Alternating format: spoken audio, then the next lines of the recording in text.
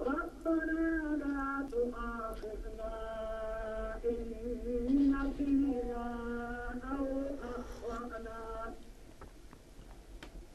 ربنا ولا تحمل علينا إصرا كما حملته كما حملته على الذين من قبلنا ربنا ولا تحملنا ما لا طاقة لنا به واعف عنا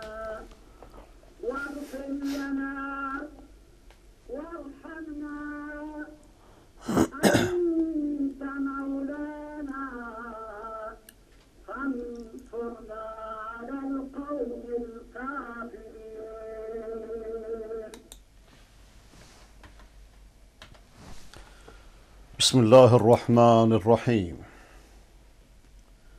إن الحمد لله. نصلي ونسلم على رسول الله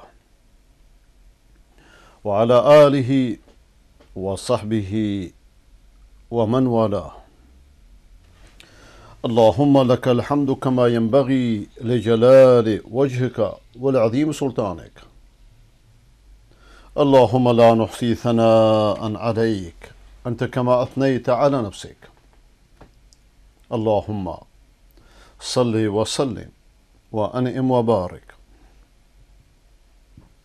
على سيدنا وحبيبنا ونبينا وشفيعنا وقرة عيننا محمد وعلى آله الطيبين الطاهرين وعلى أصحابه نجوم الهدى الغر الميامين.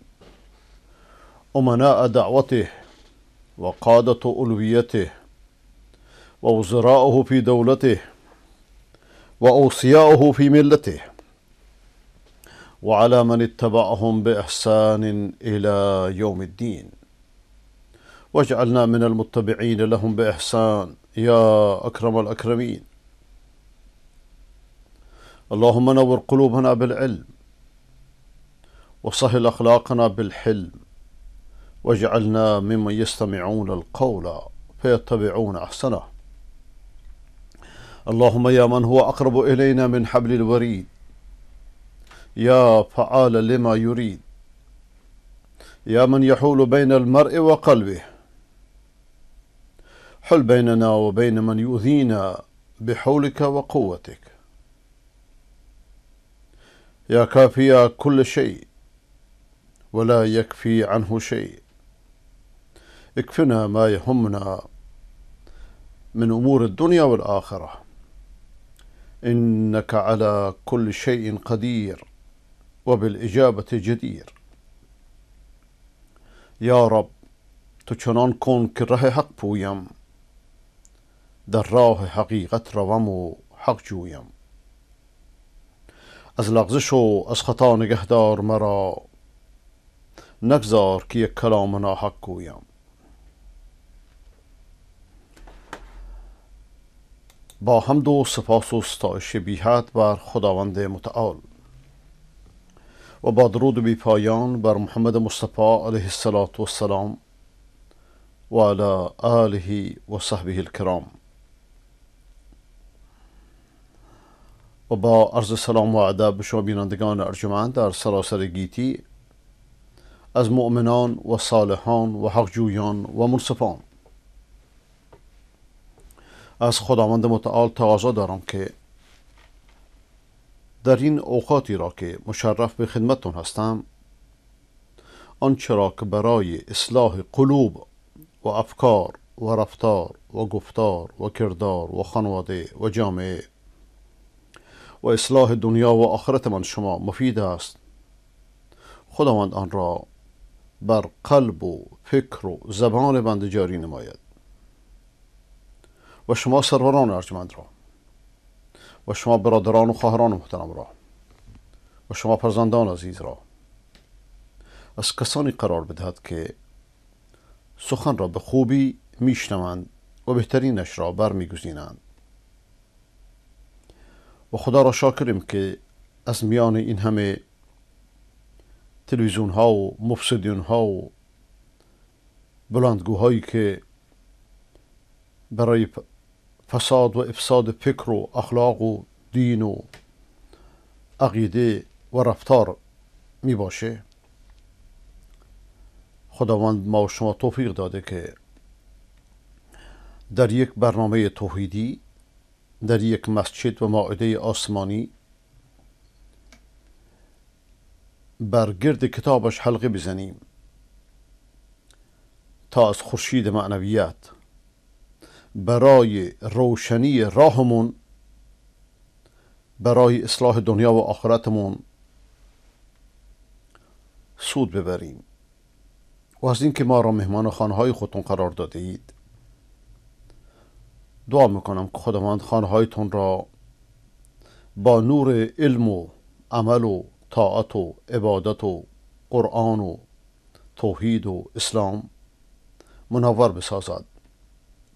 و از ظلمت شرک و بدعت و خرافه و کفر و معصیت دور و پاک نگه دارد.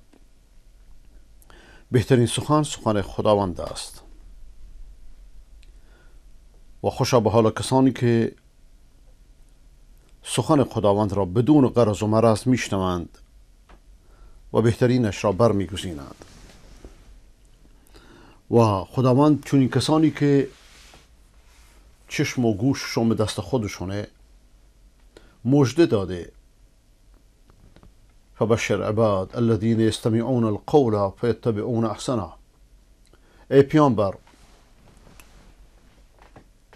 مجده بده به اونهایی که سخن رو میشنوند و بهترینش را بر یعنی چشم و گوششون دست خودشونه. مقلد این آن نیستند. چشمداری تو ز چشم خود نگر. منگر از چشم صفیه بی هنر.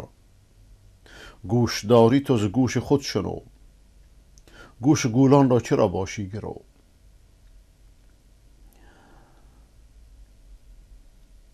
بهترین سخن اگر قرآن نمی بود چون این حرفی رو نمی زد.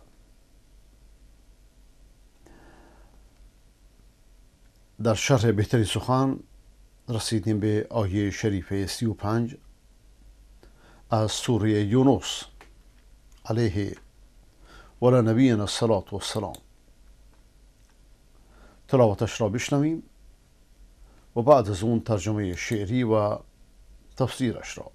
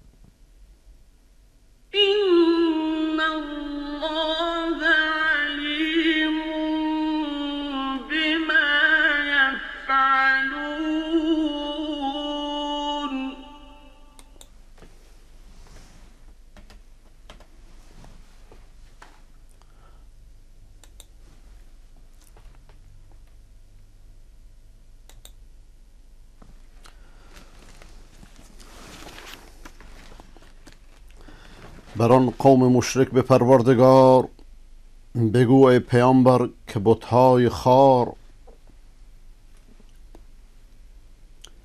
بر آن قوم مشرک بله توانند آیا کسی را به راست هدایت نمایند بی کم و کاست؟ بگو ای پیامبر که یکتا اله کند بندگان را هدایت به راه. یعنی هدایت دست خداونده دست بشر نیست. بشر راهنمایی می‌کنه حد اکثرش. برکه دلها خداوند ایجادش کرده. اوست که می‌دونه درش چی میگذره. سزاوارتر کیست بر پیروی؟ چه کس هست شایسته رهروی؟ قبرها مرده ها هپرودها اوهام وسنیت ها امام زمان تراشی ها ایسا پرستی ها.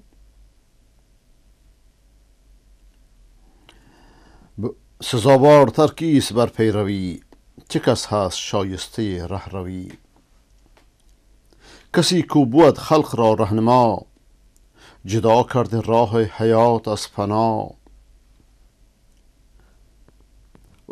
و یا آنکه خود هست محتاج این که گردد هدایت به راه یمین. شما مشرکان را چه آمد کنون که خانید بتهای فانی و دون؟ این امامزاده که درست کردید فانی یا نه؟ مردن رفتن فانی فنا همین کافیه دیگه. نه آقا زنده. زیر زمین زنده هن اگه ببخشید این جمله رو اینجوری به کار می‌برم اگه والدینتون پدر مادراتون تو زیر زمین زنده می بودن چیکار می‌کردید؟ این سوال توی که در یکی از مناظره در المستقله با طرف خرافی من مطرح کردن شخصی به نام اسدی بود که الان از درندگان عراقه. دهنش خشک شد. گفتم آقا تو میگی پیغمبر زیر زمین زنده نماز می‌کنه فلان علی بله خب اماما همچنین همه زنده هن و, و اگه پدر مادر تو زیر قبر زنده می بود چکار می‌کردید؟ نمی‌رفتی یه وینچی چیزی میاردی بیرونش می‌کردی؟ حیرون شد چه بگی؟ بلکه عقلش اینقدره.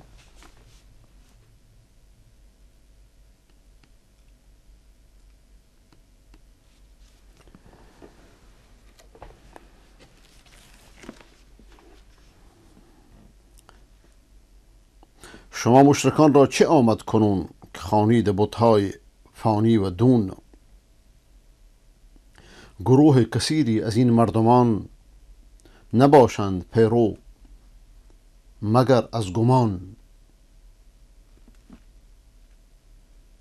خیال پردازی. امام زمان امام بهمان امامت چارده معصومی همه اینا خیال پردازیه. افسانه های دروغینه. آنچه که درسته قرآنه. بخصوص در امور غیبی انسان باید از قرآن استفاده کنه.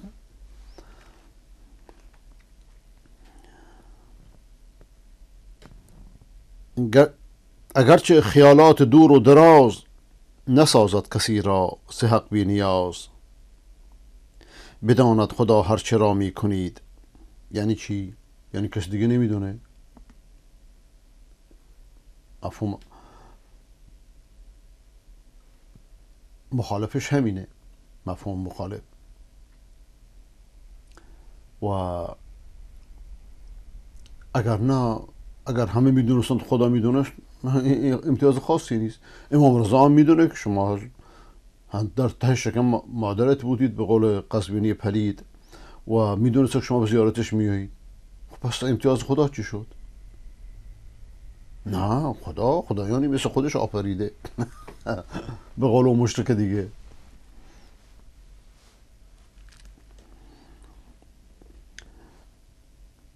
بداند خدا هر چه را می‌کنید چه آن کار پنهان بود یا پدید. یعنی کس دیگه نمی‌دونه غیر از خداوند این صفات خدا را به بندگان دادن دلیل بر این دلیل بر خدا نشناختنه. چه این در لباس عرفان باشه بی معرفتیه چه در لباس تشیع باشه که زندقه و شرک واضح و روشنه. ورز قرآن همش هم در این آیه هم آیه قبل میفرمود که و ما لکم کیف تحکمون؟ چیتون شده؟ چطوری حکم صادر می‌کنید؟ یعنی عقلاتون کجاست؟ با خداوند شریکانی قرار می‌دید که قدرت خدا رو ندارن نه راه و روشی از خودشون دارن نه هیچ چیزی. و عرض کردم که روحانت های مزور از تشیع تا یهودیت تا مسیحیت به همه اینها قرآن نهیب می‌زنه. که دست از این شرک ها بردارید. بیاید به سوی خداوند. بیاید به سوی همان دعوتی که پیغمبرانتون شما را بهش خوندند. کیفا چگونه؟ این کلمه برای استفسار از عملکرد عجیبیه که که در عرف اغلا این نباید رخ بده. مثلا شما میگی چطوری پدر تو زدی؟ چطوری مادر تو زدی؟ چطوری مادر تو سبشت کردی؟ یعنی این اصلا وارد نیست. این چطوری یا کیفه معنیش همینه.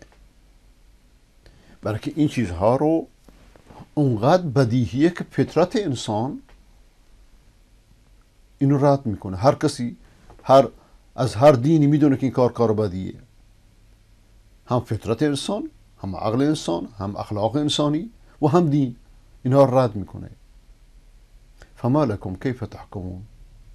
یعنی اینکه شما به بزرگان خود به قبرها به امامزاده ها به قدیس ها به خاخام ها به عیسی به عزیر به فرشتگان به جبرئیل به آسمان به زمین صفات خدا رو بدید اونها رو به خدا شریک کنید؟ این چیز عجیبیه. یعنی این چیزی اصلا وارد نیست نباید رخ بده. بلکه خالق یکتا فقط خداونده. معبود راستین فقط خداونده. روزی دهنده شفا دهنده زنده کننده میراننده. فقط خداونده. بلکه خالق تنها اوست. خالق که اونه می‌دونه مخلوق چطوری برنامه ریزی بکنه. و او حقه. حق چیز ثابت رو میگن. در هیچ شرایطی تغییر نمی‌کنه. راهش منهجش یکیه. از رودی که آدم فرستاده تا خاتم علیه السلام, همه پیامبران یک کلمه گفتن مردم سوی خدا خوندن روشون هم یکیه و این تنها خداوند سبحانه و تعالی که هدف از هستی رو مشخص می‌کنه. راه راه رسیدن به این سعادت رو مشخص می‌کنه. ولذا میفرماید والله یدعو الى دار السلام. خواهم چون در آیه 25 خوندیم از سوره یونس علیه و نبی السلام خداوند شما رو به دار السلام می‌خونه به دار سعادت به دار خوشبختی. و راه و روشش که به دار السلام میرسونه ثابته. از آفت متغیرات در امانه دنیا همش متغیره هیچ چیزی درش ثابت نیست. دنیا و مافیها. یه روز شما قوید بعد ضعیف میشید. یه روز شما تندرستید مریض میشید. یه روز غنی ثروتمندید فقیر میشید. انسان ها اینجوری یه روز بینا یه روز می‌بینید چشمشو از دست داد. یه روز می‌بینید گوششو از دست داد. یه روز می‌بینید جراحی قلب کرد. هزاران مرض. یعنی چی؟ یعنی من شما در دنیایی قرار داریم که هیچ چیزش ثابت نیست. همه چی متغیره. شما تصور فرمایید یه انسانی همه خوشبختی های دنیا رو چشید. از عافیت از امنیت از سلامت از ثروت از مال از منال از همسر از فرزندان. خب نیست همچه کسی. مثل نادره خیلی. شما ولی فرض کنید کسی هیچ مصیبت نداشت باشه؟ محاله در این دنیا کسی بیغم نباشد. اگر باشد بنی آدم نباشد. لیکن شما فرض کنید فرض کنید چون افرادی باشه. لیکن از دو, از دو جهت میترسه. با تمام این سعادتی که داره که این نعمت ها رو از دست بده. این خودش ترس از ترس خودش ترسه. یا از این میترسه که نعمت ها رو ترک کنه خودش بره نشسته تو خونه 500 متری. باغ باغچه همه چی مرتب. از اینجا منتقل میشه به یه قبر دو متری. چقدر سخته؟ خب این پس انسان اگر در دنیا هم خیلی خیلی خوشبخت باشه بنا مقیاس اهل دنیا باز این دو نگرانی در درش همیشه موج می‌زنه. در زندگیمون اینو می‌بینیم. پس دنیا با تمام تغییراتش با تمام تحولاتش دارالامان نیست. امنیت نداره. و اینو باید بدونیم که هر نعمتی که انسان داره چه اعتراف بکنه چه اعتراف نکنه. این نعمت خداوند بهش داده خالقش بهش داده. الان اسمشو طبیعت بذار. نفهمیه طبیعت. آقا طبیعت داده. ما فرزند پدرمون رو به طبیعت دادیم. نصیحتم به فرزند آقای شجریان اینه که از این این جمله رو اگه فهمیده گفته که کفر سریحه اگر نفهمیده مثل بقیه مردم مقصودش خدا بوده خدا طبیعت نمیگن خداوند خالق طبیعته. کسی این جمله رو بهش برسونه نصیحتش کنه خوبه. و هر آنچه در این دنیا هست دادهای خداونده برای که خداوند خلقش, خلقش کرده. هیچ نعمتی ذاتی نیست. اگه ذاتی می بود می‌تونستیم حفظش کنیم. می‌تونیم چشمانو رو حفظ کنیم؟ دستمان و گوشمون هم بر همیشه؟ نه. هیچ کسی در امان نیست. ما نمی‌دونیم یک ده دقیقه بعد با ما چی میشه. ادعا کنیم خودمون رو کوری و کری بزنیم. بله. می‌دونیم فردا چی بر سر ما میاد؟ هیچ کسی نمی‌دونه. محاله.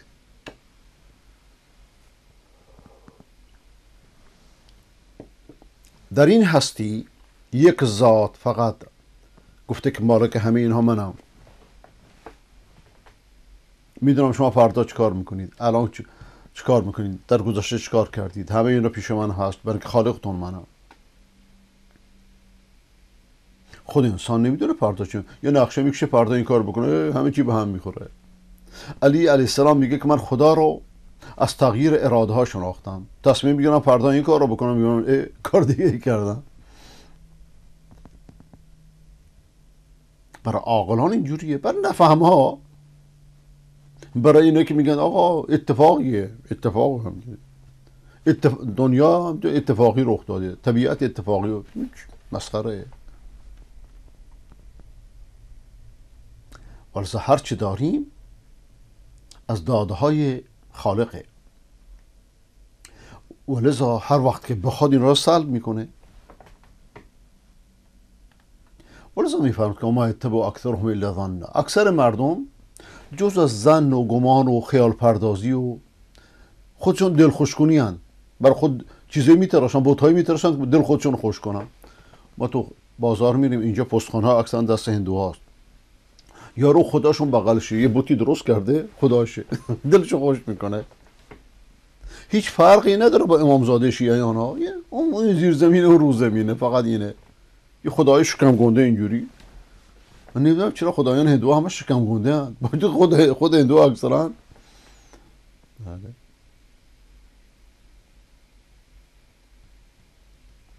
و ما یتبع اکثرهم الا ظن. این زن زن و وهم و خیال پردازی را از کجا یاد گرفتن؟ از پدر بزرگا از خاله خاله مادر پیر پاتال این آن. همینجوری. اوهام. این ظن لا یغنی من الحق شیئا لیکن زن و گمان و خیال پردازی انسان از حق بی نیاز نمی‌کنه ان الله علیم بما یفعلون. خداوند آگاه آگاه به اونچه که خداوند آگاه به اونچه که مردم عمل می‌کنند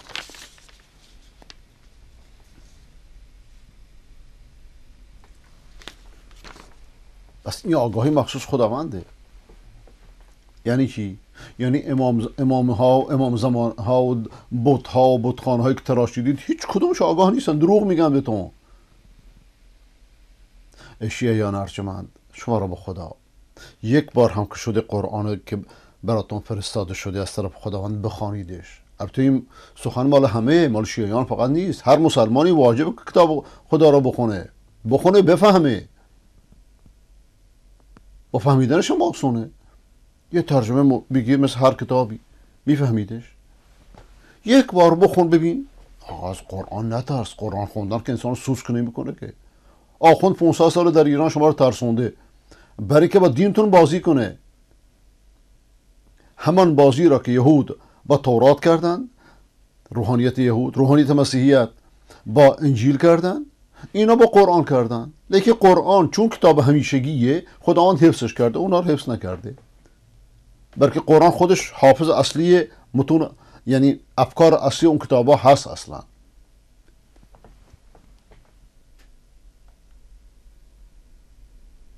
و به قول شیخ الاسلام ابن تیمیه اگر قرآن نمی بود ما زندگی عیسی علیه السلام حتی از خلال تورات انجیل نمی شناختیم.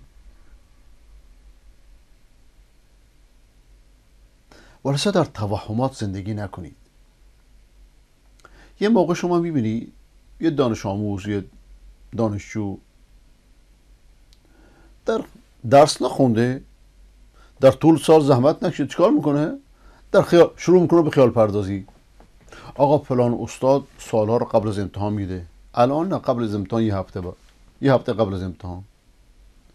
در طول سال درس نمی‌خونه. آیا این حرف درسته؟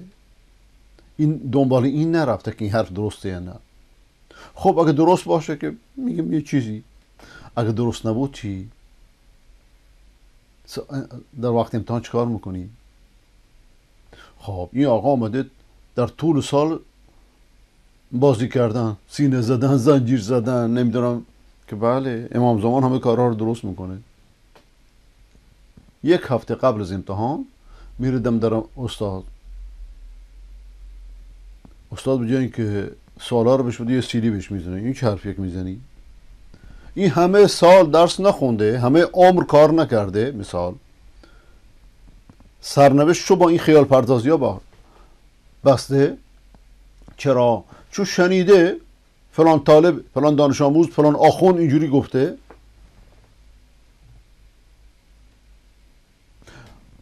اما فهم خودش بوده که هیچ بدتر از این. لیکن این همش زنه همش خیال پردازیه. برادران ارجمند همه خرافه ها بدعت ها قبر پرستی های روحانیت های مزور در تشیع و امام پرست و علی پرست و در یهودیت عزیر پرست در مسیحیت مسیح پرست و ادیان تحریف شده و مذاهب زاله در اسلام همه از همین قبیله. دلخوش کنی و چاپیدن دیگران. و نتیجه دنیویش شرک صریحی که من شما می‌بینیم و نتیجه اخرویش عذاب دائم. ولذا همه کور و کرانند در این را همه با وهم می‌گویند الله. از خدایتون بترسید. یک بار با عقل و فکر و انصاف بروی سراغ قرآن. و ما یتبع اکثرهم الا ظن. زن گمان. خیال پردازی و قالت اليهود والنصارى نحن ابناء الله و احباؤه یهود و نصارا چه می‌گفتن؟ همین ادعایی که امروز شیعه می‌کنه آخوندهای شیعه. ما دوستان خدا هستیم. ما فرزندان خدا هستیم. شیعه چی میگه؟ خامنه چی میگه؟ ما مذهب برتر هستیم. ما مذهب آل بیت هستیم. چرندیات همش دروغ. اگه شما مرد می بودید سینه سپر می‌کردید میومدید رو گفتگو می‌کردید. لاتلوتا و فهاشا و یه مش بچه‌ای که معلوم پدر مادراشون کیند که بیان پشت بدن این را نمیفرستادید. یه عالمی که پیشتون ارزش می داشت یه مرجع. همه ایران هم اگه, برنده می شدید همه ایران هم شیعه می شد همه دنیا شاید. ولی می‌دونن که بر باطلن. همچنان که یهود و نصارا می‌گفتند که ما فرزندان خداییم ما دوستان خداییم. زن خیال پردازی ادعای. قرآن چی جوابشو میده؟ در سوره ماعده آیه جزی از آیه 18 هم قل فلما یعذبکم بذنوبکم؟ اگه شما فرزندان خدایید دوستان خدایید چرا شما رو با به خاطر گناهانتون عذاب می‌کنه؟ آدم فرزندشو عذاب می‌کنه؟ دوستانشو عذاب می‌کنه؟ یک انسان این کارو نمی‌کنه. خدا خدا این کارو می‌کنه؟ بله انتم بشر میمن خلق. شما مثل بقیه بشری که خلق کرده. و قالوا لن تمسنا النار الا ایاما معدوده گفتن ادعا می‌کردن که آتش با چند روزی بیشتر ما رو نمیسودونه قل اتخذتم من الله احدا. شما از خدا پیمان گرفتی چنین؟ با این خیال پردازی ها که خداوند عهد پیمان خودشو خلف وعده نمی‌کنه. ام تقولون الله ما لا تعلمون. یا اینکه به خدا چیزی میگید که نمی‌دونید. همه آن چهایی که در یا حسینی های شرکالو در محرم در سین زنی ها در نوه خانی ها گفته میشه همه از این بابه. بر خدا چیزی می‌گویند که خدا نمی‌دانند جاهلند و بر خدا افترا می‌زنند. اتفاقا اینها رو اونا درست کردن. همچنان که امامت رو درست کردن. اینا که قرآن نقل می‌کنه ادعا و فریبکاری پیشینیان بود. روحانیت های مزور و تحریف کننده ادیان پیش پیشین.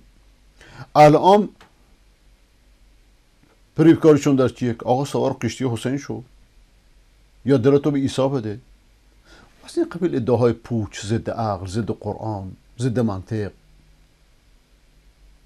و این زن و گمان هم همینطوره. بعضیا میگن آقا هر چی دلت می‌خواد انجام بده. پیامبر شفاعت تو می‌کنه. اه؟ این چه حرفیه؟ شفاعت اینطوری فهمیده میشه؟ این چه فهم اشتباهی از شفاعته؟ اگرچه خود شفاعت حقه لیکن شفاعت از بالاست از پایین نیست. معنی شفاعت خیلی برتر و مترقیتر از اینه.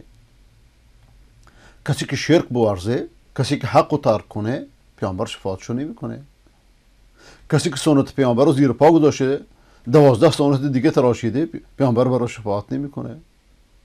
کسی که در دین غلو کرده پیر و پاتال و قلندر و مست و این آن آورده جای پیامبر نشونده جای خدا نشونده پیامبر برای مشرکان شفاعت نمی‌کنه. عرض کردم یه جوان وارد دانشگاه میشه. کنکور امتحان داده وارد دانشگاه شده. اونجا می‌بینی بهش کتاب میدن غذا میدن نمی‌دونم خوابگاه بهش میدن کتابخونه در اختیارشه. هرچی که نیاز داره بر تحصیل. لیکن در آخر سال باید امتحان بده. و ما یتبع اکثرهم الا ظن خب تا اینجا توقف کنم.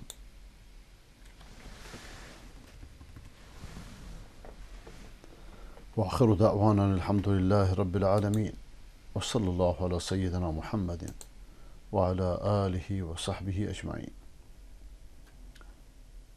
چند دقیقه من اجازه بدید دوباره برمیگردم. سلام عرض می‌کنم به همه شما بینندگان عزیز. در خدمت شما هستیم در قسمت دومین قسمت و قسمت پایانی این مناظره با حضور جناب مولانا عبدالرحیم ملازاده دکتر عبدالرحیم ملازاده جناب هومر آفرامیان و آقای دکتر افنانی. اما اتفاق جالبی افتاد. من که در وسط این کار گم شده بودم حق آقای هومر آبرامیان رو برای پنج دقیقه پاسخ دادن در واقع نادیده گرفتم. آقای دکتر ملازاده صحبت کردن آقای دکتر افغانی صحبت کردن اما آقای هومر آبرامیان صحبت نکردن به مجرد این که برنامه رفت روی آگهی های تجارتی. من چهار تلفن داشتم که این چهار تلفن به این حقوشی اعتراض می‌کردن. البته من چنین قصد حقوشی رو نداشتم بلکه اشتباه اتفاق افتاده بود. آقای ژاک شیراک اخیرا لایحه رو ترک کرده. یا شخص مشخصی پاسخ خواهد داد یا هر سه نفر آقایون حق دارند که به هر سوالی که مطرح اینو قبول دارم. اون چرا که در قرآن هست من قبول دارم. و به نظر من این قوانین قوانین است که از جرم و جرم جلوگیری می‌کنه. سپاسگزارم. آقای هومر ابرامیان من اجازه بدید این دفعه از آقای افنانی شروع خواهش کنم. بیام می‌کنم. آقای دکتر افنانی من به طور کلی مطلب رو عرض می‌کنم که این قوانین مسلمین به حضرت محمد به قرآن توبیه کنه کوشی خدمتون آقای دکتر. سلمان رشدی. این نتیجه در برنامه حضور ندارند این وقایع برای عیسویان تا سال 339 تا هنگام فوت شاپور ادامه داشته. تا سال 362 اسقف بزرگ با 9000 عیسوی به خوزستان تبعید کردند. در کتب سریانی اومده که به مدت 200 سال تغییر اینها ادامه داشته. بعد فرمان اه، به سوا مجری فرمان یزدگرد موبد و موبدان بوده. همون آقایی که شما یعنی رهبر روحانی زردشتیان. اگر مردم از این وضعیت ناهنجار و از این وضعیت بعد ناراضی نمی بودند بدون مدعی پیامبر جدید مانی و مزدک رو نمی آوردند که بعضی از پادشاهان ساسانی اینها رو نمی آوردند بعد از این طلوع فجر اسلام طلوع کرد و مردم از این وضع رقتبار نجات داد و مردم گروه گروه مسلمان شدند. اگر این کشتارها نمی بود وانگهی اگر فرض کنیم این این دیده کلی شما اصلا نادرسته به نظر بنده وقت جنابالی تمام شد. آقای دکتر ملازاده داره. وقت جنابالی تمام شد. آقای دکتر افنانی من شروع کردم این جواب نداد. سوال اول شما پاسخ دادید. بله با من قسمت. با من بله، شما شروع درست. خیلی اجازه فرمایید که آقای امیدوارم خط پنج ما درست باشه. اجازه بدید من این رو بگیرم بعد توضیح میدم چرا این حساسیت به خط پنج دارم نسیم شمال بفرمایید. سلام. آه،؟ شما از کجا تلفن من میفرمایید از واشنگتن زنگ اجازه بدید. بیننده عزیزی که از کانادا مدت‌های مدید روی خط بودید. من می‌تونم اجازه بفرمایید سرکار خانم. بله. شما ساکت باشید یک لحظه فقط. بعد وقتتون می‌رسه که صحبت بفرمایید. من می‌تونم بیستم پشت خط خانم ای خانم اجازه بدید من کارم بکنم. شما روی خط باشید. چشم بیننده عزیزی که از کانادا تلفن فرمودید شما درست روی خطی بودید که این بیننده الان دارن صحبت می‌کنن. درست سی ثانیه قبل از اینکه من به خط پنج بتونم برسم تلفن شما قطع شد. برای مدت سه چهار ثانیه و مجددا این خانم از واشنگتن گرفتن و شما نوبتتون از دست دادید. هیچ دسیسه در این کار در کار نبود و هیچ عمدی نبود در این کار.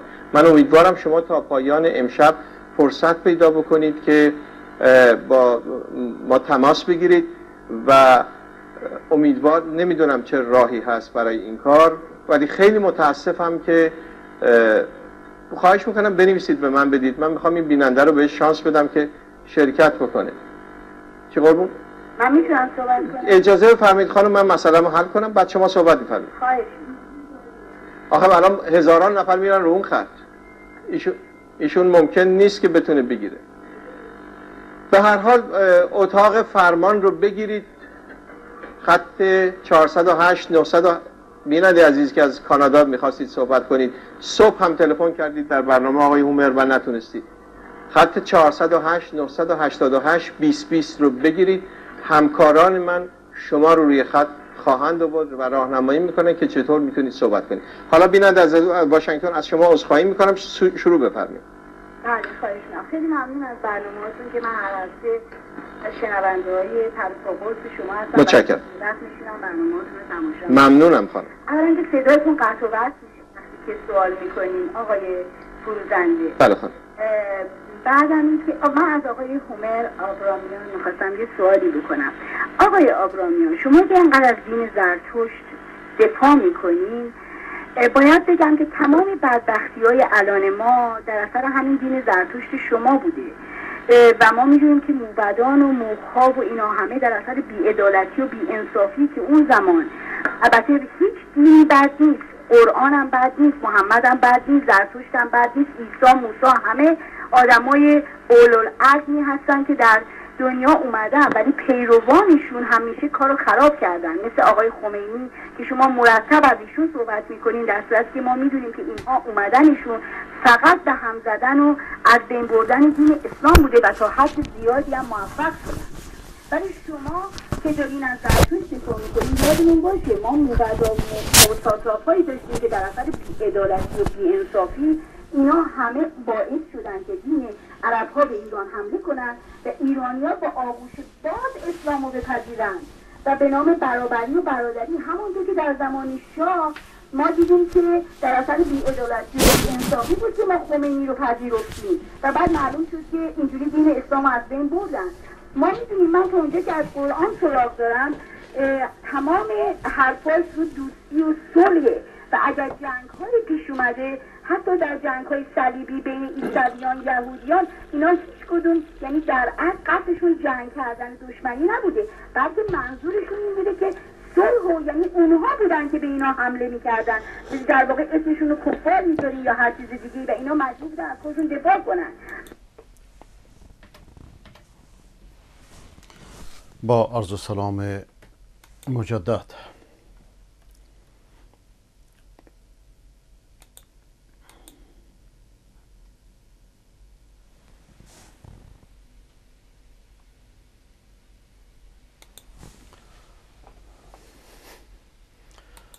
دوستان موضوع دوممون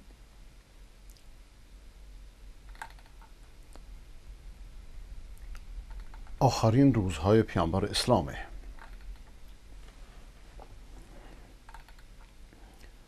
فکر کنم امروز ششمین جلسه من باشه.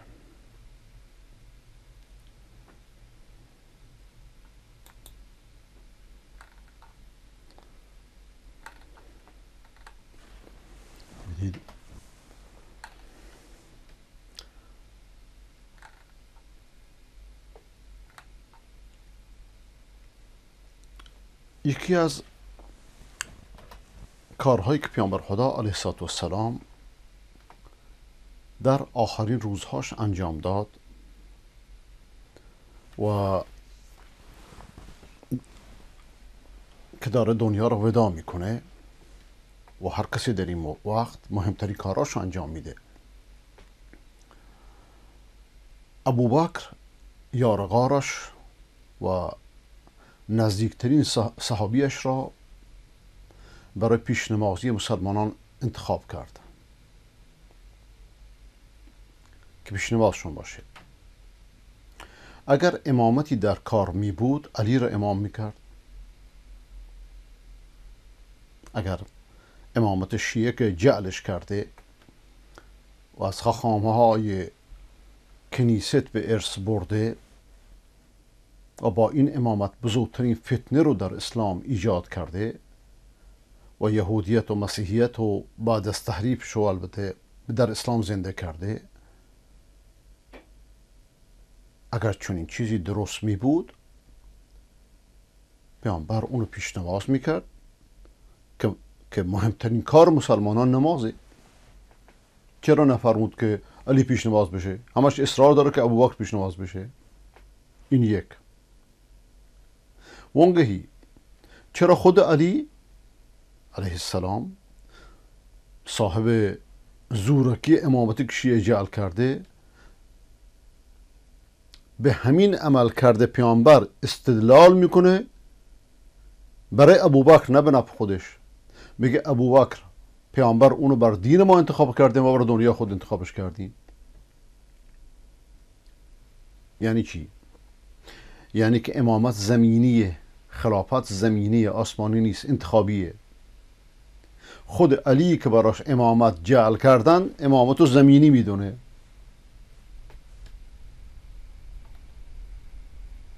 وقتی که پیامبر خدا صلی الله علیه بیماری شدت گرفت و وقت نماز فرا رسید بلال مؤذنش اذان داد. پیامبر فرمود علیه السلام و علی آله و صحبه الكرام. مرو ابا بکر فلیصلی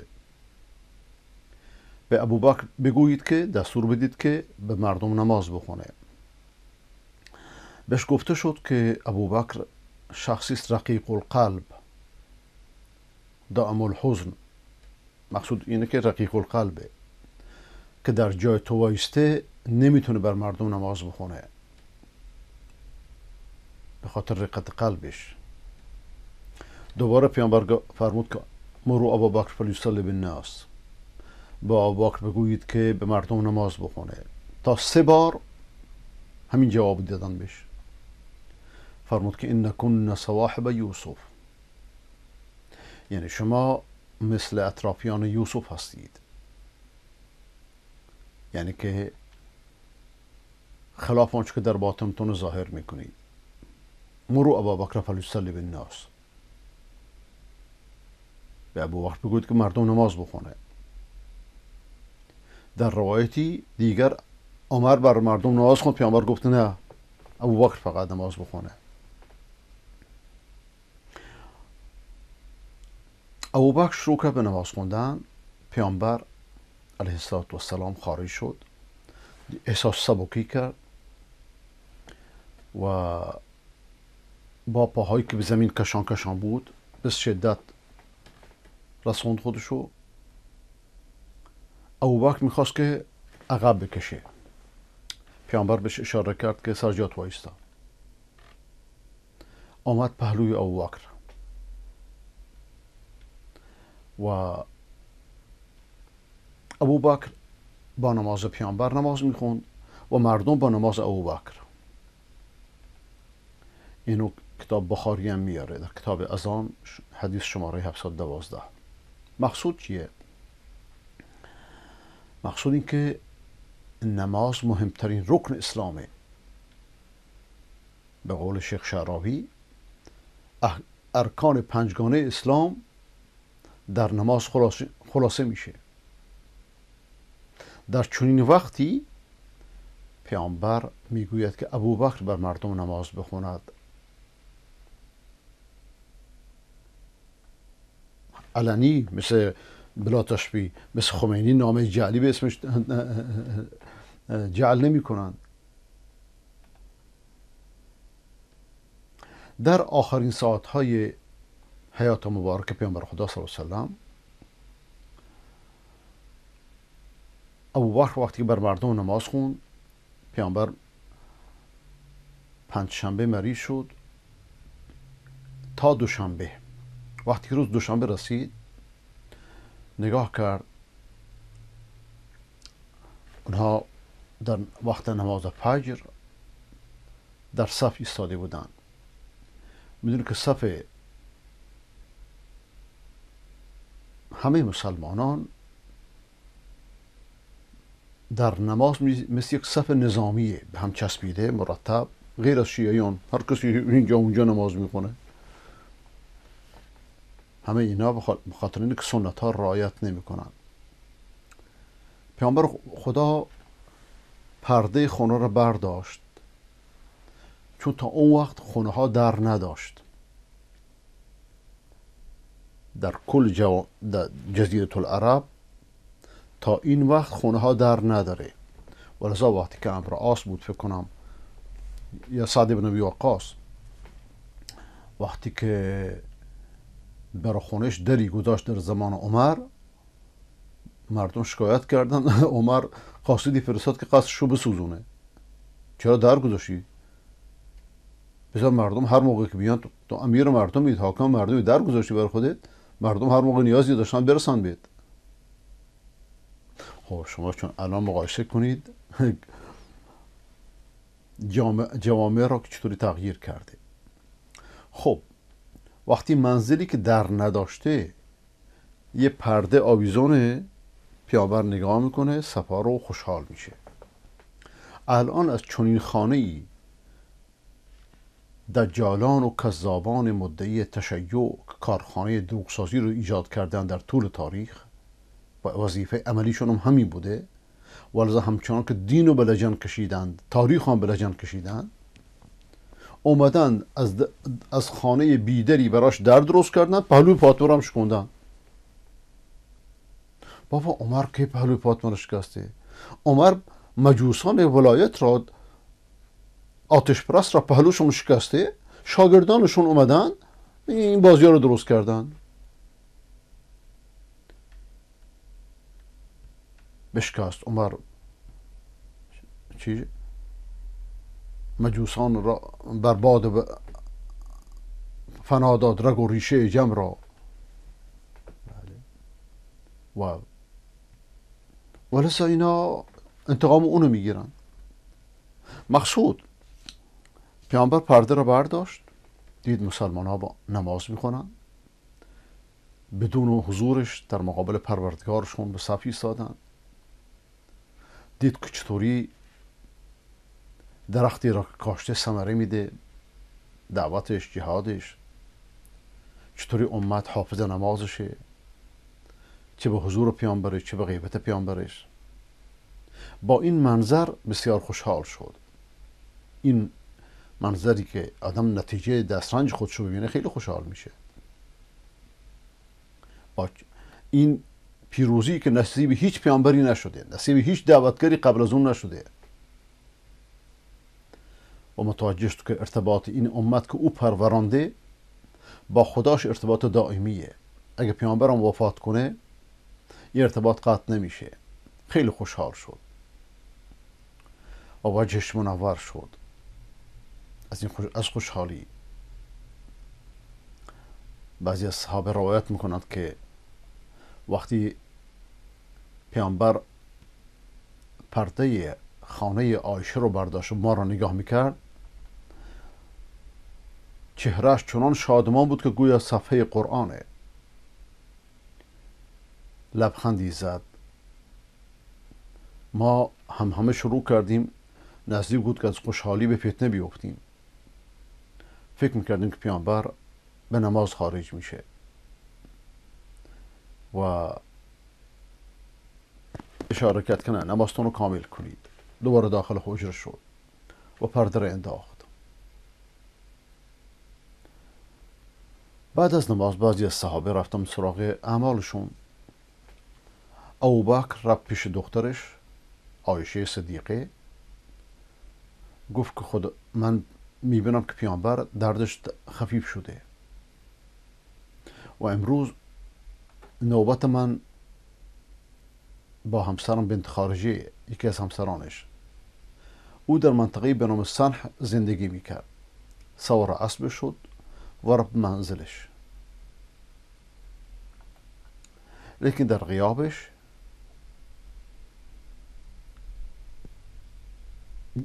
نزاع و جان کندن پیامبر به شدت گرفت. علیه السلام و علی آله و صحبه الکرام. اسامه بن زید داخل شد. پیامبر ساکت بود نمی‌تونست حرف بزنه. دستاشو به آسمان بلند می‌کرد دوباره بر سر اسامه میذاشت. اسامه فهمید که داره براش دعا می‌کنه. و همسرش آیشه صدیقه ام المؤمنین او رو بر سینه خودش تکه داده بود. سرش بر سینهشه برادر آیشه عبدالرحمن بن ابی بکر داخل شد در دستش یک مسواک بود.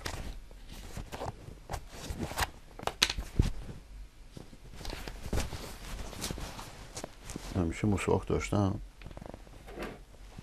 از این مسواک های چوبی خلاصه. این لحظه نمی‌دونم کجاست. و پیامبر نگاه می‌کردیم مسواکو آیشه فهمید گفت بگیرم ازش گفت به سر اشاره کرد بله. میگه من از برادرم این مسواک گرفتم. بعد این مسواک با دهنم نرم کردم. بعد بهش دادم. به خوبی مسواک زد دهن مبارک شد. و در همه این لحظات میفرمود که و فی الرفیق الاعلا به سوی رفیق اعلا. و دستش را به تشت آب میذاشت و اونو صورتش رو میشست به معنی که تر می‌کرد و می‌گفت لا اله الا الله لا اله الا الله ان للموت سکرات. و او می‌گفت که و فی رفیق الاعلا. دستش زمین گذاشته شد تا اینکه قبض روح شد. و دستش شل شد. صلی الله وسلم و در یه روایت دیگه پیامبر فرمود که اللهم عینی الى سکرات الموت.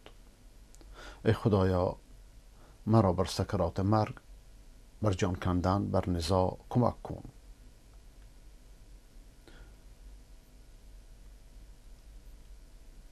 تا آخرین لحظه کمک از طرف خداوند می‌خواد. اون موقع مردم میگه که از, نواده های من کمک بگیرید از قبرهاشون. اعوذ بالله.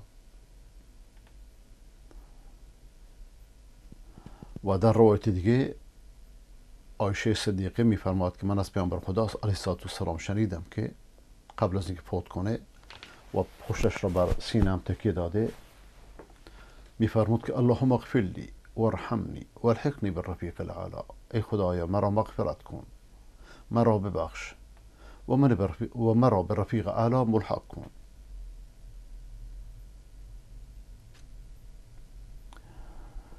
و فاطمة رضي الله تعالى عنها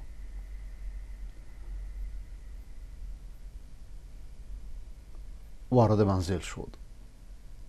گفت که واکر با آباه. پدرم چه مصیبتی میکشه؟ پیامبر فرمود که بعد از امروز بر پدرت مصیبتی نیست. لیس علی که کربون بعد اليوم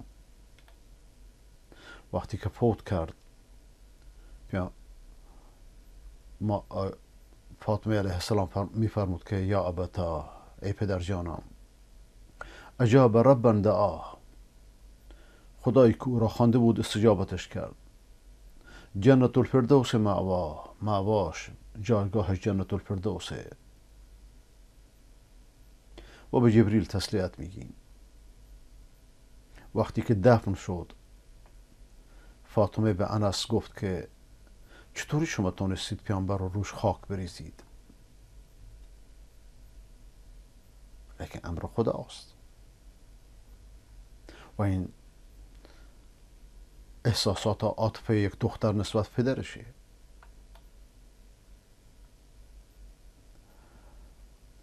لیکن پیامبر چطوری دنیا رو ترک کرد؟ در حالی دنیا رو ترک کرد وقتی که دعوت توحید را پرچم توحید را برافراشت تک و تنها بود. یه نفر دو نفر سه نفر چهار نفر. لیکن در این وقت که جان, جان به جان آفرین تسلیم کرد جزیرت العرب زیر فرمانش بود. پادشاهان دنیا ازش حساب می بردن اصحابش جان و مال و فرزندانشون را براش فدا می کردن. در چنین حالتی نه درهمی گذاشت نه دیناری نه برده نه, نه کلفتی جز یک قاطر سفید و سلاحش و زمینی که اونو صدق در راه خدا صدقه داده بود. در حالی فوت کرد که سپرش در پیش یک یهودی در مدینه به سی من جو رهن بود.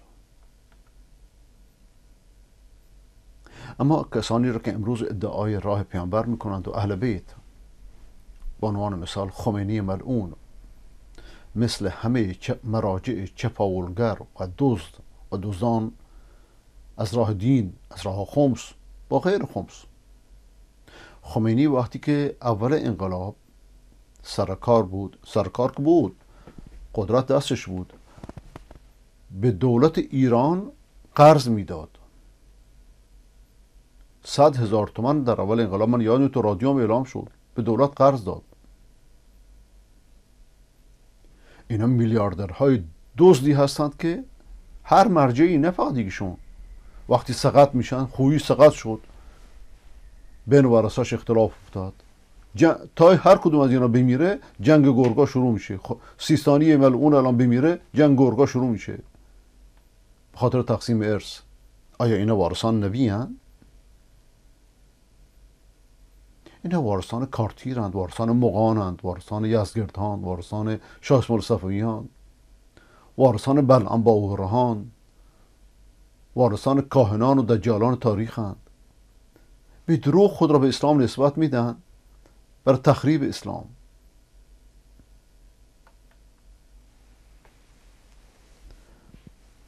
به هر حال پیامبر خدا علیه السلام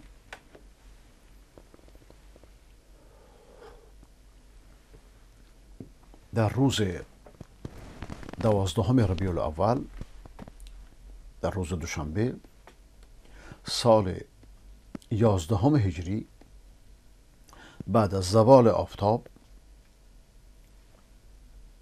در سن 63 سالگی فوت کردند و رحمت خدا پیوستند. و چنین روزی بر مسلمانان بر اهل مدینه یک روز وحشتناک و یک روز سیاه حساب شد. و یک روز بزرگ و مهنت بزرگی برای همه بشریت بود. همچون که روز ولادتش یک طلوع جدید بود. لذا انس می‌گوید که روزی که پیامبر خدا صلی الله علیه وسلم به مدینه آمد همه چی روشن شد. و روزی که فوت کرد همه چی تاریک شد. ام ایمن که براش گریه می‌کرد. گفت که من می‌دونم که پیغمبر فوت می‌کنه لیکن گریه من خاطر اینه که وحی از آسمان خواهد شد. ولذا علی ابن ابی طالب رضی الله تعالی عنه میفرماید که با مرگ پیامبر چیزی از آسمان قطع شد که با مرگ هیچ کسی قطع نشده. وحی آسمان. خمینی ملعون میگه نه علی کاتب وحی فاطمه بوده. این دجالان با این دجالگریشون با این بازی هاشون ضررشون بر اسلام هزار برابر بدتر از دشمنان سریح اسلامه.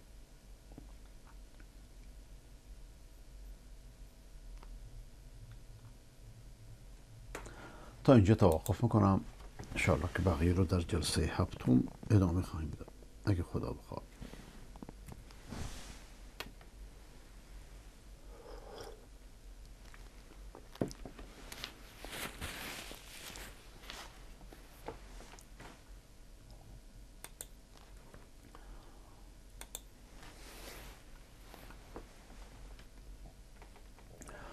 حقوق فرزندان بر والدین.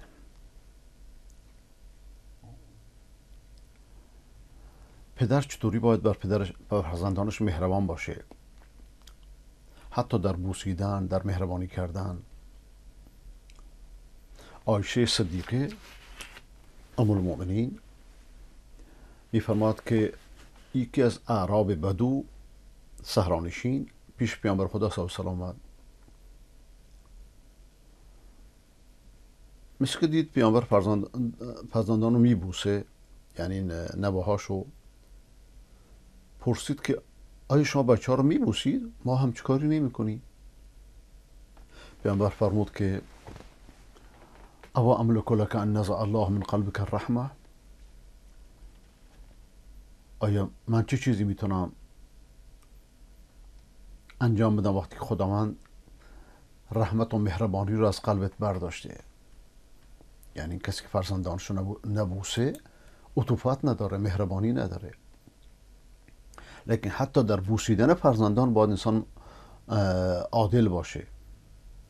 اینطوری نباشه که یکی رو میبوسه یکی رو نه. این حسد ایجاد می‌کنه کینه ایجاد می‌کنه. ولذا ابو هریره رضی الله تعالی عنه روایت می‌کنه که پیامبر خدا صلی الله علیه و سلم حسن ابن علی رضی الله عنه رو بوس میبوسید. شخصی به نام اقرا بن حابس اونجا بود. اقرا گفت که من ده تا فرزند دارم. هیچ کدوم نبوسیدم. پیامبر نگاه کرد بهش. فرمود که من لا یرحم لا یرحم. کسی که رحمت نداشته باشه بهش رحم نمیشه.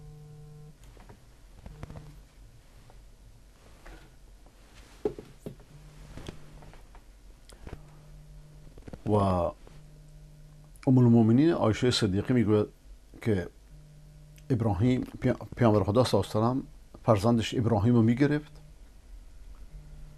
فرزند خودش ابراهیم و طیب البته همه اینا به در بچگی پود کردن. اونو میبوسید بوش می‌کرد. و میفرماد که من هیچ کسی رو هم شکل شبیه شبیهتر به پیامبر از فاطمه رضی الله تعالی عنها ندیدم. وقتی که پیامبر داخل می‌شد وقتی فاطمه داخل منزل می‌شد پیامبر بلند می‌شد دستش رو می‌گرفت. او را میبوسید و بر, او بر پهلوی خودش مینشاند. وقتی که پیامبر داخل منزل آیشه می‌شد آیشه بلند می‌شد. او را میبوسید و به جای خودش مینشاند. مردم غالبا فقط نصف اول حدیث رو نقل می‌کنن متاسفانه. تحریفگران دین در لباس تشیع بزرگترین خنجر رو به اسلام زدن. همین روایت رو تحریف کردن که آقا پیامبر سینه آیشه رو میبوسید. خدا لعنتتون کنه پلیدهای ابلیس. اینه.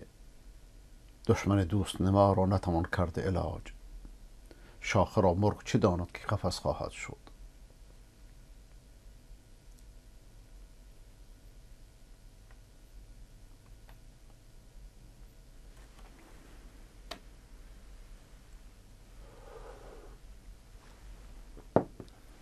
اصلا وقتی میبوسه صورتشو میبوسه پیشانی میبوسه. همه بشر؟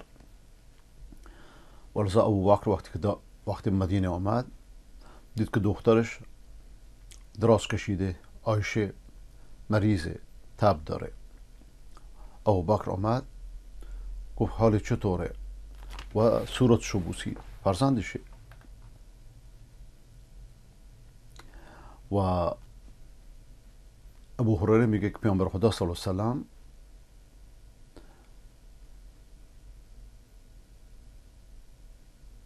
زبانش بر نواش بیرون می آورد اون می‌خواست که بازی می‌کرد باشه بر حسن بن علی. زبانشو می‌گیره بعد پیامبر دستشو می‌گیره.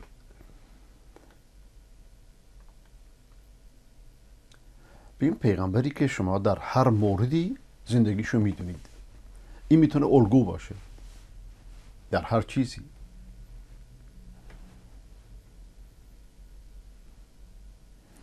ام خالد بنت خالد ابن یعید میگه که من اومدم پیش پیامبر خدا صلی الله با پدرم. یک دختر کوچولو بود. یک پیرهان زرد داشتم. پیامبر خدا گفت که زیباست زیباست. من شروع کردم بازی کردن. ختم نبوتی که در پشت پیامبر بود اینو گرفتم. پدرم منو نه کرد. پیامبر گفت نه ترکش کن.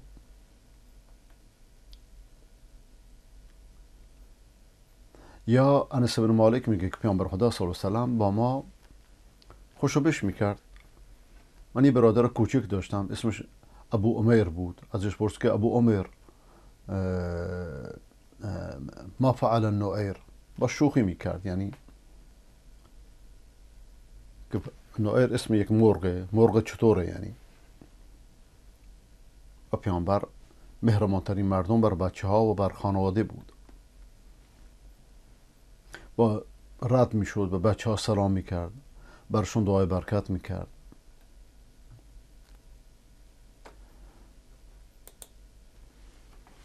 تا اینجا توقف کنم. بریم سراغ کشتیگیری علامه برغایی با حافظ رند.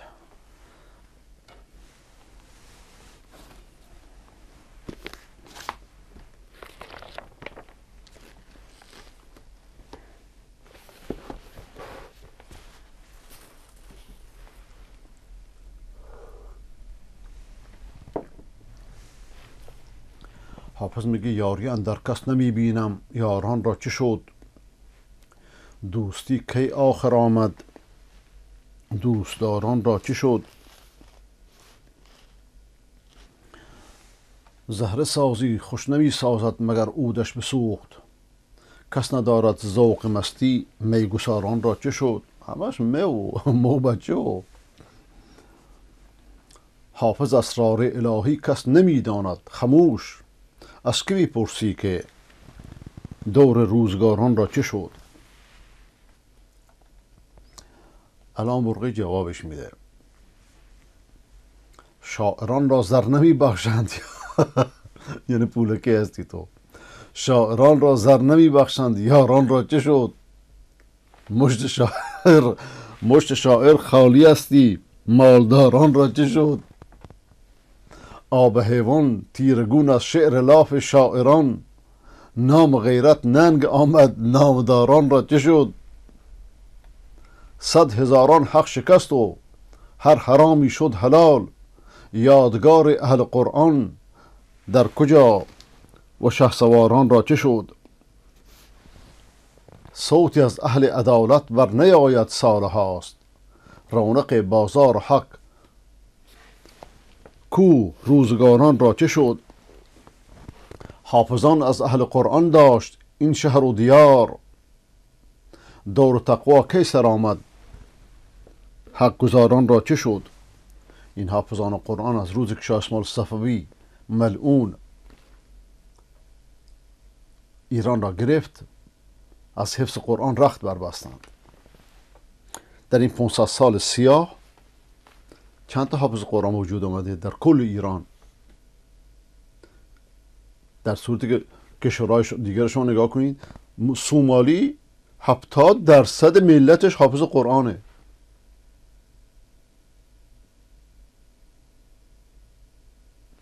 این جنایت خمینی تا کلینیه. حافظان از اهل قرآن داشت این شهر و دیار. دور تقوا کی سر آمد؟ حق گزاران را چه شد؟ گویی توفیق و همت نیست دیگر بهر ما. یک نفر با پا نخیزد. جان سفاران را چه شد؟ هر طرف ساز و نواز و رقص و بیاری به پا. کس ندارد شرم و غیرت شرم ساران را چه شد؟ حافظا اشعار تو آموخت این بی مسلکی. بله شکی در این نیست. جنایت عرفان و صوفیان در همینه. این بی مسلکی رو که آموختن تشیع اومد خراب و خرابتر کرد. حافظا اشعار تو آموخت این بی مسلکی. رفت ترس از خالق و امیدواران را چه شد؟ برقعی بین شعر زشت شاعر اهل هوا. کس ندارد ذوق مستی میگساران را چه شد؟ خدا رحمتت کنه با ای برقی. و به کلماتت برکت بده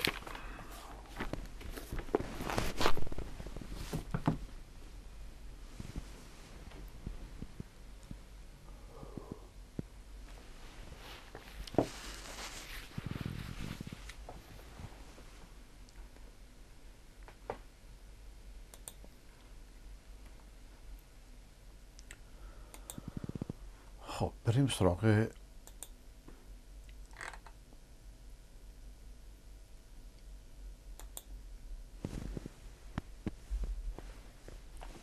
کلیپ هاتون.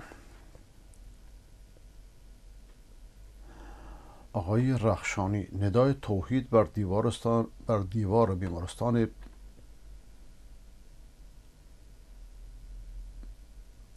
پنج آذر پنج آذر گرگان. أليس الله بكاف عبده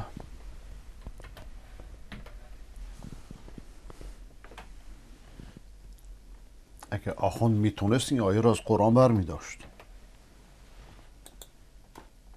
ولی بازی می‌کنه. چطوری میگه؟ بله مقصود اینه که امام. مقصود از این بریم پیش امام.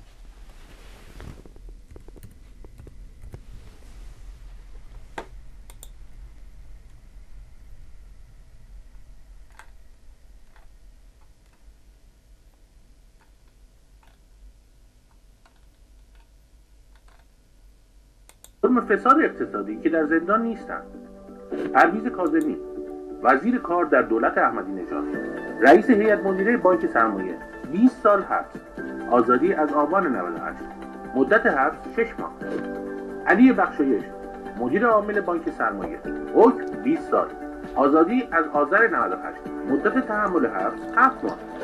محمد رضا توسلی نماینده اسبق مجلس. عضو هیئت مدیره بانک سرمایه. حکم 20 سال آزادی آذر 98 مدت تحمل حبس 8 ماه. هادی رضوی بدهکار بانک سرمایه. حکم 20 سال آزادی از اسفند 98 مدت تحمل حبس 9 ماه. ابوالفضل میرعلی مدیر عامل سامر الحجج حکم 15 سال. آزادی از اسفند 98 مدت تحمل حبس 16 ماه. من نمی‌دونم. مردم اگه این ارقام و توصیه رو بفهمن چجوری ساکت میشن؟ نمی‌دونم. سجاده و نماز و گریه قدر و آشورا کجا؟ دوزیایی که صفراش نمیشه بشماری کجا؟ به گرگه گفتن یه نصیحت گوش کن. اینقدر گوسفندهای مردم نخور. اونا مال بچه یتیماست و بیوه ها و پیر زنا گرگه نگاهی کرده و زودتر حرفته بزن. گله رفت. بدجوری ریختن سر سفره انقلاب؟ ریختن تو حساب بانکی. سر زمین ها تو جنگل ها نفت و آب و هر چی بردنه این مسلمونی. آخرش پول کثیف. تو جیب کثیفاش برم یه گوشه بشینم هی نماز بخونم هی نماز بخونم. که پیشونی پینه ببنده که کی خوشش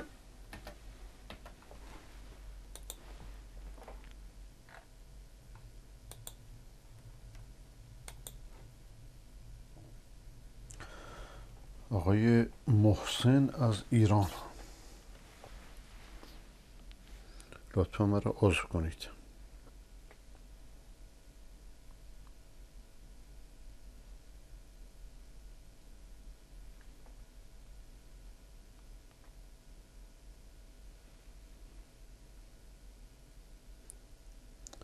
مقصودتونه که شما رو در لیست خودم قرار بدم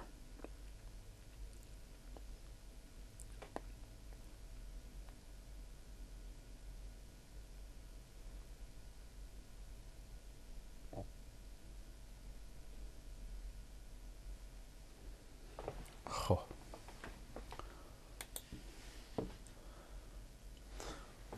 سلام. چرا یک میلیارد و نیم مسلمان در جهان هیچ اثری در جهان ندارند؟ اغلب دنبال روی فرهنگ فاسد غرب هستند. پس اسلام این همه مردم به چه دردی می‌خوره؟ اگه مسلمان نبودن چه اتفاقی میافتاد؟ سوال مهمیه و سوال بزرگیه.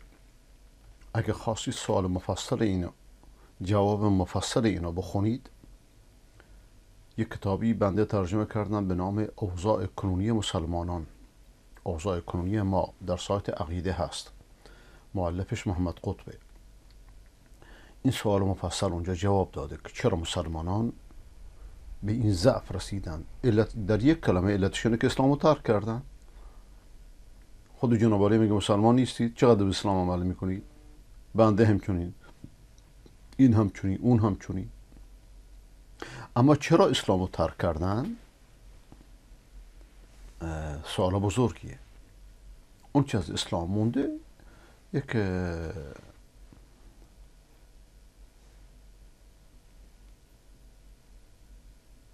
پوسته ایه فقط. برای, برای مسلمانان. بقیه اصل و, اصل کنار گذاشتن.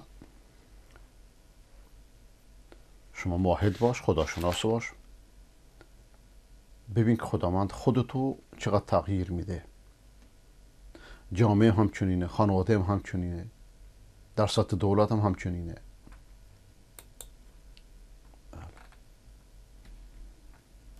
خواهش می‌کنم اون کتاب بخون در سایت عقیده هست. می‌تونی با فیلتر شکن وارد شید و اون کتاب بخونید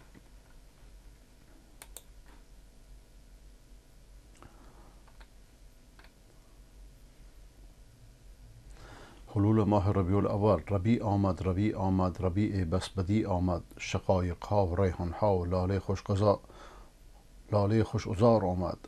بله در چنین ماهی پیامبر اکرم علیه السلام متولد شدن. اگرچه اید گرفتن و مولود گرفتن و تبریک گفتن و این چیزها درست نیست. پیامبر این کارها نکرده. دوستی پیامبر اینه که ما تابعش باشیم. هر کاری که انجام داده یا از ما خواسته انجام بدیم.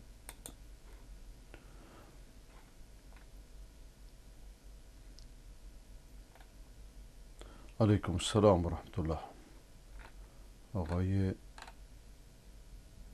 نمی‌دونم شما اسم ندادید.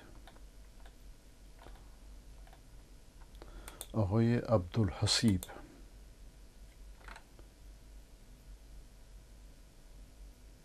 قدم هایی برای خودسازی اول نماز اول وقت دوم احترام پدر و مادر سوم خواندن نماز شب به چهارم صبر در تمام امور پنجم خواندن اذکار. همه اینا خیلی مهمه. ششم قرائت روزانه قرآن همراه با معنا. هفتم جلوگیری از پرخوری و پرخوابی. پرداخت روزانه صدقه غیبت نکردن فرو بردن خشم. ترک حسادت ترک دروغ کنترل خشم. چهاردهم دائم الوضو بودن. خلاصه دین این هم. آقای محمد یکتا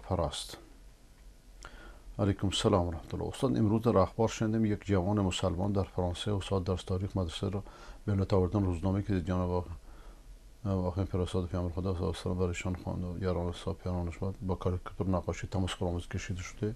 او یا خوب جلوه دادن اراجوفی مثل آزادی نظر در این مورد با چاقو سر بریده است. ضمن اعتراض و محکوم کردن عمل عمل توهین تمسخر به تمام پیامبران مقدسات نظر جناب در مورد عمل کردین برادر مسلمان چیست؟ این این کارها بیشتر به ضرر مسلمانه. این همون چیزهایی است که رهبران سیاسی می‌خوان همیشه مردم و خودشون رو از اسلام بترسونن. این تنور رو داغ نگه دارن. مثل درست مثل ولایت بقی صد سال اینجوری با مسلمان برخورد می‌کنن. دقت می‌کنی؟ و لیکن علت اصلیش خودشونن چرا به پیغمبر اسلام توهین کنید؟ مسلمانان خونشون جوش میاد.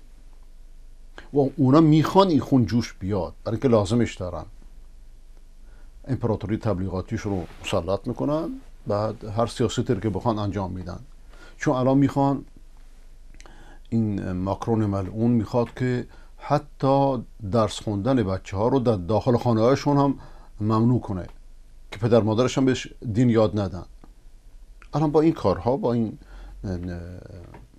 کار تروریستی نقشاشون رو پیش می‌برن. و همه کارهای تروریستی به ضرر مسلمان هاست. این استاد تاریخ نادان رو نه نادان نبوده این قصدن این کارها رو می‌کنن. همه اینا برنامه ریزی شده.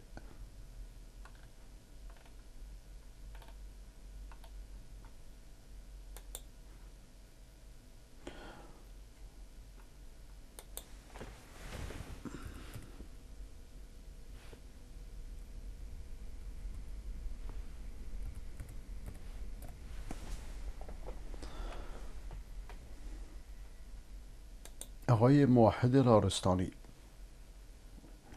جناب دکتر من شنیدم که مکه از اول خداپرست بودند. بعد شخصی به نام امر ملحی از شام یک بت آورد. درسته. و نصب کرد. مقابل مکه. و از اون موقع بعد دوباره مشرک شدن تا بعد از بعثت من در کاملا درسته. این, این موضوع خودش حدیث نبوی است. او بود که بت پرستی رو وارد اونجا کرد.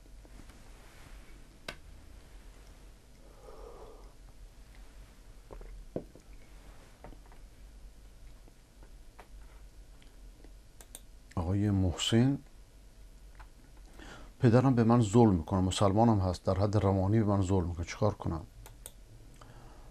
ظلمش چیه؟ ظلمش چیه؟ مثلا اینجاست. خداوند شما رو در معروف در کار درست مکلف کرده از پدرتون پیروی کنید.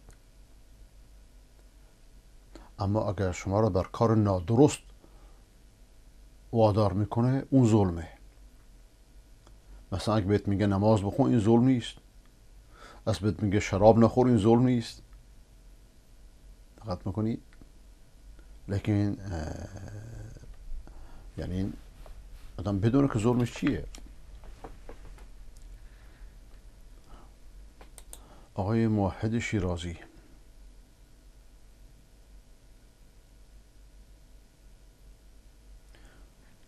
شما این شخص رو می‌شناسید. چون ایشان یکی از علمای اهل سنت بود. در برنامه شما که در مستقل پخش بود ایشان چند دی قبل سفری به تونس داشت برای ارشاد مردم. باقی ماجرا بشنید از زینویس فارسی. کجاست؟ بالای پایین. عالم جهان اسلام. از همه عزیزان و حاضران در جمع به احترام عالم بزرگ جهان اسلام شیخ محمد صالح پردل خطیب نامی استان هرمزگان شیخی که نامش با شهید محمد زایی عجین شده از از عالمان بزرگ خاورمیانه و جهان اسلام با سه تکبیر کوبنده الله اکبر. الله اکبر الله اکبر تشریف فرمایی خطیب بزرگ جهان اسلام از عالمان برجسته مکان زمین خطیب توانمند استان هرمزگان شیخ محمد صالح پردل را به شهرستان سیریک و دیار مردمان غیور روستای سلمهی گرامی می‌داریم. خوش آمدید خوش آمدید این چیز دیگری بود و شما چیز دیگری نوشتید. تو شما یه چیز دیگر یک مسیج رو پاک کردیم. ممکنه مقصد اون بوده یا نمی‌دونم.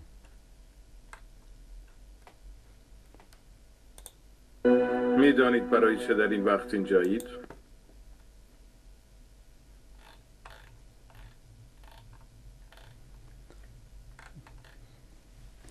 پیش من نیومده چیزی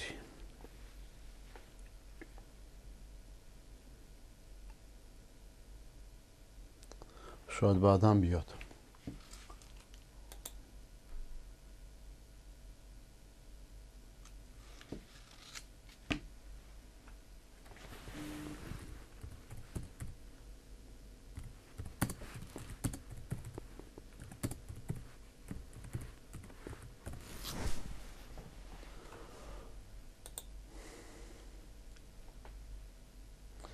آقای مولازاد یک سوال داشتم. زن به قبرستان بره گناه داره چون یک مولا اینجاست میگه زن به قبرستان نرود این حرف پیامبره حرف مولا نیست.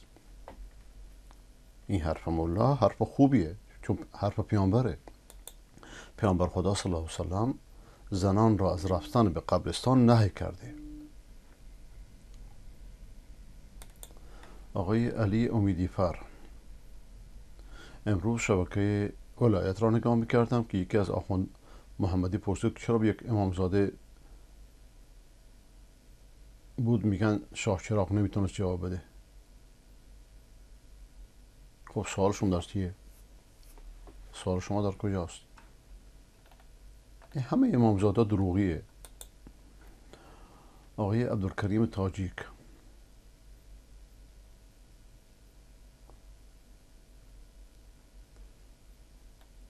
بعضی از نزدیکان ما اونقدر به دین اهمیت نمی‌دهند یعنی نماز نمی‌خوانند ما اهل چی؟ سنت را دوست میدارن ولی بعضی دیگر نماز می‌خوانند اما در مذهب شیعه هستند و خیلی دشمنی هر سنت هست من در شما کدام یک ولی رحم رحم دوستی بهتر است؟ سله رحم؟ به همه سله رحم بکنید. مادامی که نزدیکند به همه سله رحم بکنید.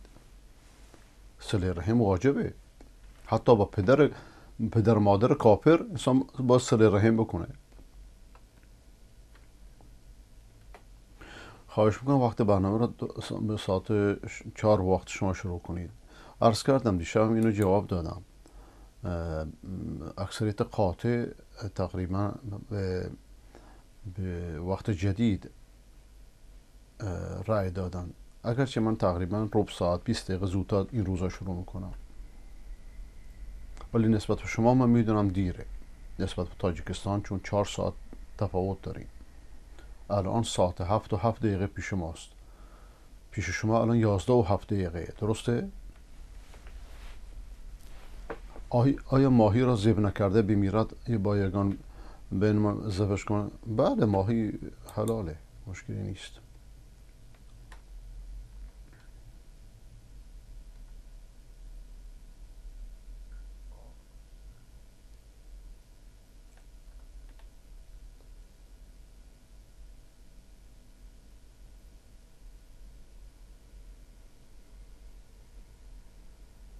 استاد شما بعضی وقتا می‌گوید که برنامه تکرار میشه. من بعضی وقتا تکرار نمیشه. این سخن دروغنی نمیشه. نه. نه. یه اشکال فنی پیش میاد. یه گاهی گاهی برنامه رو ضبط می‌کنی میگی ضبط نشده. دقت می‌کنی؟ نه. عجیبه. آیا بر جوراب و کفش مست کردن اشکالی نداره؟ اینا رو جواب دادم. بر جوراب اشکالی نداره و بر کفش اگر کفش محکمی باشه بوت باشه اشکالی نداره. اگر جوراب شفاف باشد جایزه. روش اختلاف ولی جایزه. آقای حمید.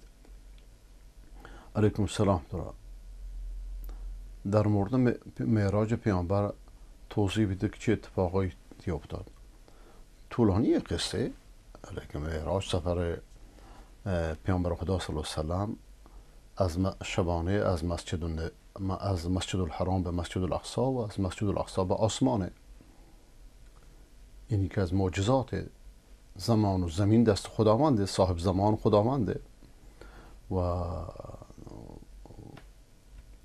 یعنی در آسمان اول رفت در آسمان دوم رفت. و تا به ملاقات پروردگار. لیکن خدا رو ندید باش سخن گفت.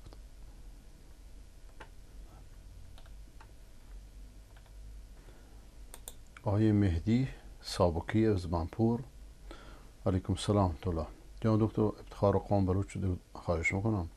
خوشبختانه دوستی داشتم از اردبیل با کمک برنامه شما امروز شهادتی بر زمان آورد. خدا رو شکر. سلام بر شما و بر دوست اردبیلیتون و بر اردبیل. قسم یاد که تا در مذهب اهل سنت جماعت بماند. نه قسم نیازی نیست. همون که شهادتی گفته کافیه. خدا من ثابت قدمش نگه داره و او را پیشاهنگ دعوت در اردبیل بگردانه. فقط درخواست دعا از شخص شما دارد خواهش می‌کنم. من شب هر شب شکر خدا برای هم در برنامه و هم در خارج از برنامه در نماز برای بینندگانم و به خصوص برای هدایت شدگان دعا می‌کنم و از اونام برای خودم دعا می‌خوام. و سلام فرامان خدمت شما دارد. من اعلام نمود تا پیامش رو به شما برسانم. خیلی متشکرم از شما. و کاش که داستان هدایت شو می نوشت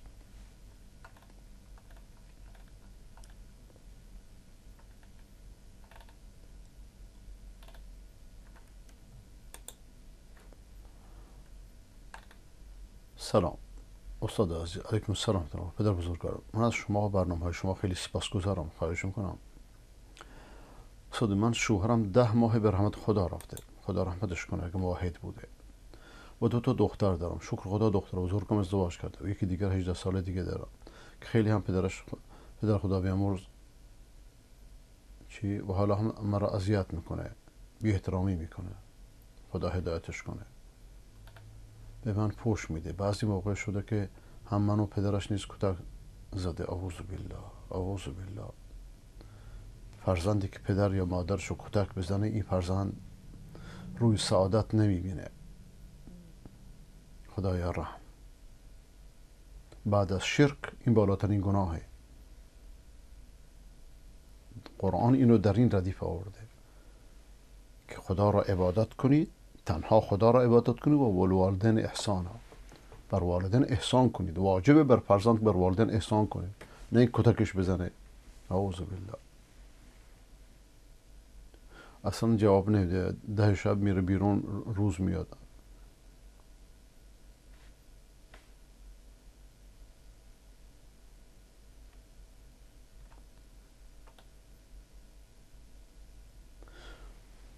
چکار کنم؟ تو یک راهنمایی بکنید. والا من نمی‌دونم. این دست دعا بردارید هممون و شما خودتون خداوند اصلاحش کنه. یعنی مسائل اجتماعی عمیقه. ما سنی هستیم و در یک شهر شیعه نشینیم و کسی نداریم. بله مصیبت جایی که انسان با همدینان و هم عقیده نباشه همینه.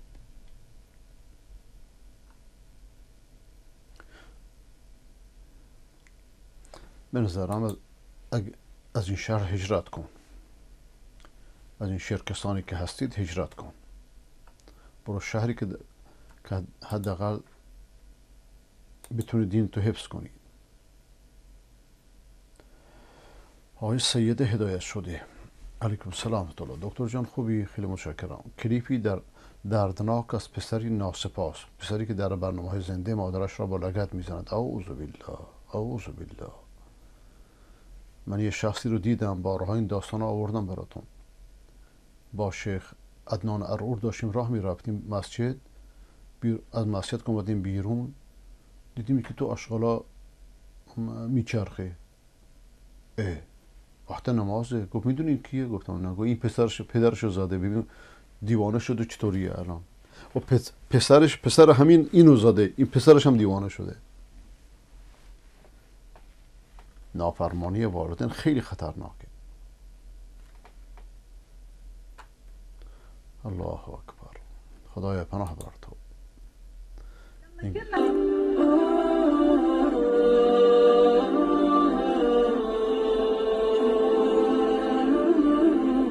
قضى ربك ألا تعبدوا إلا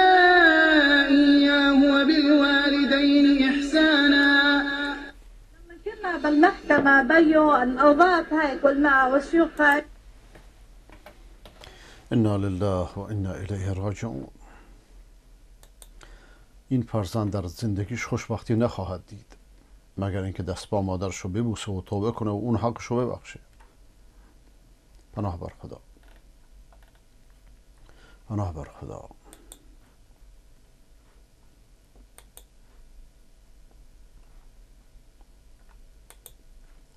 آقای ابو مصعب السلامان. سلام علیکم. سلام صد هفته پیش رفتم زاهدان و شب جای مهمان بودم که صاحب خانه یه خوشخبری داد که یک زابولی موحد شده و یک انقلاب است که یک زابولی موحد بشه. قلب ها دست خداونده. خداوند همه را هدایت کنه و خداوند ایشون رو از پیشانگان توحید در زابل و در زاهدان بگردانه وقتی ها مشغول دنیا و سیاست بازی می‌کنن مردم چطوری موحد بشن؟ وقتی ها حرف از توحید نزنن وقتی مولایان سنی دهنشون رو بدوزند وقتی یه جوان سر بلند می‌کنه می‌بینه مولای شیعه حرفش قوی تر از مولای سنی. چرا حرفشو بشنوه؟ چرا بزرگترین وظیفه عالم رساندن کلمه حقه رساندن توحیده رساندن هدف از هستیه. اما شیعه و سنی برادرند و فلان و علیه و بله اینجوری سر مردم شیر مالیدن. کار سیاسی است.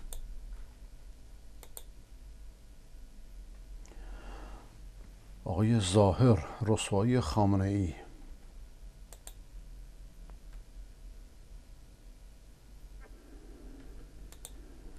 آقای خامنه یه بار دیگه می‌خوام شعور شما را به حلازی بذارم آقای خامنه اگر یه نفر یه قسمت از خاک تو بگیره جرم بیشتری مرتکب شده یا یه نفر هر روز به مادرت فوش بده. آقای خامنه چرا دست از سر مردم فلسطین بر نمیداره مردم فلسطین مثل ما اهل سنت هستن. اونا همسر پیامبر را طبق آیه قرآن مادر خودشون می‌دانند آیا خامنه اسرائیل یه بار به مادرشون پشت نداده ولی در نظام فاسد شما هر هفته یه بار به مادر مؤمنین یعنی مادر ما اهل سنت توحید میشه. آقای خامنه چرا با اونا براست نیستی؟ چرا بهشون نمیگی؟ اگه من اومدم نمی‌ذارم مسجد بسازی اگر وقتی اونجا بهشون بگو من میام مسجدتون رو تخریب می‌کنم. آقای خامنه چرا بهشون نمیگی؟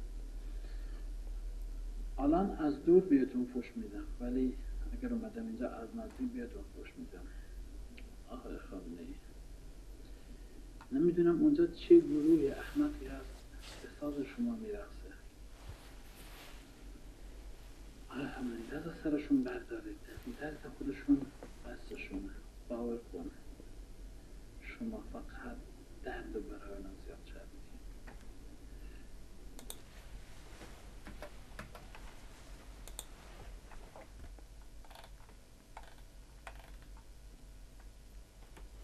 آقای سلطان سلیم. گزارشی ترسناک از سردخانه های ایران تحت مدیریت آخوندها. سردخونه های ما پره اصلا جای خالی نداریم. وضعیت در سردخانه های بیمارستان های ایران همزمان با شدت گرفتن شیوع ویروس کرونا. وزارت بهداشت هم در آمار رسمی از مرگ بیش از 260 تن طی 24 ساعت گذشته خبر می‌دهد. شناسایی شده طی 24 ساعت گذشته بر اساس معیارهای تشخیص قطعی 4552 نفر گزارش شدند. چون ابراز همدردی با خانواده های داغ دیده متاسفانه طی 24 ساعت گذشته 265 نفر از هموطنان عزیزمون رو در اثر ابتلا به بیماری کووید 19 از دست دادیم. کادر درمانی بیمارستان ها هم وضعیت را سختتر از گذشته توصیف می کند به آی سی یو ما 170 تخت شده. یعنی تقریبا بیش از دو برابر بیماران نیازمند آی سی یو ما تو وقت کرونا اضافه شدن. میزان استفاده از کپسول های اکسیژن به طور بی سابقه ای بالا رفته است. ما اینجا مصرفمون خیلی رفته بالا. بی سابقه بود این چند سال ما مصرفمون در 24 ساعت 60 70 کپسول الان به نزدیک به هزار کپسول میشه. فقط هم به خاطر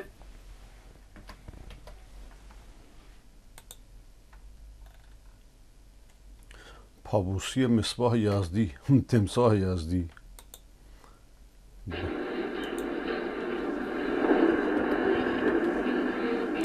این آقا اول ضد ولایت فقیه بود الان پابوسه آخونده همه آخوندهای رافضی همش اینجوری. مگه رئیس خبرگان آقای جنتی دستبوس خانم فرح نبود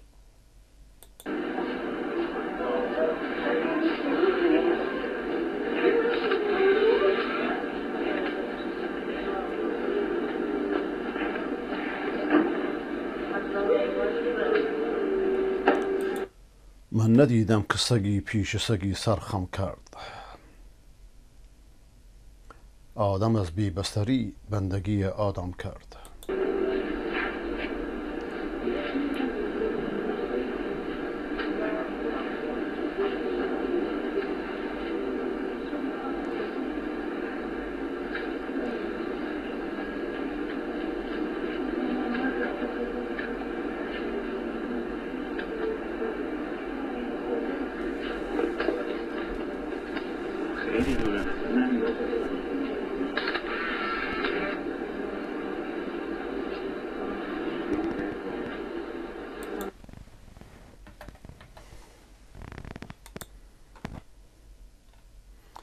ملک عبدالله دستور داده بود خدا رحمتش کنه که دست بوسیدن در عربستان ممنوعه.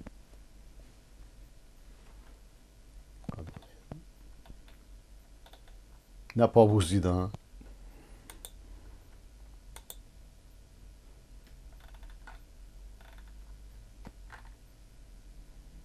دوستان کلیپ میفرستند خواهش می‌کنم موضوع رو بنویسن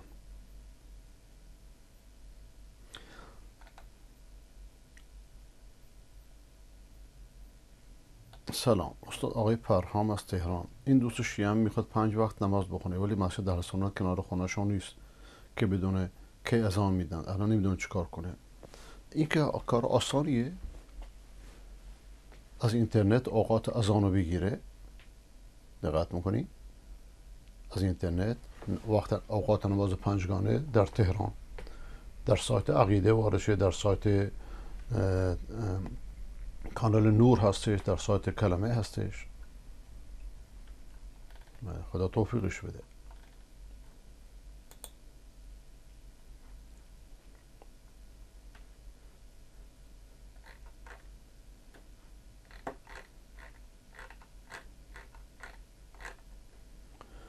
آقای افشین سنندج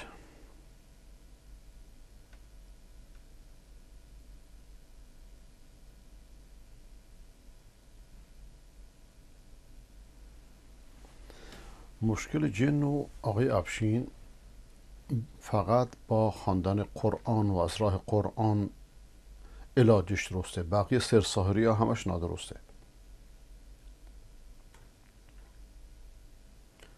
آقای عبدالله موحد علیکم السلام رحمت الله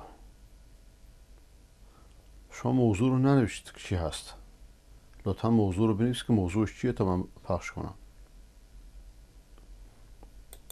آقای محسن نه استاد من نماز می‌کنم بیشتر از پدرم عبادت الله می‌کنم ولی پدرم محبتش صفر صفر رفتار ظالمانه نمی‌گذاره از خانه خارج بشم. از مدرسه دولتی بیرونم کرد همچنین مدرسه دینی بیرونم کرد. منو به زور کار میبنده و الان دیسک کمر گرفتم خیلی هم به هم سخت گیره. من بخشید مجموعه تو دلم منفور هست. بله. خب هر که تنها پیش قاضی بره راضی باز میگرده. آدم باید بدونه که همیشه باید حرف دو نفر رو بشنوه. و دو حرف دو نفر که بشنوه می‌تونه عادلانه قضاوت کنه. خط می‌کنین؟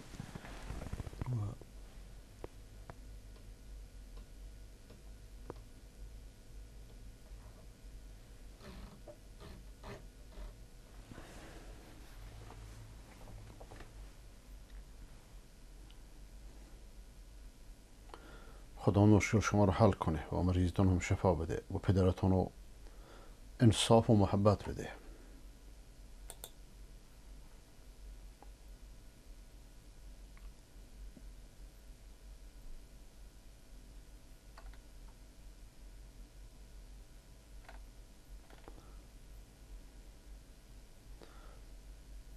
شبکه بریا یا پریا نمی‌دونم چه نوشی شما. اسم شبکه که نمی‌دونم چیه. آقای نعمت از ورامین. صدا با تصویر هماهنگ نیست. شاید مشکل پیش خودتون باشه. آقای موحد خورم شهری. در این رستوران نوشتن ورود سگ و مسلمان ممنوع. اعوذ بالله. تایسون بکسور مسلمان شده شنید و در آن رستوران رفت و نماز خوند. دیروز کلیپی بود گفتند که چند تا گفتن چند تا بکسور با هم؟ ها. بله. الله اکبر.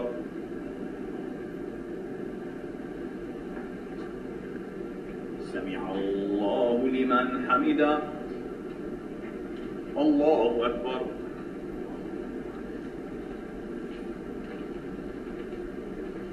الله اکبر.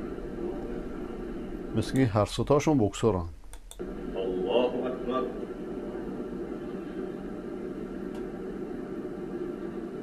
الله اکبر.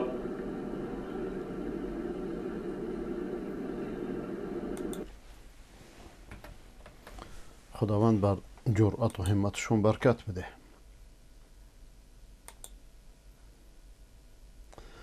استاد پهلوان فرنام میگن که نه صدا و تصویر پیش شما خوبه. بله همین که عرض کردم. ام اسما سوالی داشتم. علیکم سلام دارم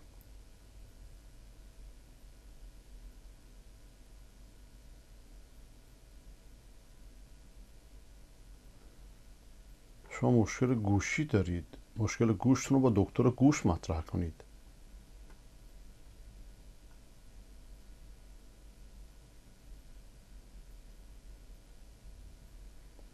بله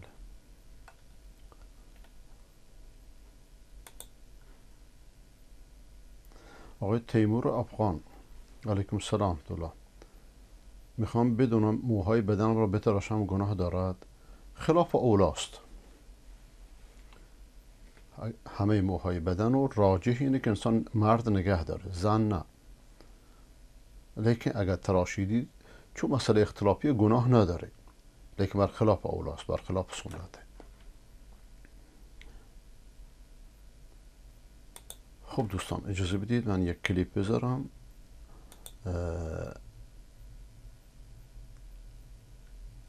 از اسماء حسنا. بعد که برگشتم بقیه سوالاتون رو جواب میدم انشاءالله. فکر کنم حدود نیم ساعت طول می‌کشه. نیم ساعت تا چل دقیقه.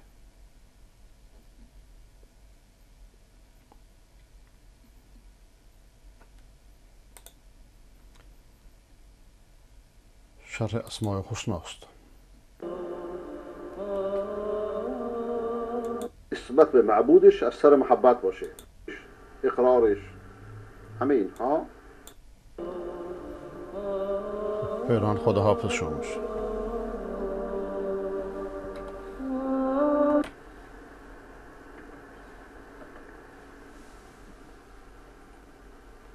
با عرض سلام مجدد بسم الله الرحمن الرحيم. إن الحمد لله نحمده ونستعين به ونتوكل عليه. الحمد لله رب العالمين. والصلاة والسلام على سيدنا محمد الصادق الوعد الأمين. اللهم أخرجنا من ظلمات الجهل والوهم إلى أنوار المعرفة والعلم ومن وحول الشهوات إلى جنات القربات. وأدخلنا برحمتك في عبادك الصالحين. نام نیک خداوند خداوند را که امروز روش توقف میکنیم. اسم الله. اسم اله ببینیم معنی اله چیه و این کلمه شریفه هم در قرآن آمده و هم در سنت نبوی. در قرآن کریم. قرآن و سنت دو مرجع و دو منبع جاودانه مسلمانان. هم. در سوره بقره آیه 163 خداوند میفرماید که و الهکم اله واحد. لا لا اله الا هو الرحمن الرحیم یا در سوره ماعده آیه 73 میفرماید و ما من اله الا اله واحد. و الهکم اله واحد. پروردگارتون الهتون یکتاست یک خداست. خداوندی اللهی معبودی راستین جز او نیست. که هم رحمان است و هم رحیم. مهربان است در دنیا بر مؤمن و کافر و در آخرت بر مؤمن. و ما من اله الا اله واحد. جز خداوندی یکتا خدایی نیست. محور دین در اسلام خداشناسی است. اما در سنت نبوی هم این لفظ آمده لیکن سنت چیه؟ سنت یعنی روش پیانبر. افعالش اقوالش گفتهاش کارهاش تأییدش اقرارش همه اینها در مصطلح مسلمانان سنت نامیده میشه. یعنی هر کاری که انجام داده هر سخنی که گفته اگر کسی دیگر حرفی زد یا عملی کرد ساکت شد تاییدش کرد. چون پیغمبر بر خطا و بر اشتباه سکوت نمی کنه. تغییر را درش راهی نیست. و اینها همه سنت نامیده میشه. یکی از اصحاب پیغمبر علیه السلام به نام خبیب قبل از اینکه مشرکان اون زمان اونو بکشند. خامنه اون زمان و قبر پرستان اون زمان ازش سوال کردند که دوست دارید محمد جای تو باشه؟ و تو آرام در خانوادت باشی؟ سخنی گفت که هرگز فراموش نمیشه. گفت به خدا قسم. قسم به خدا که من دوست ندارم. در خانه پیش خانوادم پیش بچه هم باشم. عافیت دنیا پیش من باشه نعمت های دنیا پیش من باشه. یعنی گل و ریحان و باغ و باغچه و ماشین و نمی‌دونم همه چی پیشم باشه. و یصاب رسول الله بشوکا. خاری به پای رسول خدا صلی الله علیه و من این دوست ندارم. ولذا ابو سفیان می‌گفت که من کسی ندیدم که مثل محمد اصحاب محمد محمد را دوست داشته باشن ما رأيت أحد. ما رأيت أحدا يحب أحدا كحب أصحاب محمد محمدا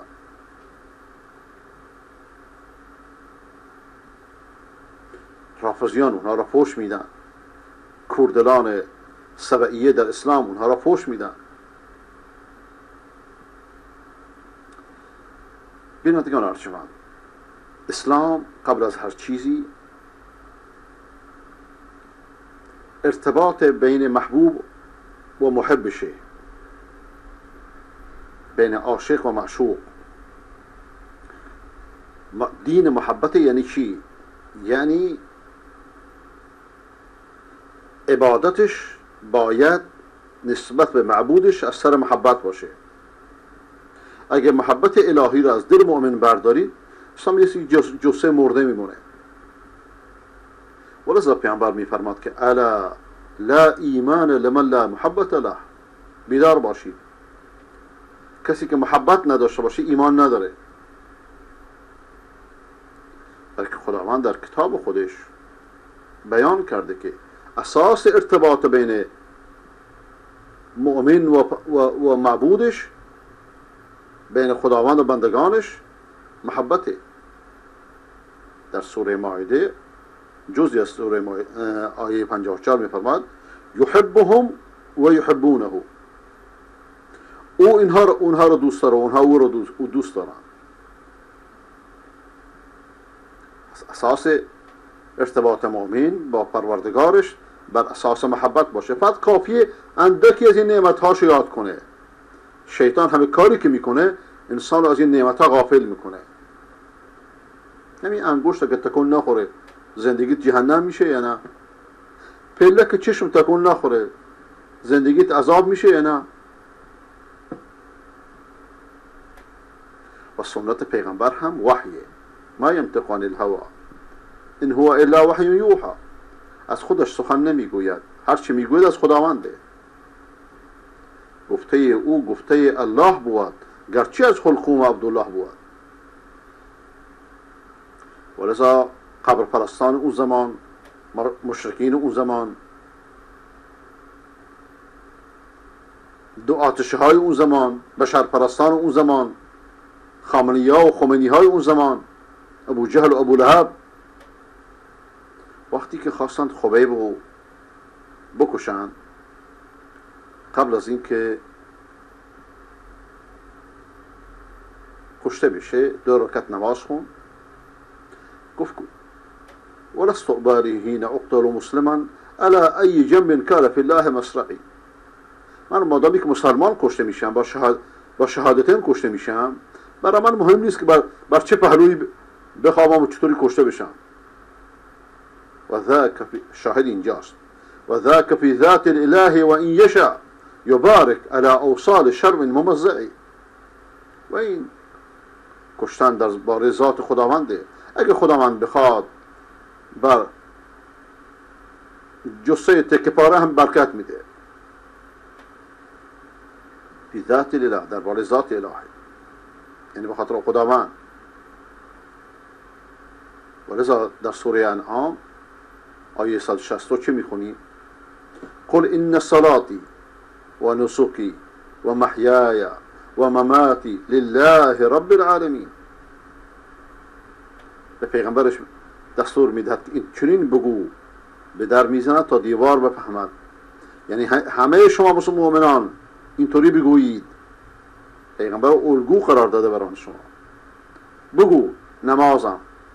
برای کیه؟ برای امام رضاست نسکم شاعرم. بر علیه بر حسینه بر عیساست بر موساست اینها همه مشرکان که کارو می‌کنن. چه مشرک عیسی پرست باشه چه مشرک علی پرست باشه چه مشرک عزیر پرست باشه چه مشرک گیلانی پرست باشه. چه مشرکی تصور شیخ بکنه. این نسک ها را این شاعر و قرآن مشخص کرده. چرا به سراغ کتابتون نمیری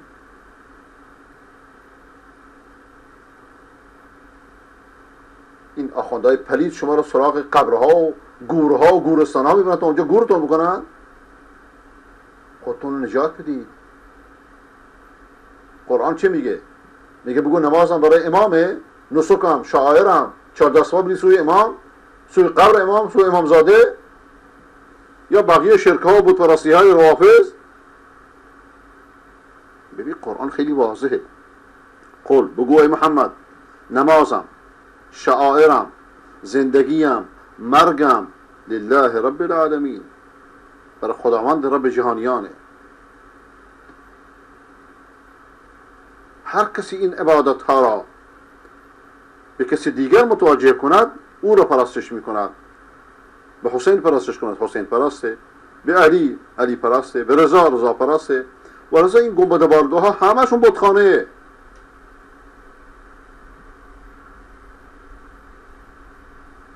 وقتی که پیامبر این سخن خبی بشنید که ذاک فی ذات و ذلك فی ذات الاله اعتراض نکرد. تایید کرد. ساکت شد. یعنی تایید کرد. پس کلمه اله هم به دلیل سنت و هم به دلیل قرآن از اسماء حسنای خداونده. و در صحیح بخاری هم آمده از ابن عباس رضی الله تعالی عنه. اللهم لك اسلم تسلیم تو شدم نه تسلیم قبر شدم تسلیم گنبد شدم تسلیم بارگاه شدم تسلیم نخیر و بک آمن ایمان به تو آوردم همش خداوند پیغمبر خیلی وهابی بوده نه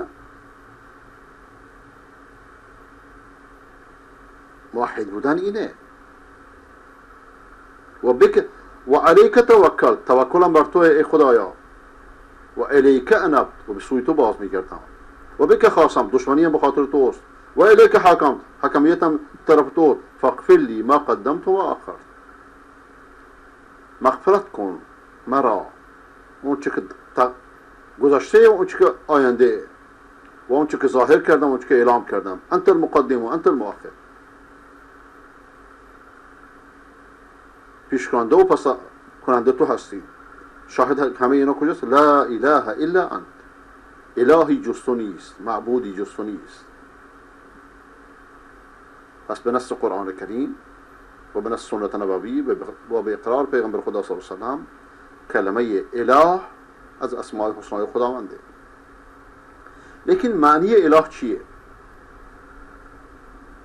معنی اله چیه؟ علمای زبان عربی میگن که اله اسم مفعوله. زبان عربی زبان بسیار پیشرفته زبان تصریفه شما فعل دارید در عربی. فعل مصدر فعل ماضی فعل مضارع فعل امر.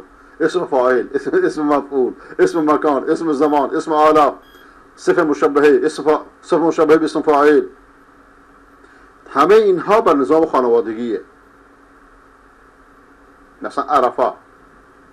معرفه مصدره. عرفه یعرف عارف معروف اعرف عراف اجداد و آبا و احفاد هم درش پیدا میشه. مثلا شما در زمان انگلیسی این میزو چه میگی؟ تیبل. کتابو چه میگی؟ بوک. نوشتن چه میگی؟ رای. اما در عربی فقط دیگه نمی‌تونید تصریفش کنید. خب؟ اما در عربی همه اینها از, از یک خانواده. میگه اینو میگه مکتب میگه کتاب میگه کتابا. و هکذا. کتب کتب کتب و یه دنیا تصریف. اله اسم مفعول به معنای معلوه به معنای معبودی که از سر محبت و تعظیم اون رو عبادت می‌کنیم سر عشق و محبت اصل فعل اله اله یعله الهتا اله یعنی الله. یعنی چی؟ یعنی هر کسی که غیر از خداوند هر معبودی بگیره اون عبادتش بکنه اونو خدا گرفته. بگه یا الله خدا را عبادت کرده. بگه یا علی علی را عبادت کرده. بگه یا مسیح مسیح را عبادت کرده. بگه یا محمد محمد را عبادت کرده. هر اون چی که قلبت را تسلیم او می‌کنید و از او, او مدد می‌خواهید او را خدا کرده اید. یا وقتی شما خاضع یک چیز میشید یک شخص یا یک گروه یا یک حزب کاملا تسلیم میشید. صد درصد تسلیمش میشید. اونو خدا قرار دادید اونو اله قرار دادید اون تسلیم شدن بستگی به شما داره. اگر تسلیم هوات شدید تسلیم شهوت ها شدید شهوت پرست شدید. به نص قرآن. در سوره جاسیه آیه 23 میفرماید افرئیت من اتخذ الهه هوا؟ یعنی هر چیزی که اطاعت کردید تسلیمش شدید اون شد اله شما معبود شما. الله معبود به حقه بقیه همه معبود باطله. این معنا خیلی وسیعه. آیا می‌بینید کسی که اتخذ الهه هوا هواشو اله خود قرار داده شهوتهاشو اله خود قرار داده متعشو اله خود قرار داده خمسشو اله خود قرار داده ولاد فقیهشو اله خود قرار داده. و هکذا هر جهتی هر گروهی هر حزبی که خاضعش بشید تسلیمش بشید قلبا یا ظاهرا به طور مطلق مطیعش بشید چه قبر باشه چه قصر باشه. اون اونو شما اله قرار دادید. ولذا قرآن همه معبودان را جز الله تغیان مینامه تاغوت مینامه. لیکن قهرمانی در کجاست؟ زیرکی در کجاست؟ عاقلی در کجاست؟ اونه که معبود راستین تو پیدا کنید همونی که آسمان ها و زمین درست کرده. همونی که پیغمبران فرستاده همونی که کتاب فرستاده. اونی که شیطان های دنیاوی جذبت نکنن. روحانیت مزاور امام تراش جذبت نکنه فریبت نده. همه قهرمانیت در اینه که دزدان دین فروش نتونن از رب العالمین از خداوند یکتا دورت کنن. این که موحد باشید خداپرست باشید. نه قبر خدات باشه و نه قصر. نه قصر شاه و تاغوت خدایت باشه نه قبر امام و ولایت فقیه و غیر امام. و نه اینکه شهوتا الهت باشه. نه اینکه جباران فرعونان الهت فرعونان زمین الهت باشه. نه که شیطان الهت باشه. انسان چه بخواد چه نخواد در این دنیا باید مطیع کسی باشه کسی رو باید عبادت کنه. اگر مطیع خداوند نشد مطیع بنده بدبختی از خودش خواهد شد.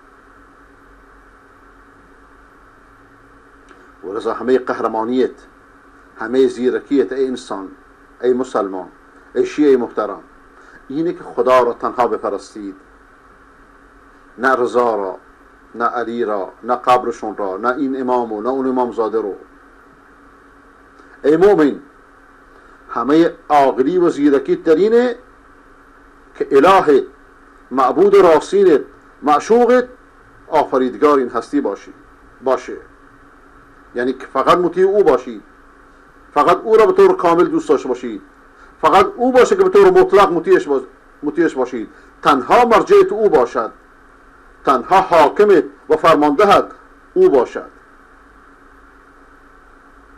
ولذا هیچ معبود راستینی جز خداوند نیست. و معنی لا اله الا الله همینه. یعنی در این کون در این جهان معبودی راستین که مطیعش کامل باشید. جز او کسی را اطاعت نکنید. قلبت را جز تسلیم او نکنید.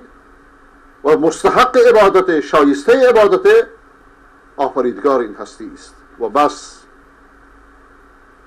و پیغمبران که بدترین افرادی بشرند برای چنین دعوتی مبعوث شدند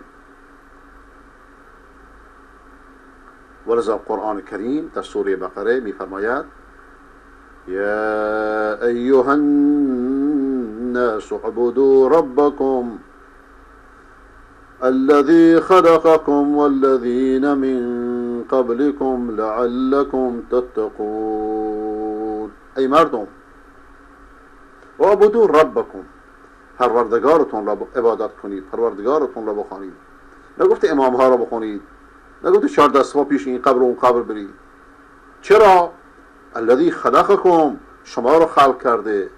والذین من قبلکم پیشینیانتون رو خلق کرده. لعلکم تتقون. تا شاید تا باشد که متقیان باشید اما قبر عبادت کنید از قبر مدد بخواهید از مشرکان میشید هم متقیان نمیشید بتخانه درست کنید از مشرکان میشید کیست که شایسته عبادت خالق؟ یا ایها الناس اعبدوا ربکم الذی خلقکم. پروردگارتون را بخوانید که شما را خلق کرده. کیست که شایسته عبادت پروردگار؟ رب. رب کیه؟ اونی که در همه چیز شما مدد میرسونه.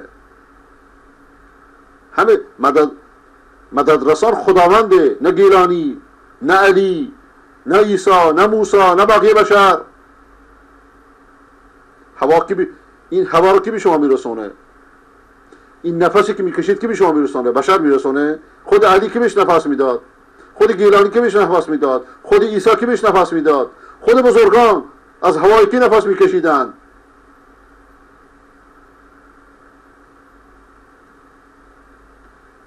الان رهبران جهان جمع بشن رؤسای جمهور جهان جمع بشن. مهمترین تصمیم بگیرن آقا بارون نازل میشه. بارون نازل میشه. کره زمین هواش این ور ور بره هر جگه دلشون می‌خواد میشه؟ اونی که از راه هوا به شما مدد میرسونه. از راه آب همچنین. از راه نباتات همچنین. از راه غذا و شراب همچنین. کیه؟ الله جل جلاله. پس چرا دیگران رو بخونیم؟ یا ایها الناس اعبدوا ربکم الذی خلقکم. مدد خواستن عبادت دعا کردن عبادت ندا کردن عبادت چرا خودتون رو مشرک می‌کنید؟ چرا معبودان با معبودان تو رو به مصیبت میندازید که روز قیامت مؤاخذه بشن؟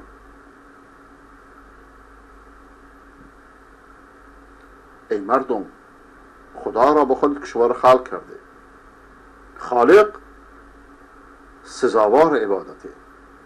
پروردگار سزاوار عبادته نه گور نه قبر نه گنبد نه سرداب نه چمکران. این همش دجال بازیه اگر دجال بازی نمی بود امریکا این هر بر منطقه مسلط نمی کرد اما سزاوار عبادت الله هست و بس. چرا؟ برای که همچون که در سوره هود بارها براتون خوندم آیه 123 برای که الیهی ارجع الامر کلو. فعبود هو و توکل علیه. برای که همه کارها به, به او باز میگردد نه به علی. علی چی کاره؟ غیر علی چی کاره؟ اگه کاره می بودن نمی مردن شما به علی اهانت می‌کنید؟ علی مرده؟ بله که مرده. علی مثل بقیه بشر از شکم مادر اومده بیرون مدت معینی توی زندگی مثل بقیه بشر زیسته بعد هم فوت کرده. رضی الله تعالی عنه. مثل بقیه بشر. اما کارها بی که باز میگرده و الیه یرجع الامر کلو. همه کارها به سوی خدا باز میگردد.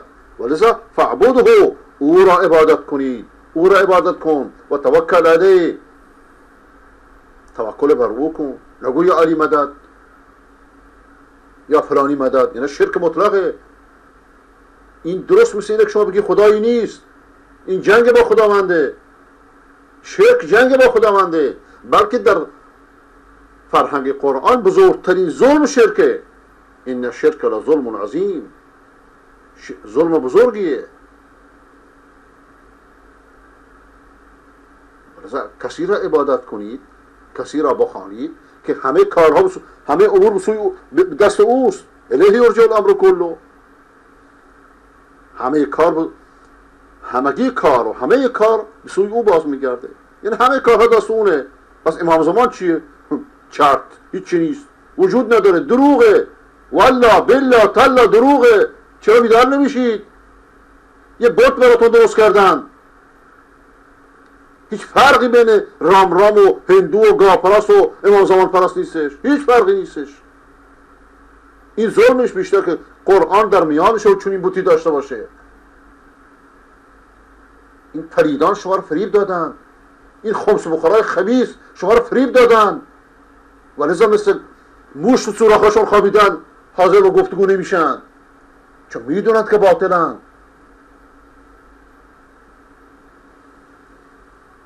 ولذا کسی را عبادت کنید که همه کارها زمام همه کارها دستور وکیل و وزیر و معاون و نائب و اینا بش نیازی بهشون نداره و درست هم نکرده.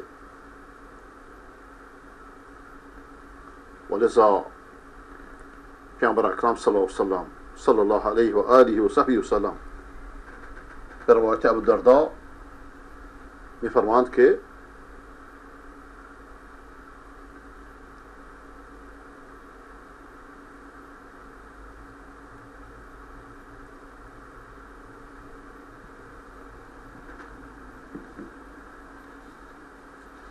لكل شيء حقيقة هر چیز حقیقتی داره.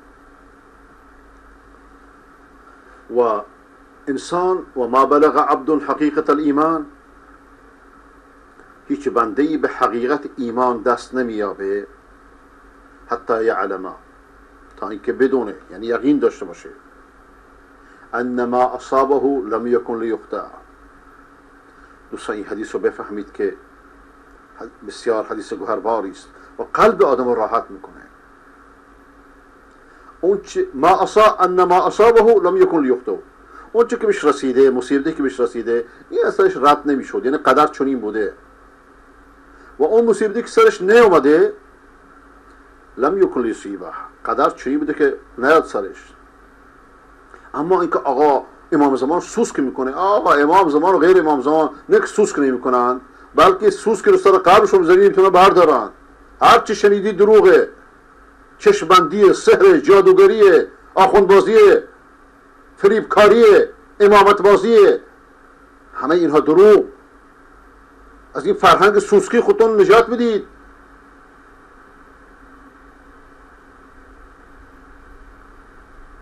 و بدونید که تنها عبادت خداونده که هدف اصلی خلقت من شماست. علت وجودی من شما انسان ها عبادت خداونده. اگر بگین تنها علتی که من شما در این دنیا هستیم چیه؟ میگیم آقا عبادت خداوند.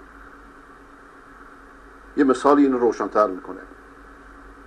شما فرض بفرمایید که یه پدر مهربانی فرزند شو میفرسته لندن پاریس واشنگتن این شهرهای بزرگ همه چی درش هست. ساختمان آسمان خراش. نمی‌دونم باغ ها باغچی ها کتابخونه ها بازار رقص دیسکو نمی‌دونم هر چی بدی و غیر بدی.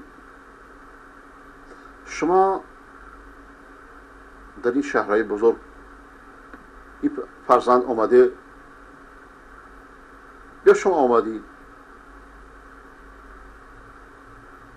خب اگه ازت بپرسین که آقا علت وجودیت در این شهر چیه؟ فرزندت شما پدر شما رو اینجا فرستاده برای چی؟ میگه من اومدم اینجا که تز دکترام بگیرم درس بخونم. در این شهر من یک هدف دارم. اومدم. اینجا دکترام بگیرم برگردم. مهمترین سوالی که شما می‌تونید از خودتون بکنید چیه؟ آقا علت وجودی ما در این زمین چیه؟ هندل زدنه؟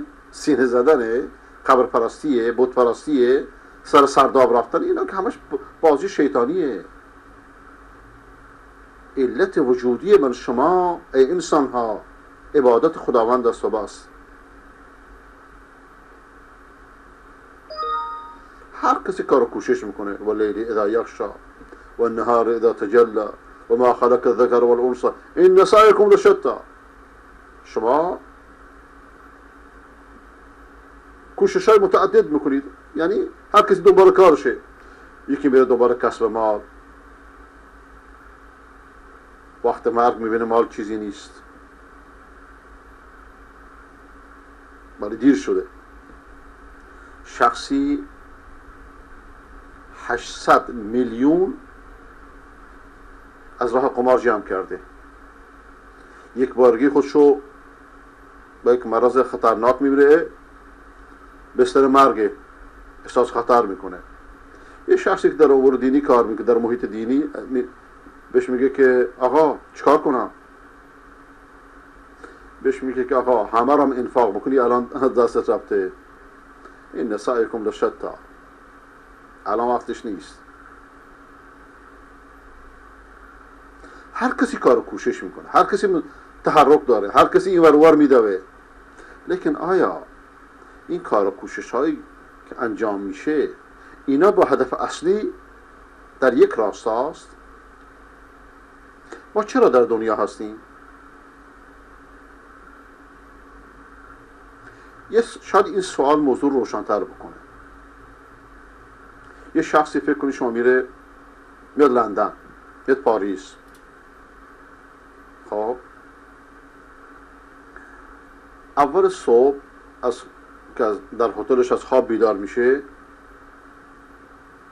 سوال می‌کنه که کجا برم؟ این چه سوالیه؟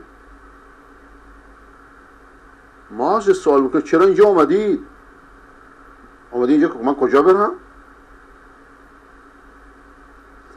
اگه اینجا آمدید درس بخونید یه برو دانشگاه ها برو اکادمی ها.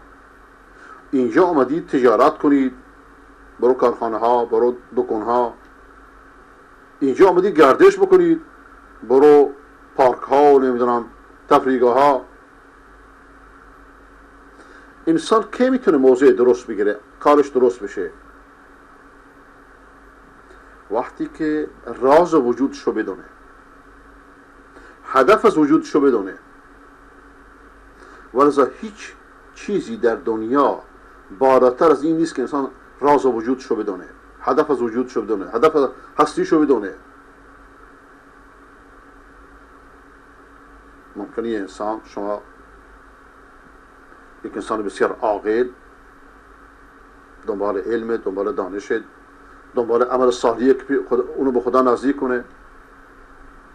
فرزندانش به طور خوبی تربیت می‌کنه. با مردم بر اساس دین خدا سرکار داره.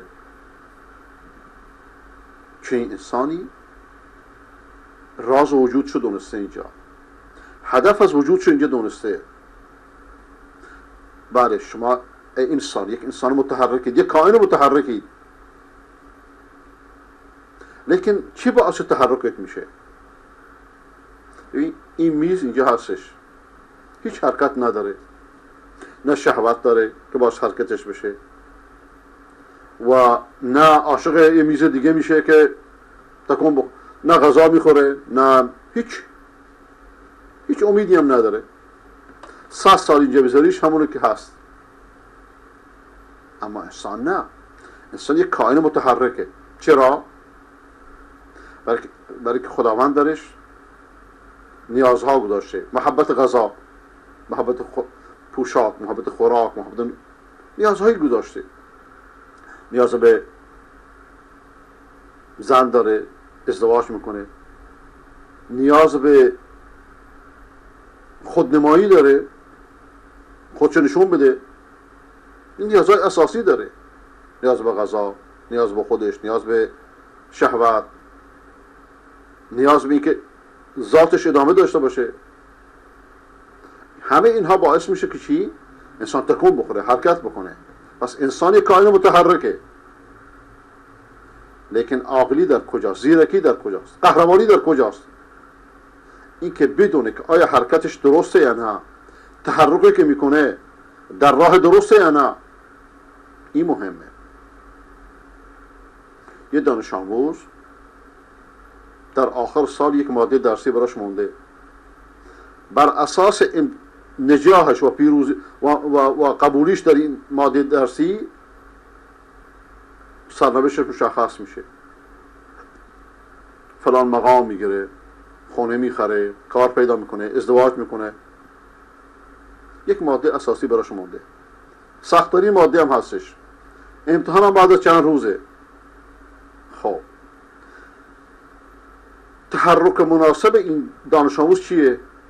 اینه که بشین تو خونه شب روز درس بخونه تا امتحان شاید کنه. درسته یا نه؟ اما اگر دوستانش میان بهترین دوستانش میان. آقا بریم تفریح. فلان باغ فلان باغچه فلان تفریحگاه. این اگه بره آیا اونجا حالتش گرفته نیست؟ چرا؟ بلکه این حرکتش با هدفش جور نیست. اون هدفش یه چیز دیگه باید در امتحان باید پیروز بشه. سعادت در کجاست؟ اینه که عمل کردت و تحرکت با هدفت موافق باشه. شما که سعادتمند میشی خوشبخت میشی خوشحال میشی؟ وقتی که کاری که می‌کنی با هدفت در یک راستا باشه. شما یه دکاندار رو بپرسید یه تاجر رو. که بازارش کساد باشه خرید فروش نباشه. این طول روز نشسته آقا چای بیار قهوه بیار فلان بیار روزنامه بیار. اما قلبش بدنش مسمومه. با وجودی که نشسته راحت کار نمی‌کنه. لیکن چنین راحتی چنین چنین بیکاری با هدفش یکی نیست.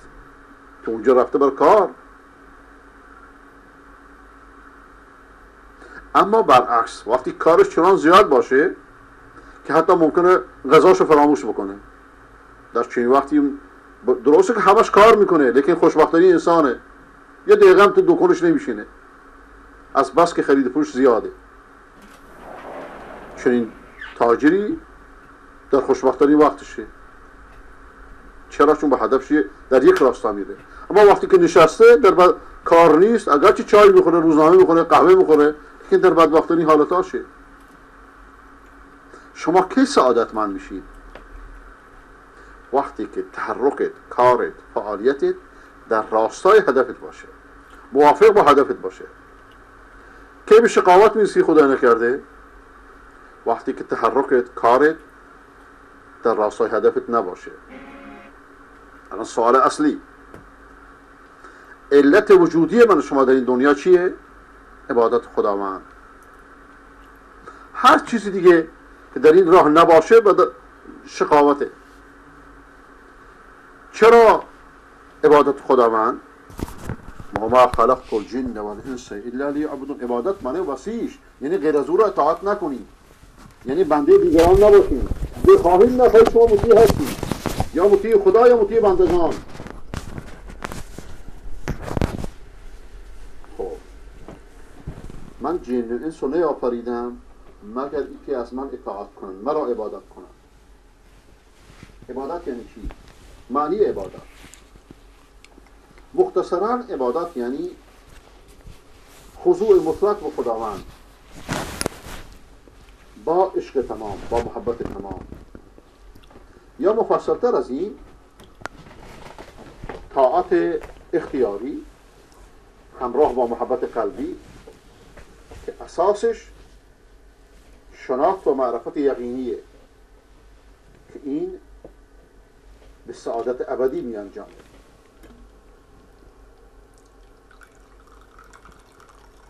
لیکن کسی رو که بخوای عبادت کنی باید بشناسیدش. و این شناخت این عرفان اساسش چیه؟ هارت لاب خوردنه خنجر زدنه میخکوب کردن سره این دجالای صوفی نما می‌کنن. سینه زدنه زنجیر زدنه. پیغمبر این کاری می‌کرده. هیچ پیغمبر این کاری کرده. این همش دجال بازیه. بلکه راه درست عرفان. یا حد اکثر بیشترین جو قسمتش طلب علمه. اگه انسان دنیا بخواد باید دنبال دانش بره. اگه آخرت بخواد باید دنبال دانش بره. اگه دنیا و آخرت می‌خواد هم باید بره دنبال دانش. پس نص سریح کتاب خداوند علت وجودی من شما در این دنیا عبادت و بندگی و طاعت از خالق آسمان ها و زمینه. اما زیانکار کیه؟ خاسر کیه؟ اونی که این کارها رو می‌کنه با بدعت با زلالت با زنجیرزنی با قبر پرستی با راهی که پیغمبر نفرموده چون این افرادی خداوند اونها رو خاسر نامیده. در سوره کهف من شما می‌خونیم که در هر روز جمعه مؤمنان می‌خونن. مقیدان. قل هل, انبئ قل هل ننبئكم بالاخسرین اعمالا؟ شما رو به کسانی که زیانکارند زیانکارترین مردم که عملشون برشون جز زیان چیزی نمیاره؟ بهتون خبر بدم اونها رو. کیند اونها؟ الذين ظل سعيهم في الحياة الدنيا وهم يحسبون انهم يحسنون صنعا. اونهایی که کار کوشششون در زندگی دنیا بیهوده شده و فکر می‌کنن کار خوب می‌کنن. آقا سینه می‌زنه فکر می‌کنه کار خوب می‌کنه. زنجیر می‌زنه شرک می‌کنه از امامه میپره لامپ می‌خوره. این آقا میگه مال برای اهل بیت اون میگه آقا میگه برای بزرگان هارت پورت می‌کنه. قرآن میگه اینا همه زیانکارن. گمان می‌کنن. چرا؟ برای که ما مکلفیم جز خدا را نپرستیم. لیکن مکلفیم خدا را جز از همان راهی که خود فرموده نپرستیم. پرست شما بر طبق روش خداوند باشه نه که خود خود بخوری باشه. هر کسی مثل رافض دیگری بخواد یک چیزی اضافه بکنه. انسان چه بخواهیم که نخواهیم دوستان؟ ضعیفه. همه زندگی بر مداش بر کیه؟ روح کرونر یه میلیمتر رو بیشتر نیستش. اگه این تنگ بشه به مصیبت های گرفتار میشه که جز خدا نمی‌دونه. آیا یه عروق دیگه بکارن یا استان بذارن صد تا مصیبت دیگه. یعنی همه مقامت زندگی فعالیت تکبرت جبروتت شخصیتت مال و دنیا یک عروق مرتبطه. یا به رقیق بودن خونت مرتبطه. یک قطر خون اگه در هر جای دماغ خدای نکرده منجمد بشه فرج کامل. دیگه تکون نمی‌تونه بخوره خدای نکرده. درنده فلسطین اشغالی. چه شد؟ چند سال بخاطر یک قطر خون. نه زنده بود نه مرده رو تخت خوابیده بود. شارون. خامنه لب خامنه اسرائیل هفتاد هزار خونه رو در غزه ویران کرده بود خداوند هم عبرتش قرار داد برای دیگران و حق انسان ضعیفه و پس علت وجودی من شما ای انسان ها اینه که خدا را بشناسیم و خدا را عبادت کنیم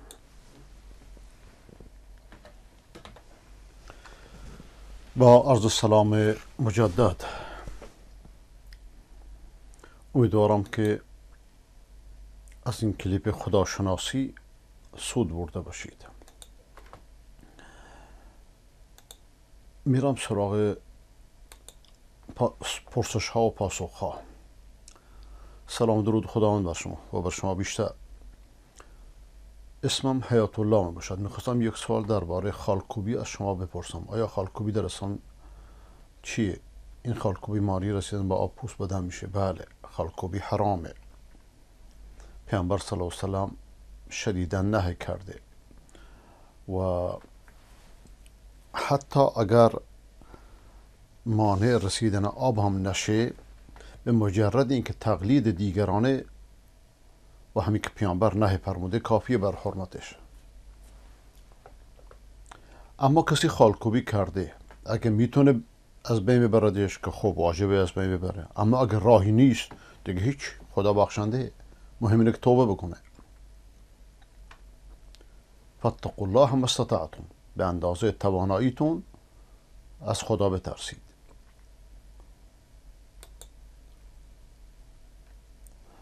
استاد جان جواب سالم رو ندادید. چشم الان نگاه می‌کنم. الان می‌بینم. شبکه توحید قصد شده؟ نه. من شما برنامه شما خیلی سپاس گذارم من شوهرم ده ماه به رحمت خدا رفته. اینو جواب دادم. اینو هم قبل از برنامه قبل از رفتنم به نماز جواب دادم.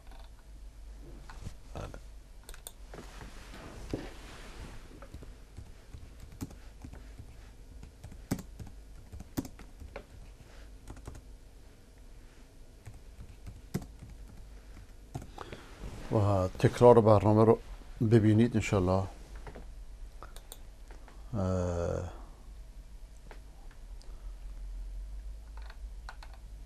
سلام. شبکه بریا مجاهدین راستین افغانستان بسیار جالب و توحیدی است فرکانس چی؟ ده 847 ورتیکال 27500 مدیر شبکه گلوبدین حکمتیار مدیر شبکه است. عجب ایشون شبکه داره. و من ایشونو مثل آقای بنی صدر در ایران می‌بینم. با یک شباهت البته بلا تشبیه با یک شباهت. ایشون یکی از رازهای بزرگ انقلاب مجاهدین در افغانستانه. همچنان که آقای بنی صدر کلید انقلاب پسورد انقلاب ایران رازهای زیادی داره. دقت می‌کنی؟ بریا یعنی چی؟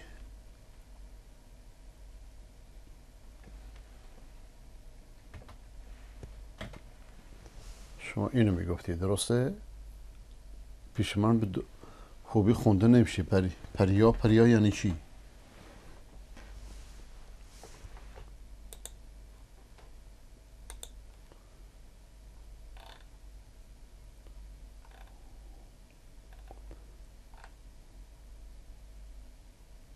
اسمش شما ننوشتید.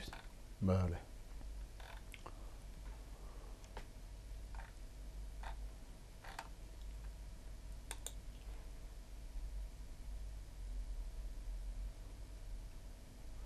نه دوباره نمیشه. من یعنی یک سال سال دوباره جواب دادن آسون نیست.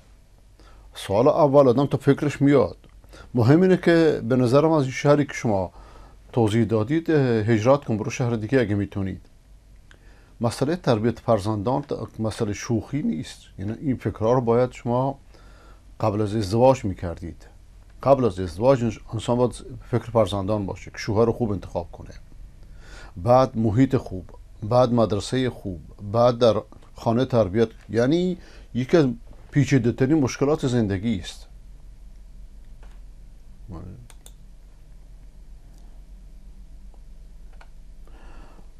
سلام. خواهشتون اسممو نخونید خطاب من برادران سپاه ارتش و دیگر طرفداران رژیم است. خودتون اوضاع رو می‌بینید. و نیازی نیست من بگم. در چه وضعیت شما می‌خوام اگر با مخالفت مدنی میترسین که کار و شغلتون از دست بدین بدون که رژیم بفهمد به مردم بپیوندید. موقع تظاهرات تیر مستقیم مردم نزنید. تیر بزنن قاتل مردمند.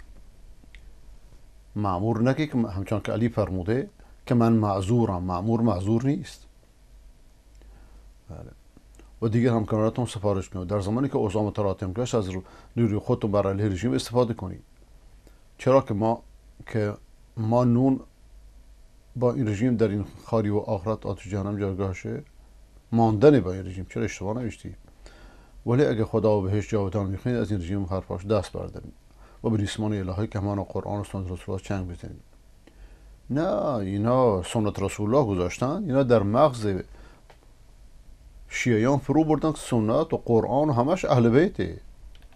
با, با این روش گمراهشون کردن. با این روش قرآن از میدان بیرون کردن. با این روش سنت پیغمبر از میدان بیرون کردن. ظاهرا حفظش کردن عملا بیرونش کردن. همه چی علی. تا اینکه نماینده صد علی, ها نماینده اون بشن.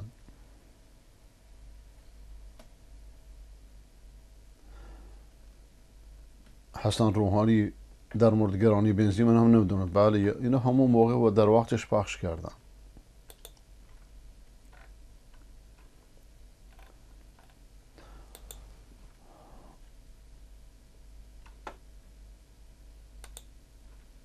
بله دوستان دوستان صدا و تصویر خوبه. آقای نتالی.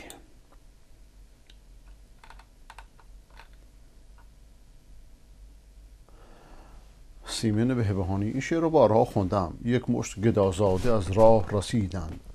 در میهن پررینق ما خانه گزیدند. آخونده همه گدازاده اند دیگه. با روزه و با روزه در این باغ پر از گل چون گاو دویدند و چریدند و خزیدند. با جوب و چماق و قمه و دشنه و چاقو سرها بشکستند و شکمها بدریدند.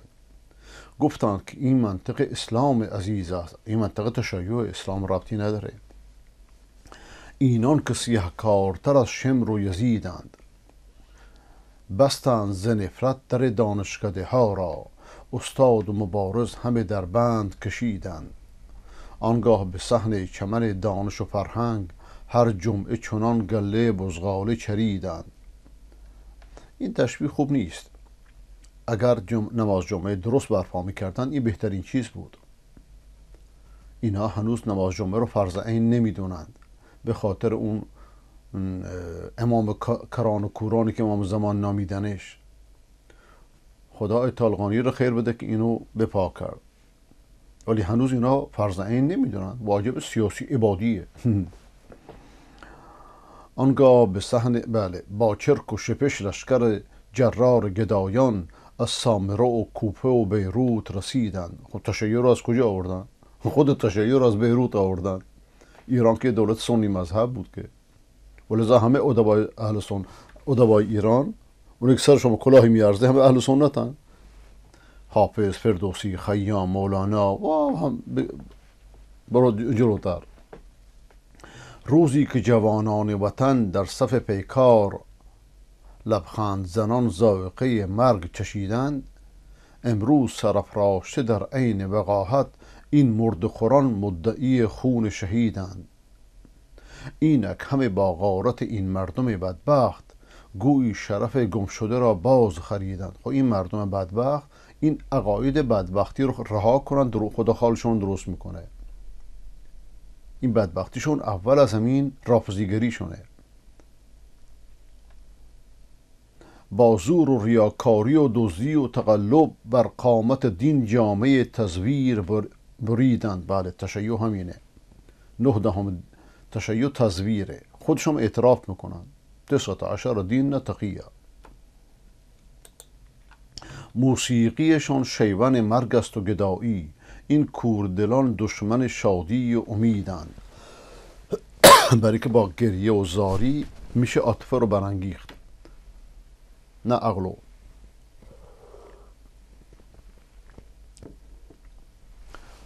کوته نظران قاصدان کوته نظران قاصد دوران توحش بر سقف جهان تار خرافات تنیدند جز مفتخوری مردخوری نوه سرایی مردم هنر دیگری از شیخ ندیدند بله عذر می‌خوام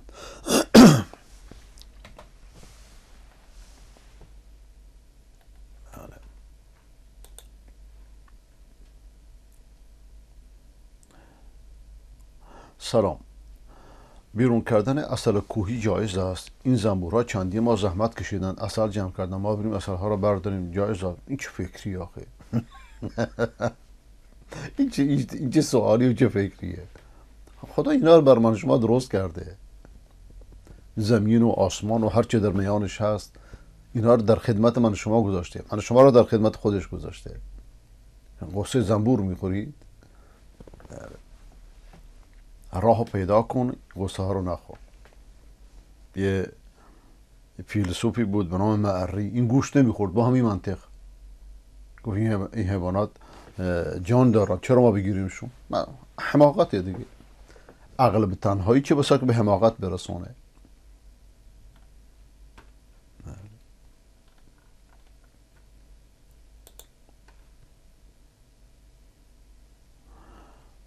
کلیپ همین است. لطفا پخش کنید. راجع چی بود؟ اون که شما گفته بودید در مستقله اومده چندی قبل به تونس عربی داشتن. یا رجایی یا رجایی.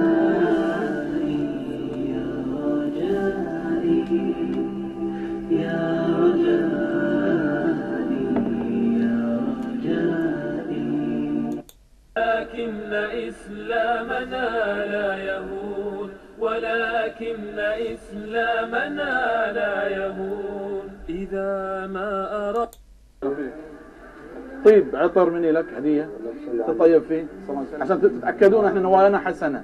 ولا نريد لكم من الخير. نار آقای حسینی بله شون بحر در بحرین اصالتش پاکستانی دعوتگران البته متولد اونجاست بکنم دعوتگران خوبیه. اما این یازده دقیقه طولانیه. ما هم البنات يتوجعوا يتوجعوا يتوجعوا ما عندهم حتى ذنبهم این خیلی سفر میره. هر جا فعال خدا خیرش بده. ما نريد لك كلمة طيبة وننصحهم. لوجه الله عز وجل. النصيحة. خلاص إحنا أخطأنا؟ لا لا, لا أخطأنا؟ لا لا لا لا. زين. دين الاسلام كنا خدا توفیقش بده.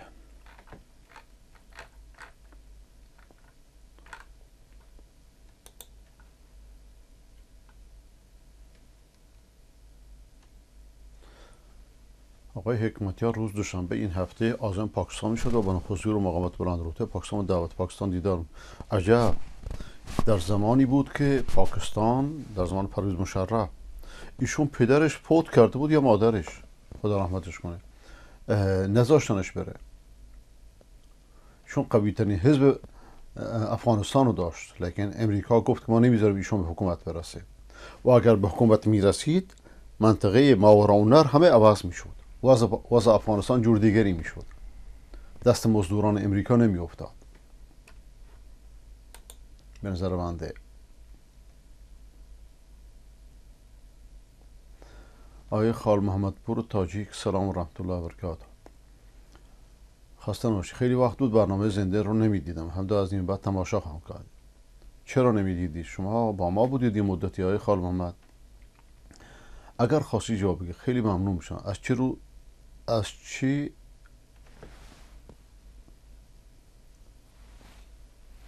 نه این سوال شخصیه. بله. از شخصی تو تلویزیون جواب دادنش خیلی اهمیت نیست. مهم نیست. قناعت توانگر کند مرد را. خلاصش اینه.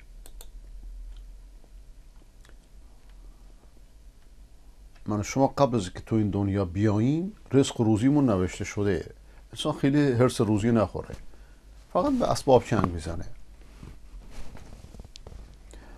سلام. آقای ملوزاده خیلی دوست دارم. خداوند شما را دوست داشته باشه.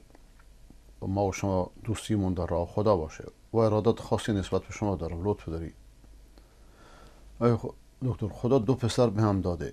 اسم یکی را محمد ادریس و دیگر را الیاس گذاشتم. خب یکی محمد ادریس گذاشتی دومی را محمد الیاس بذار بهتره. و شما می‌خوام برای عاقبت خیرشون دعا کنید. خداوند هر دوشون را و فرزندان ما و شما را صالح و نور چشم من شما و مفید به امت گردانه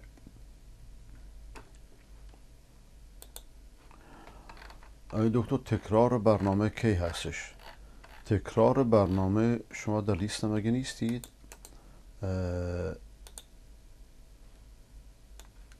معمولا تکرار اجازه بده من نگاه کنم شما در لیستم هستید یا نه نه شما نیستی بلکه اسم ندادید یه اسم مستعار بده.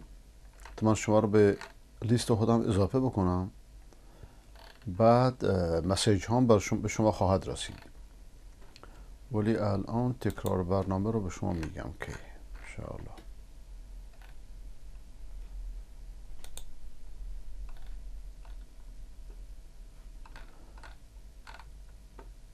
من معمولا روزانه یه همچین نامه رو بر دوستان میفرستم.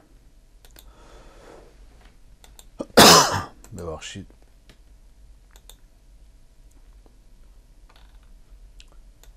یه همچین نامی که بر شما فرستادم موضوعات برنامه اینا رو میفرستم. اگه دوست داشتید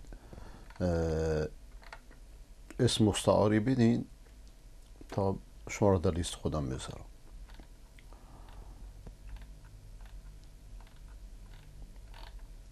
آقای محمد نبی.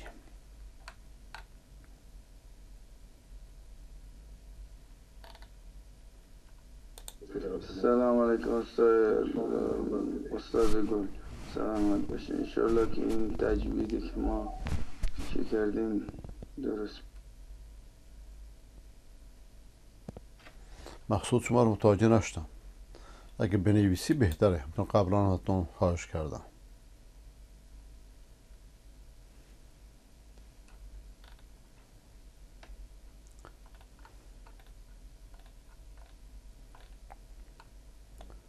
آقای حبیب الله سخنان مولوی نقشبندی. در هفته جاری ما شنیدیم که دو تن از شخصیت ها و علمای تراز اول بلوچستان جناب مولانا حافظ عبدالله حفظه الله و مفتی اعظم اهل سنت ایران جناب مولانا مفتی محمد قاسم قاسمی حفظه الله احضار شدند. ایشون مفتی بلوچ زاهدانه. مفتی ایران نیست. خواهش می‌کنم مبالغه نفرمایید. به زاهدان من قبل از اینکه در این خصوص سخنی بگم این مطلب رو عنوان می‌کنم که ما از احزار و در حال از این احزارها هیچ گونه عبایی نداریم. ما مطمئنیم که علمای ما دامنشون پاک است. آن را که حساب پاک است از محاسبه چه باک است؟ و حکومت این حق رو هم داره که احضار بکنه. وقتی شبهی پیش میاد سوء تفاهمی پیش میاد دولت مردان دستگاه قضایی اختیار رو دارن احضار بکنند. و ما از البته سونیا رو به خاطر این احضار نمی‌کنن اونا سونیا رو زیر فشار قرار میدن تا به اهداف خود برسن. هر طلبه هر عالمی هر مدرسی هر مفتی در اطلاعات درنده خامنه ای یک پرونده داره. احضارها هیچ گونه ابایی نداریم. خود شما هم سابقا زندانی بودید والدتون هم زندانی بود. بله. خداوند حق مظلومان رو از این دولت پلید بگیرد. دوستانی کلیپ میفرستند. خواهش می‌کنم موضوع کلیپ رو بنویسید. اگر نه نمی‌تونم پخش کنم.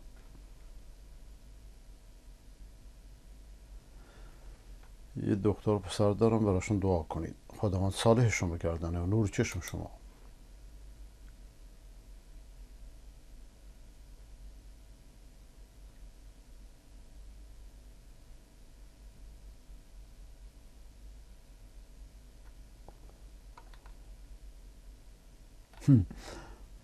عکس این آقا رو جز فیلسوف ها گذاشتم رو کتاب فلسفه. عکس خمینی رو یعنی. بله.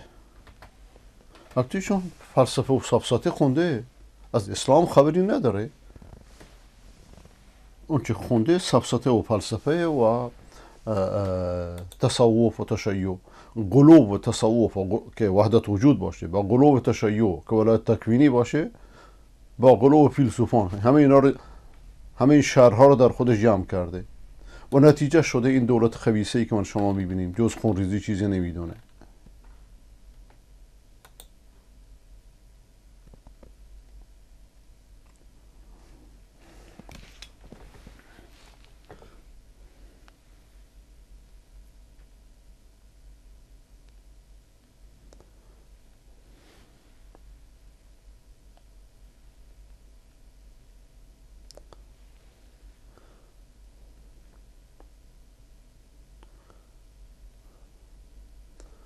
خانم آیشه به اسم مستعار آیشه شما را انشاءالله اضافه کردم.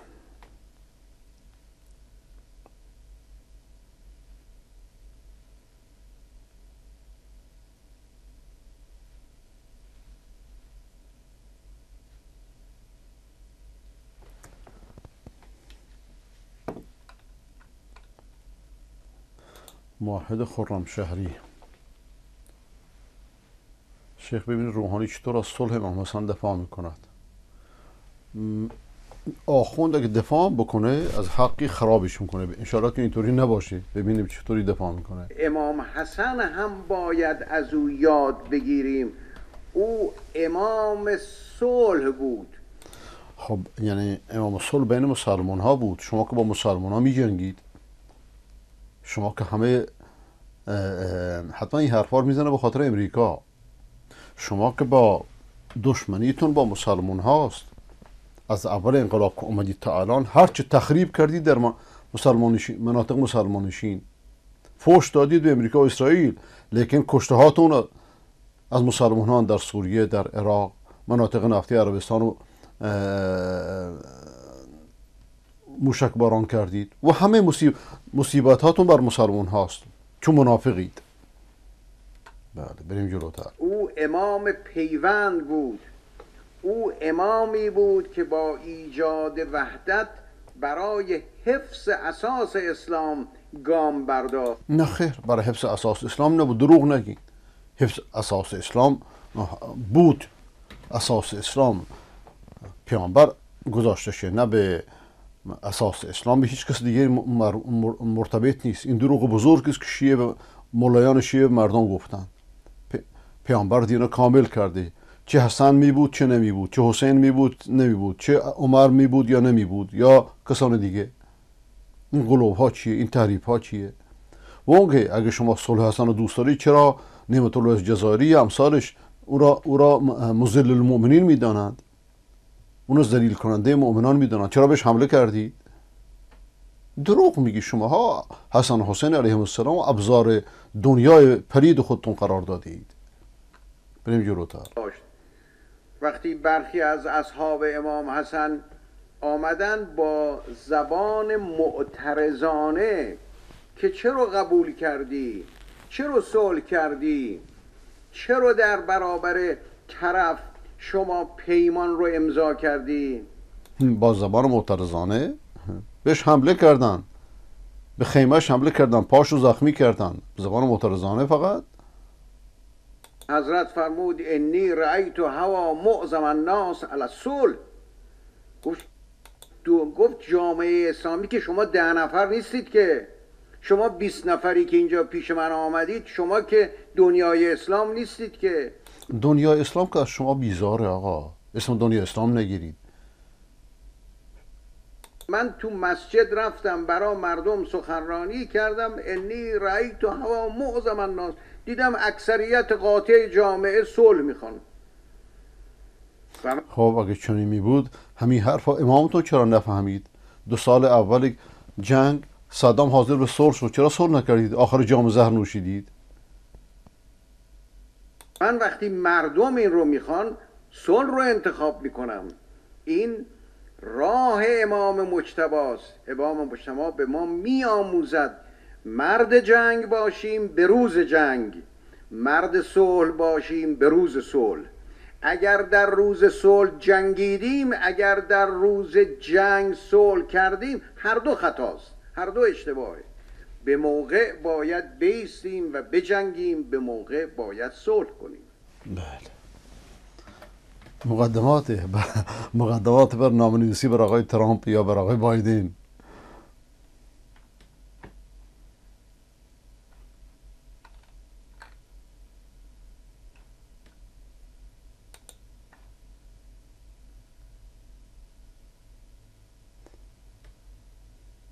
دو اسم گذاشتن مثل محمد اسم محمد علی آیا سنت اسلامی است؟ نه. سنت اسلامی رفتی نه عادته. این عادت در میان عرب در میان عجم هر دو هستش. یعنی محمد رو می‌ذارن به خاطر تبرک. یکی اسمش مثلا ساداته خب محمد انور و سادات محمد نمی‌دونم حسنی مبارک. این کلمه محمد برای تبرک می‌ذارن.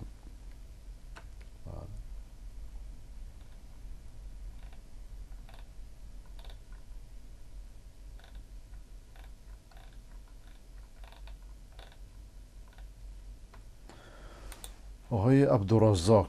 خیلی وقت دکتر عبدالرزاق ندیدیمتون. آیا میشه اسم فرزند پست شده رو به اسم فرزند دیگر گذاشت؟ بله هیچ اشکالی هم نداره. علیکم السلام رحمت الله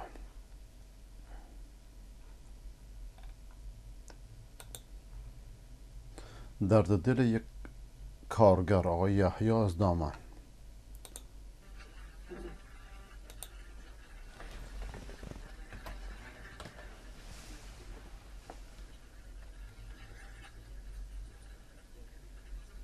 صدا نداره متاسفانه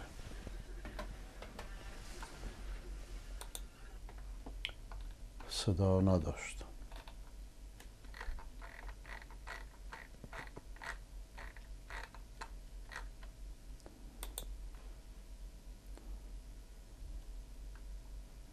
حکم بودایی و داشتن دوست بودایی چیه بودایی مشرکه حکمش حکم مشرکه من شنیدم حضرت محمد گفته نباید با بودایی حرف نه نگفته حرف نزد. لیکن دوستی صمیمانه با مشرکان کار درستی نیست. تعامل تعامل اخلاقی باشه. با همه کس. انسان اصل اخلاق خودش یک سلاحه. همیشه از دیگران انسان باید بهتر باشه. اگه یکی اخلاقش خوبه شما اخلاق بهتر از اون باشه. یکی رفتارش خوبه شما رفتارت بهتر از اون باشه. دین درست اینه لیکن دوست دو از تو به باید تا تو را عقل و دین بیافزاید نه اینکه مشرک باشد تا تو را شرک, شرک بیاموزد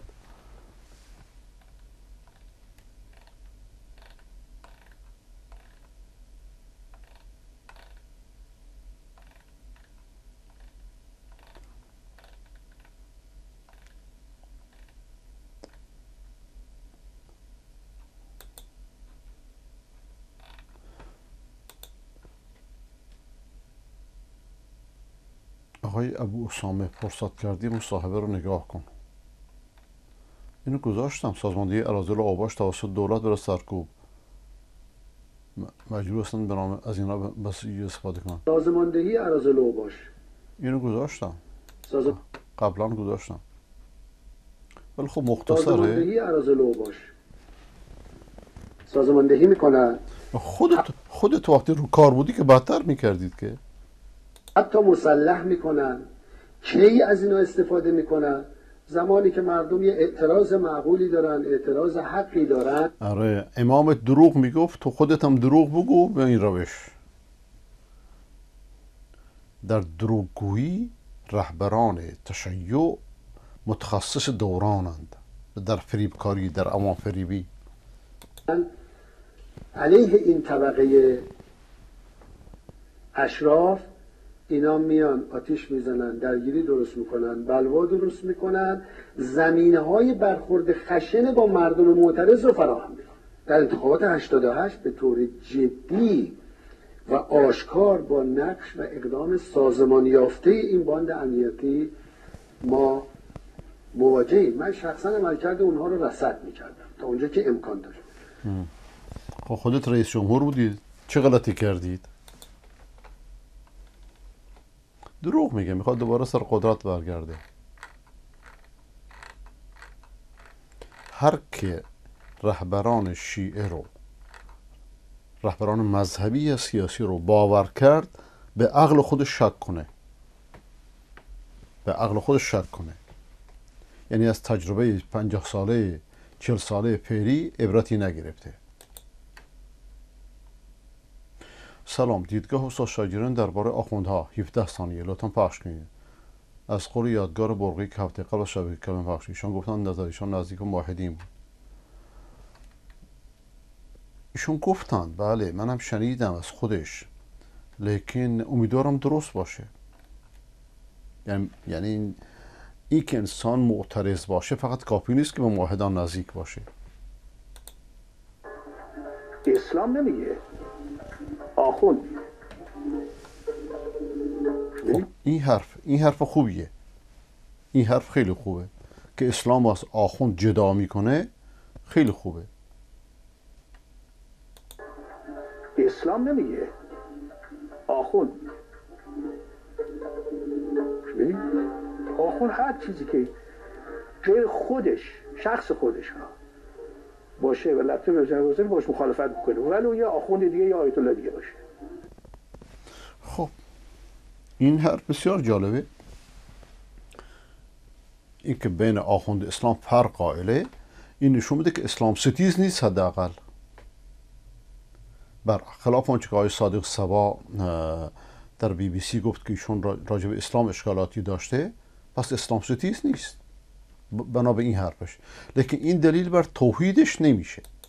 امیدوارم واحد باشه. ما, ما سعی می‌کنیم تا می‌تونیم مردم رو به اسلام یعنی داخل اسلام کنیم خارج نکنیم. برعکس شیعه. حساب, با حساب هر کسی با خداست. به ما چه مربوط؟ بله. ولی خوشحال میشیم که به موحدان نزدیک باشه. یا به توحید نزدیک باشه.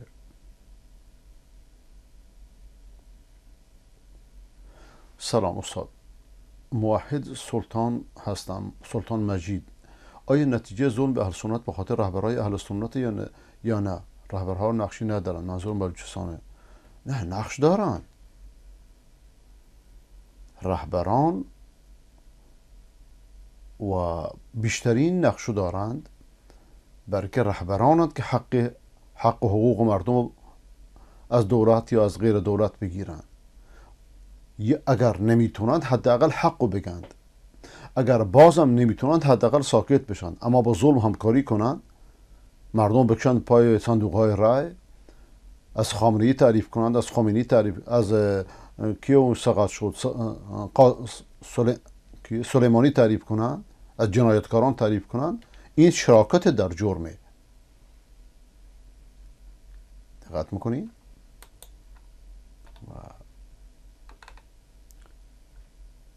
رهبر اون کسی است که از حق و حقیقت دفاع بکنه. نه اینکه بر دستبوسی مردم بر اصابوسی بکشه. این فریبکاریه.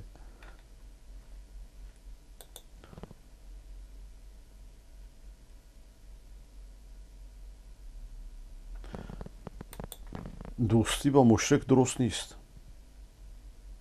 ولی ولی رفتار انسان باید خوب باشه. با همه.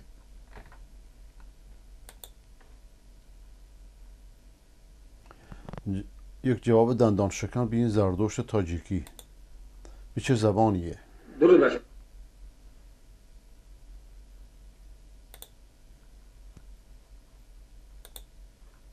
درود باشه این صبح وقتی که فیسبوک رو شدم داملا ابراهیم گفتن یک برادری جاروبریش ابلهریش به زردوش تعن می‌گفت خوراک می‌داد مجوس می‌گفت و یک بار دیگر با این داملا و با دلخواه داملا های دیگر تاکید می‌کنم که با گذشتگان ما نرسید. آه گذشته پرست نباش. گذشته پرست و تاریخ پرست نباش. همه مصیبت ها از همین تعصب خشک بلند میشه. و مشرکانی که با پیامبر خدا هم می جنگیدند همین حرف می زدن که شما چرا با آبا اجداد ما بعد میگید؟ زردشت چه بسا که پیامبر بوده چه بسا که نه.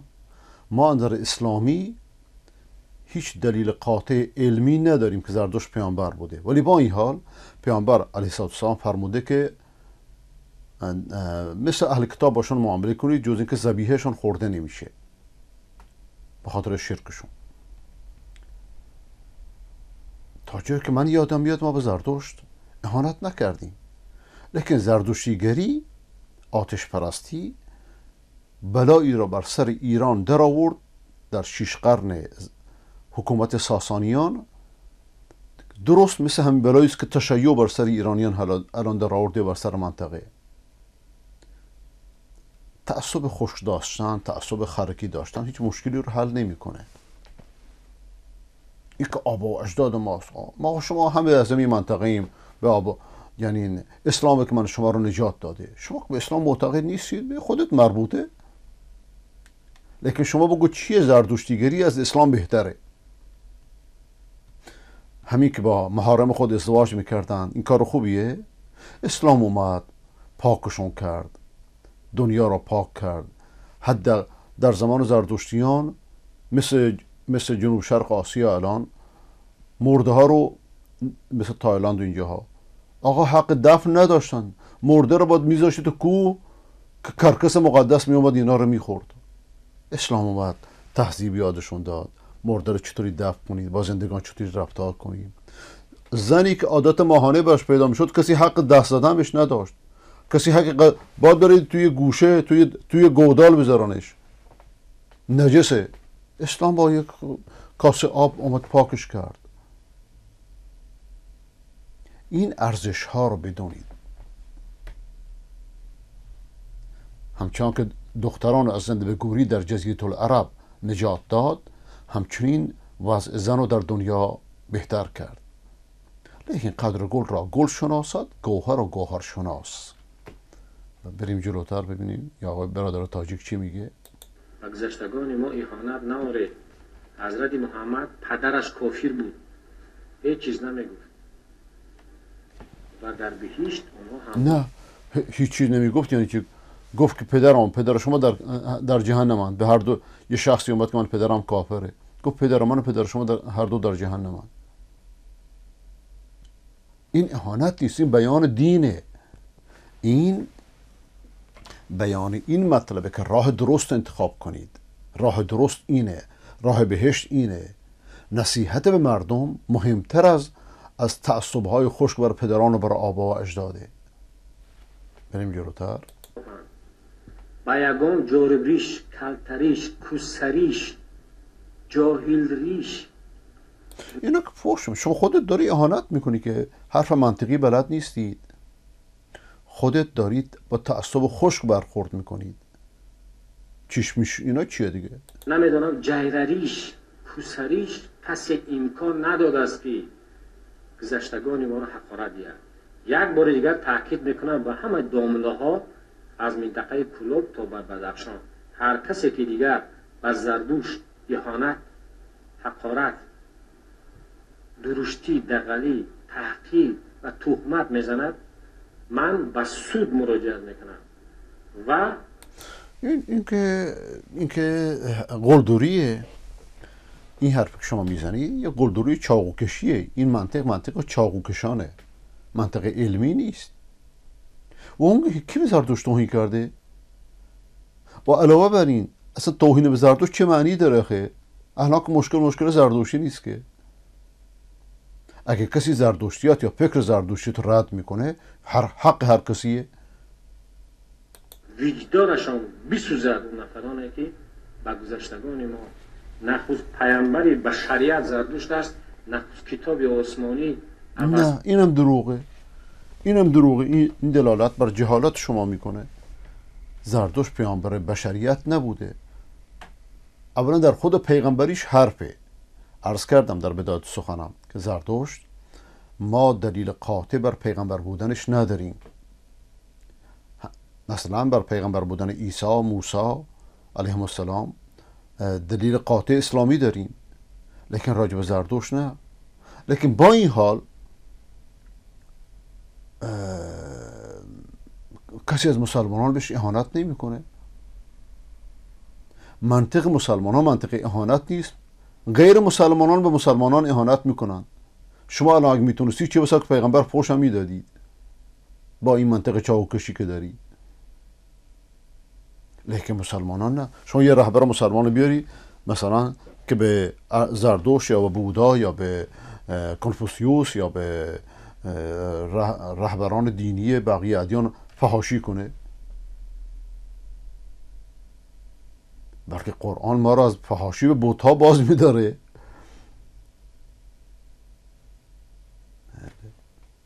اساس 60 65 فایز قرآن سرچشمه از اوستا گرفته است. دروغ دروغ محض. افتراء محض. این دلالت بر جهالت شما می‌کنه. اوستا رو من دارم. 65 درصد قرآن از اوستا گرفته شده. این مسخره ها چیه؟ اوستا یک سند نداره. یک کتابی است که بدون سنده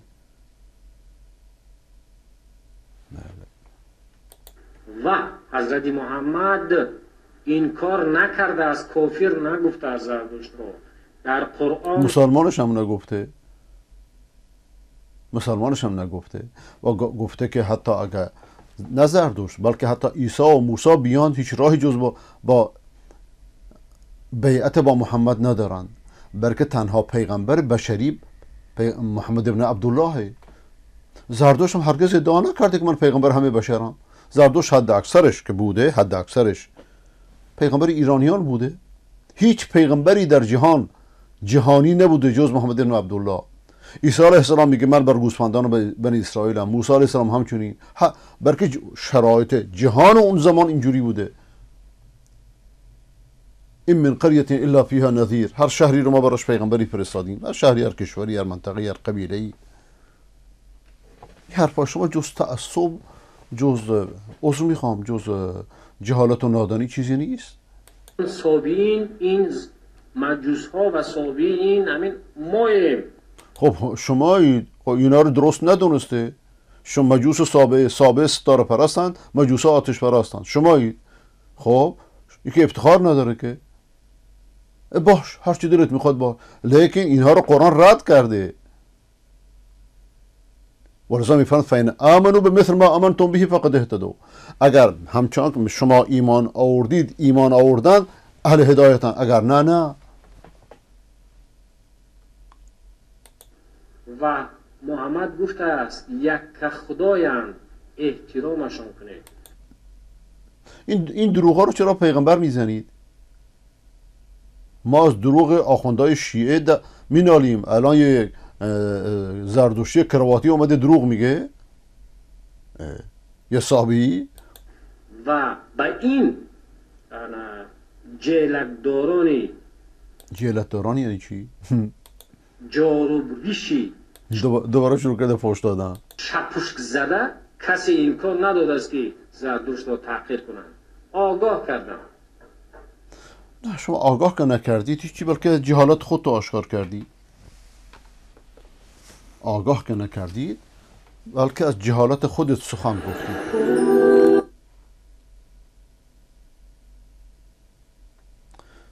بله.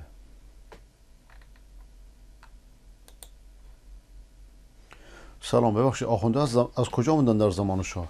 در زمان شاه در ایران بودند لیکن سابقا زمانی که شاه اسماعیل صفوی ملعون ایران را به زور شمشیر شیعه کرد یک آخوند عالم نداشت. آخوند از, از جبل آمول لبنان وارد کرد. اونا باطنی مذهب بودن علی اللهی بودن. شیعه که در ایران بود تا اون موقع شیعه معتدل زیدی بود. اینا اومدن این تشیع معتدل زیدی رو مبدل کردن به به شیعه غالی امامی اصناشری که یه چهره دیگه از, از علی اللهیه با تقیه و با فریب البته.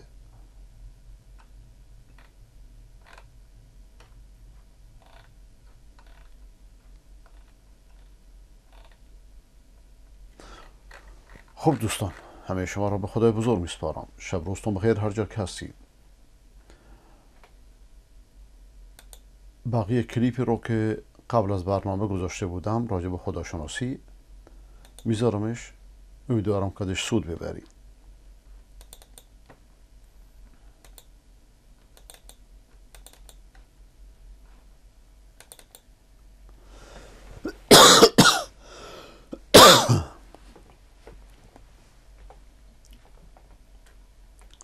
نمی‌دونم مشکلی پیش آمده چی؟ بله. و هیچ کسی دیگری در دنیا نه پیغمبر نه امام نه امامزاده شایسته عبادت بودن رو نداره. ولذا هیچ معبود راستینی جز خداوند نیست. و معنی لا اله, لا اله الا الله همینه. اله یعنی معبود. اله یعله الهتن الاله یعنی الله. یعنی کسی که سزاوار عبادته. نه امام سزاوار عبادته نه شهید نه بزرگ نه عیسی نه هیچ کسی دیگه. چرا دنبال اینها میری چرا اینها رو خدا می‌کنی جز آفریدگار هستی جز خالق. کسی دیگه شایسته عبادت نیست. بقیه همه بنده هم. اینها رو تاجران دینند که به جای خدا نشون دهند هو اهل التقوا و اهل المغفرت اهل تقوا و اهل مغفرت خداونده همچنان در سوره مدثر آیه 56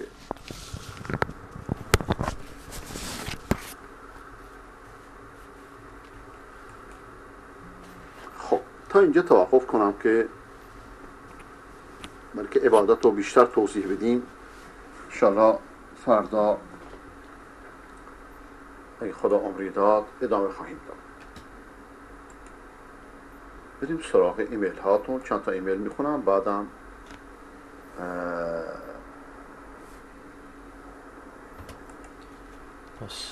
رو باز یک کلیپ دیگه بذارم در همین مورد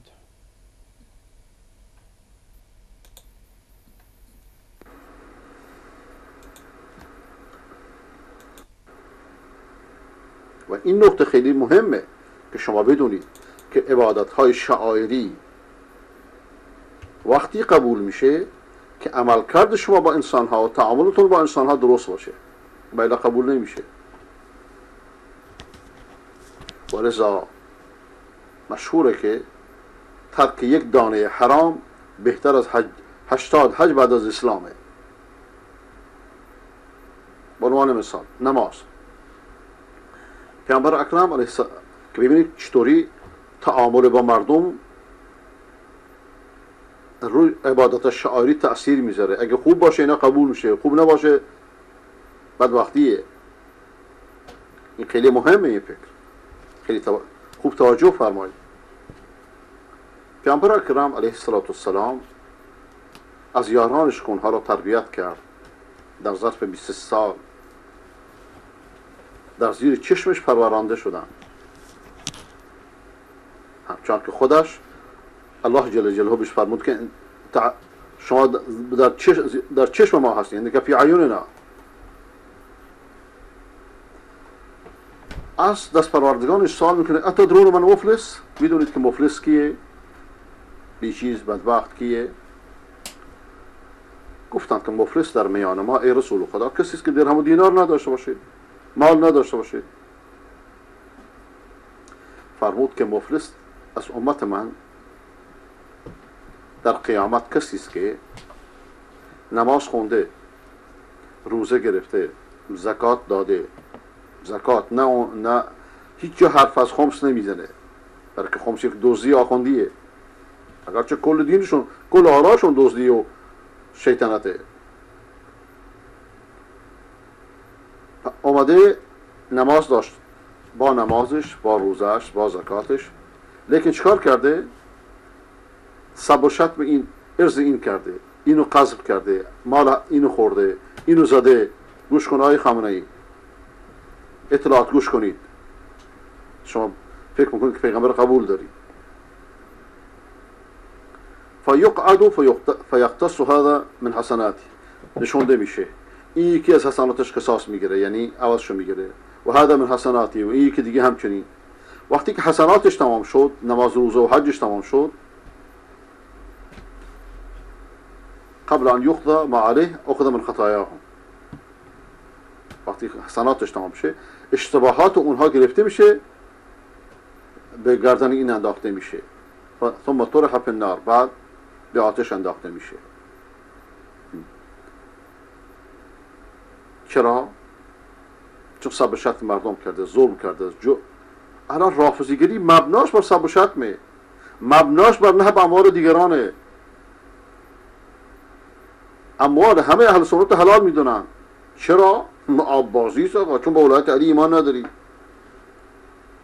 ابن سبای ملعون عجب ملعونی بوده چه دینی درست کرده ها که انتقام آبا اجدادشو بگیره. و خوبم انتقام گرفته. اینها مبنای دین و عقیدهشون نه که بر سب و شتمه بلکه بر سب و شتم بر بهترین افراد این امت. که قرآن به طور واضح اونها رو خیر امت نمیده اهل بهشت نمیده این حدیث رو امام مسلم نیشابوری نقل کرده. دوباره پیامبر اکرم علیه السلام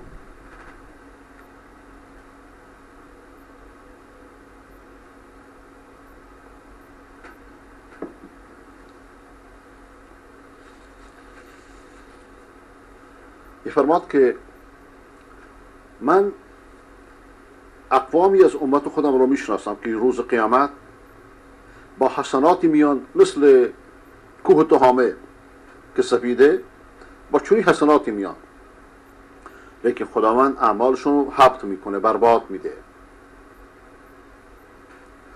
صوبان گفت که ای رسول خدا صفهم بلانه اینها رو به ما توضیح بده شرح بده. که بدونیم اینا کیان؟ الا نکونه منهم تا ما از اونا نباشیم. و نحن لا نعلم شاید ندونیم ما. قال اما انهم اخوانكم و من جلدتكم اونها از برادران شما هستند و از, از, پوست و گوشت شما هستند و یاخذون من اللیل کما تاخذون و در نماز شب هم میخونند همچنان شما نماز شب میخونید اونها هم نماز شب میخونند ولكنهم اقوام اذا خلوا بمحارم الله انتهكوها لیکن اقوامی هستند که وقتی به محارم خدا تنها بشن اون حرام اون حرام ها رو انجام میدن. هنوز هنوز سیغه هیچی. سیغه رو نمیگه مطعه رو نمیگه خمس رو نمیگه. اینا نماز خونن موحدن مؤمنن مشرک هم نیستن قبر پرست هم نیستن علی پرست هم نیستن. لیکن مشکلشون کجاست؟ یا و شتم کردن یا وقتی که تنها شدن حرمتهای خدا الهی رو رعایت نکردن. ببینید که نماز چطوری با عمل کرد انسان سر و کار داره؟ نماز درسته که این الصلاه تنها الفحشاء والمنکر. از فحشا و منکر باز میداره. یا راجب روزه. محور سخن اینه که چطور عبادت های شعائری بدون عبادت های تعاملی قبول نمیشه.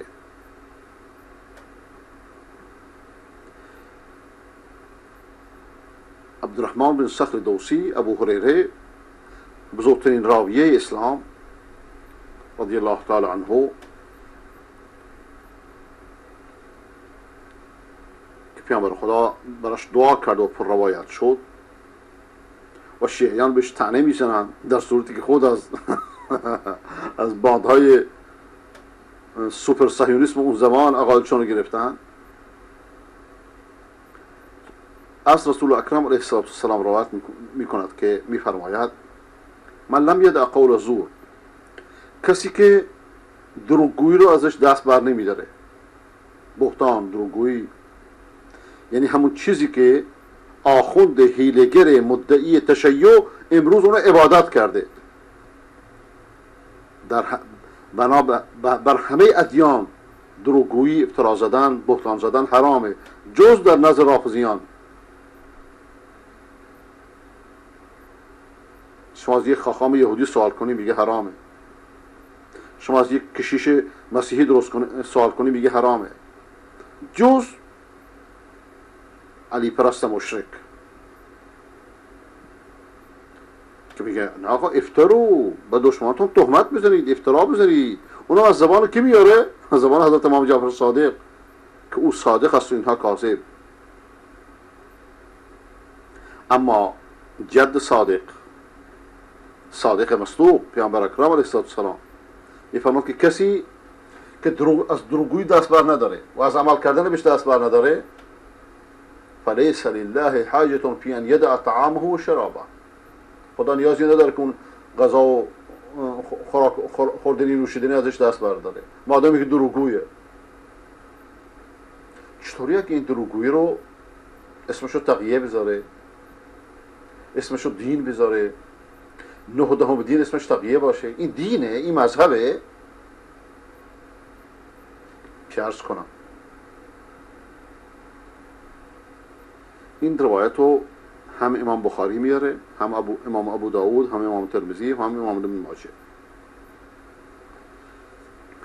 و در روایت دیگر پیامبر اکرم میفرماد که رب صائم لیس له من صیامه الا الجوع و العطش چه بسا روزداران هستند که نصیبشون از روزه جز گرسنگی و تشنگی نیست.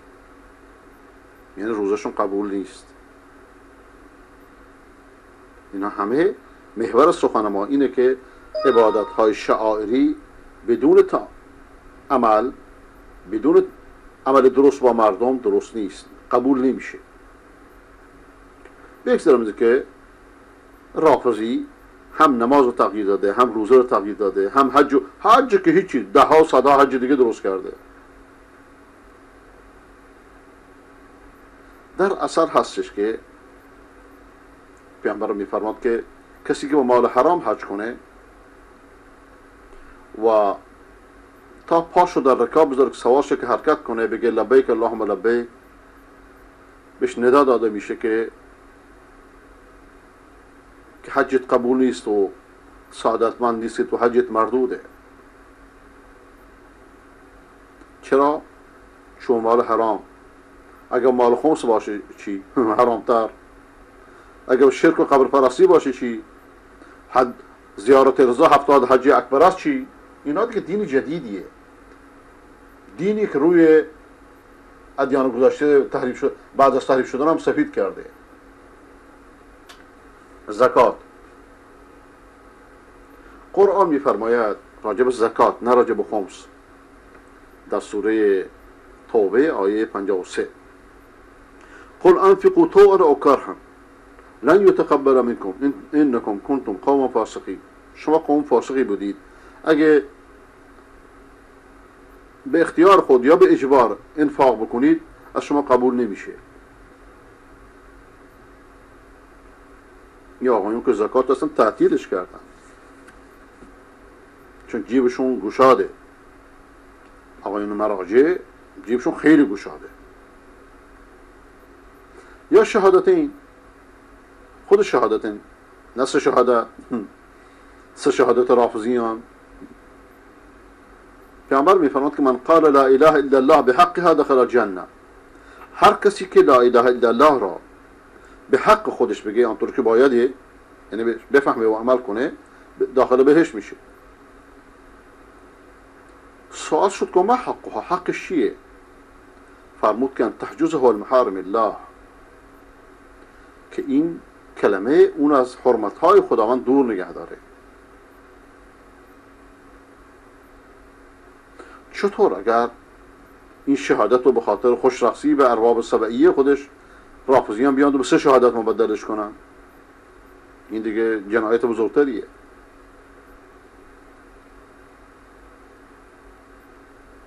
پس بینندگان ارجمند علت وجودی من شما در این دنیا اینه که خدا را عبادت کنیم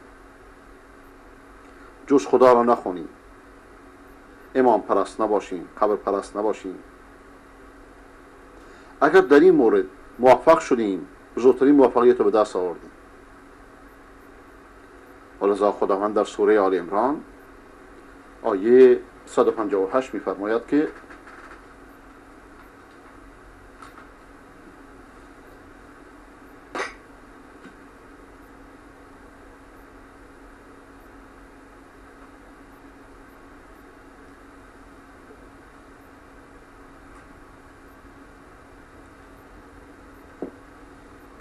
فمن زحزح عن النار وأدخل الجنة فقد فاز.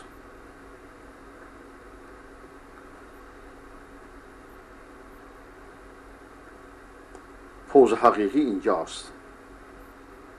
موفقیت حقیقی اینجاست. هر کسی که از آتش دور کرده بشه و داخل جنت بشه به جنت فرستاده بشه فقط فاز. موفق شده. موفقیت اینجاست و ما الحیات دنیا إلا متاع الغرور. زندگی دنیا جز یک کارای متق... غرور و تکبر بیش نیست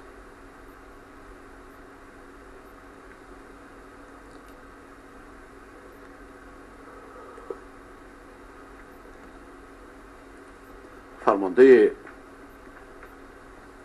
ارتش اسلام در دمشق. امین این امت ابو عبیده جراح. ابو عبیده ابن جراح.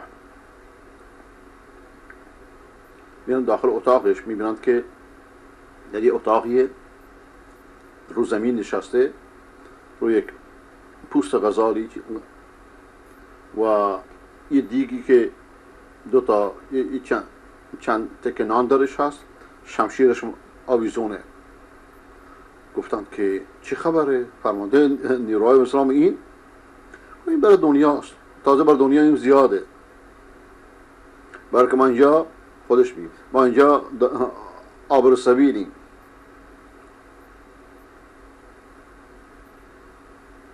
شما دیدید هر کسی بر سر قبلش نوشتن آرامگاه.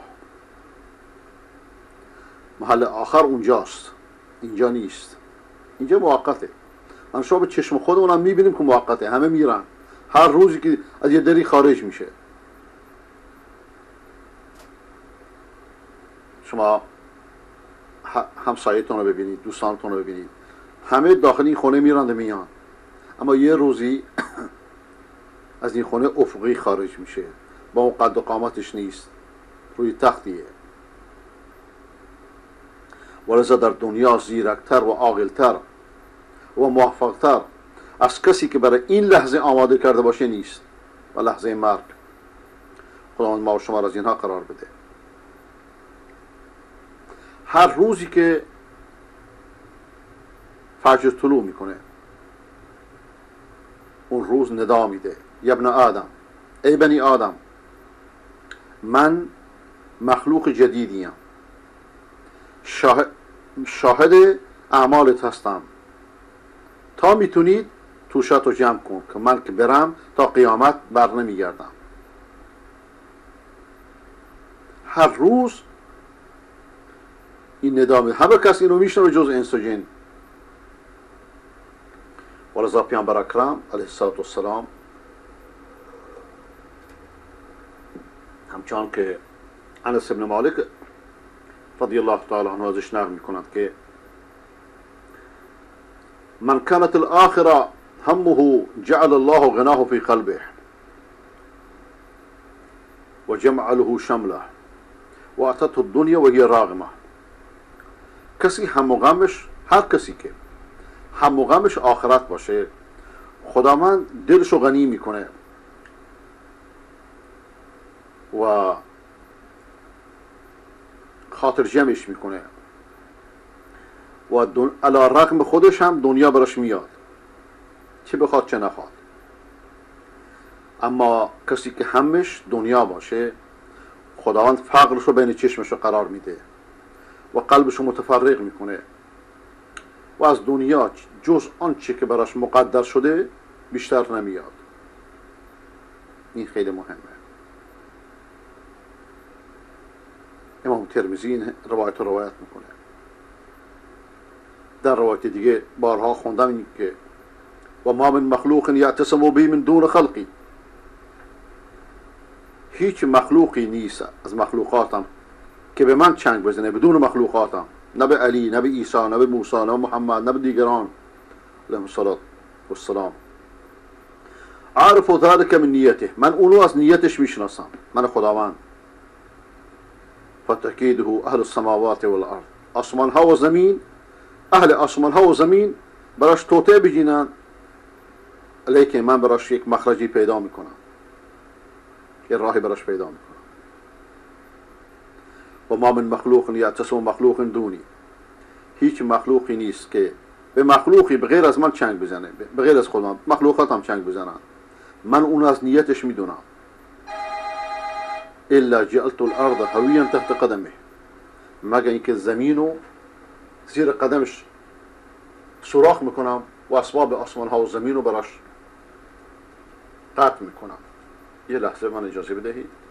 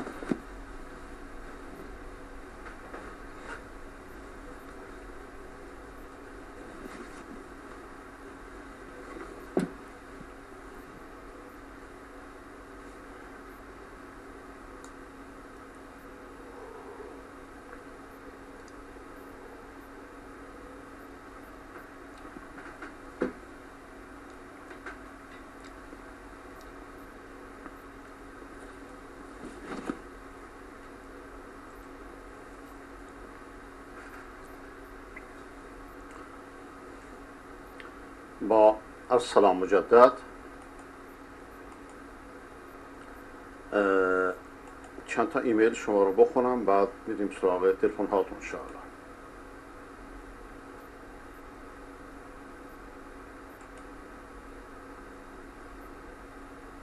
سلام استاد این کلیپ حضور رو هم پخش کنید. ولی کل- کلیپی همراهش نیست. شما فرستادید ولی ازش کلیپ نداره.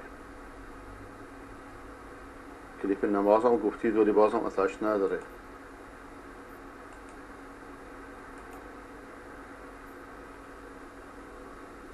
سلام. آقای مولازاده من خودم شیعه شناسنامه هستم. اما در این که مذهب شما در بسیاری از جهات چند سرگردن بالاتر از مذهب تشیع است کوچکترین شکی ندارم. آفرین از شما. نه نه چند سر. بلکه و هر حال هم شما تا اینجا رسیدید خیلی مهمه و از انصافتون خیلی متشکرم و معتقدم اگر قرار باشد انسان اسلام را برگزیند عقل سلیم حکم می‌کند که مذهب اهل سنت را برگزیند و فکر می‌کنم علت اینکه اکثر مردم ایران ظاهرا مذهب شیعه را انتخاب کردند این است که امریکا و قدرت های شرق و غرب این مذهب را به اکثریت ملت ایران دیکته کردند تا الان قبل از قبل از اینکه امریکا بیاد به وجود بیاد. صلیبیان اون زمان مسیحیان اون زمان. مادر شاه اسماعیل صفوی هم مسیحی بود و با نیرنگ و فریب شاه اسماعیل صفوی را آوردن و این مذهب رو به زور بر ایران مسلط کردن. مذهبی که در واقع همه چی درش هست جز, جز توحید و اسلام. ناگفته نماد که اساسا مذهب برای این است که یک جای کاربرد داشته باشد و بدان عمل شود چه به جهت اصلاح امور دنیوی و چه به جهت اصلاح امور اخروی چه برای نظام و طبقه حاکم و چه برای عوام ملت. اما آن چیزی که من در عمر سی و چند ساله خودم مشاهده نمودم این است که از آن جایی که متاسفانه در ایران همیشه رابطه بازی در قانون و ضابطه تقدم داشته است چنانچه همه قوانین و موازین حکومتی دقیقا و عینا مطابق با مذهب شیعه بوده و به قول خودشان برگرفته از قرآن و احادیث اهل بیت هم باشد کجاش برگرفته از قرآنه ولایت فقیه برگرفته از قرآنه امامت برگرفته از قرآنه این ادعاییه که می‌کنن. و حالا تمام قانون اساسی ایران تحت وسیله خمینیه. آرای خمینی هندیه. بله. بله. طبق همان رابطه بازی ها به قوانین عینا عمل نشده و نخواهد شد بلکه اینها کشور را بر اساس عرف اداره می کنند و نه شرع پس اساسا از این از این بود مذهب برای توده مردم مفید نخواهد بود چنانچه نبوده است. و اما و اما عمل به مذهب در سطح جامعه نیز برای پر از اشکال است. به عنوان نمونه نمونه ساده آن می‌توان به عدم رعایت خانم ها به حجاب اسلامی است. که هم در مذهب شیعه هم از اهل سنت جز واجبات دین است. ببین این موضوع دیگریه. مردم چون ضد نظامند هر چی که نظام بگه برعکسشون انجام میدن. الان بیهجابی شده یک تز سیاسی وسیله مخالفت, مخالفت با دولت. اگر مردم از توضیح ثروت راضی می بودن از آزادی بیان راضی می بودن از دادگاه ها راضی می بودن با حجاب مشکلی پیدا نمی کردن دقت می‌کنید اما این این ناراضی علت های دیگه داره. وقتی می‌بیند که رهبران کشور دزدن. اینا چرا حجاب رعایت چرا حرفشون رو گوش کنن؟ بله. کت خدای ده که مرغابی شود عاقبت بین کندران ده چه رسوایی شود؟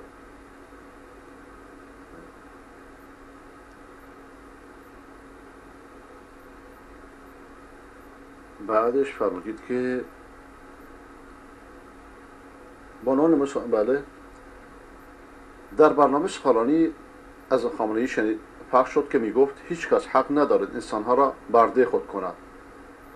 این سخن از حضرت عمر نقل کرده بود و خودش به عمر پیروانش الان فوش میدن این در اول انقلاب گفته بود که دل اهل سنت به دست بیاره. می‌خوام به او بگویم پس چرا شما جوانان ایران را برده ثروتمندان ساخته اید به طوری که مجبورن برای کمترین حقوق تن به هر کاری بدهند و این خلاف اراده خداوند است در حالی که فرزندان خودتان با ثروتهای خدادادی کشور. نه میگه ما دوزی ها درآمدهای میلیونی دارن. با این تفاصیل آیا مذهب شیعه؟ شما همان مذهب برداری جاهلیت نیست؟ این تنها گوشی از خیانت است که شما به نام شیعه در حق جوانان این کشور انجام داده برای که تشیع خودش یک کلکه دیگه یک کلک بازیه و رسیدن به قدرت. خداوند چنان آزادی را برای بندگان قائل شده که میفرماید لا اکراه فی دین یعنی حتی در, در پذیرش دین خود هم کسی را مجبور نکرده. در حالی که شما کاسه داغتر از آش شده و مردم را به گناه ناکرده در, در خسران و مشقت انداخته اید. در حالی که اگر شما حقیقتا می‌خواستید به قرآن عمل شود ما امروز اگر پیشرفته تر از دولت های غربی نبودیم لاقل کمتر از آنها نمی بودیم تقصیر اینها همه به گردن شماست. اصلا چه کسی اذن ولایت بر مردم را به شما داده است؟ آیا, شما... آیا خدا این اذن را به شما داده؟ دقیقا. این سوال مهمیه. با کدام سند؟ اگر می‌گویید اذن دارید پس, پس باید قبول کنید که مسئول همه عقب های کشور خودتان هستید. چرا که خودتان خداوند فرموده اگر به شخص یا گروه یا شخص گروهی قدرت به شخص یا گروه قدرت به همان میزان بلکه بیشتر از او مسئولیت می‌خواهد. و چنانچه تخطی کند طبق وعده خدا آن را کیفر خواهد کرد. و از آنجایی که سی سال است شما موجب عقب ماندگی و سرشکستگی ملت ایران شده است و کماکان بر مسند قدرت هستید. مبین این است که شما از جانب الله جل جلاله هیچ کنه اذنی ندارید. و چنانچه میدان و چنانچه می داشتید تا کنون یقینا به اراده خداوند به قوت خود می رسیدید. همچنین شما که مخالف جنود هست جنود هستید و اهل تسنن را به عقب و, جنود متهم، جمود مقصودتانه متهم می‌کنید. چرا خودتان راه پیشرفت و توسعه را برای مرد بسته که این امر موجب شده حتی حریم شخصی مردم مصادفان مرتدی قرار بگیرد و مردم برای تهیه نان شب در رنج و عذاب هستند. چه برسد حقوق دیگر. با تشکر از برنامه خوب شما کنم امیدوارم مردم بیاری از جر از خواب غفلت بیدار شوند و سال دنیا آخرت برخوردار. خب خیلی متشکرم.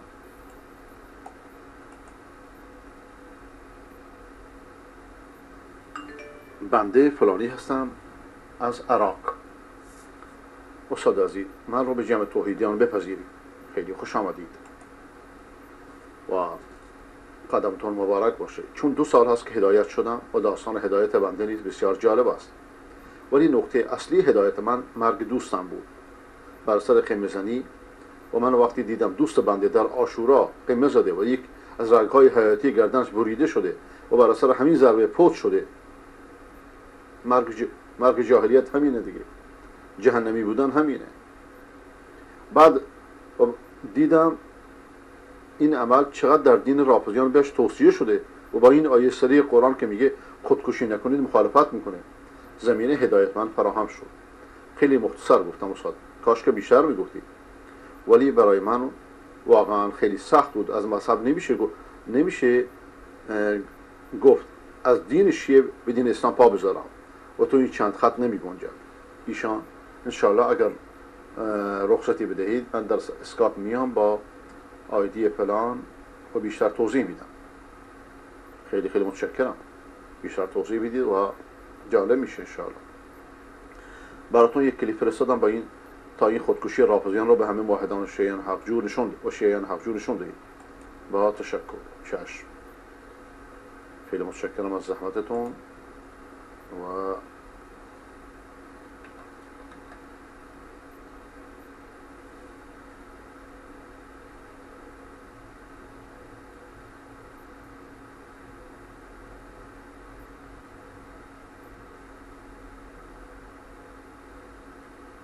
خون. چه مذهب خونیه؟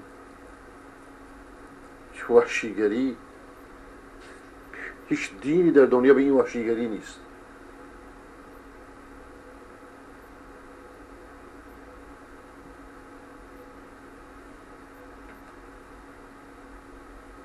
خب خب این قاتل فرستادید؟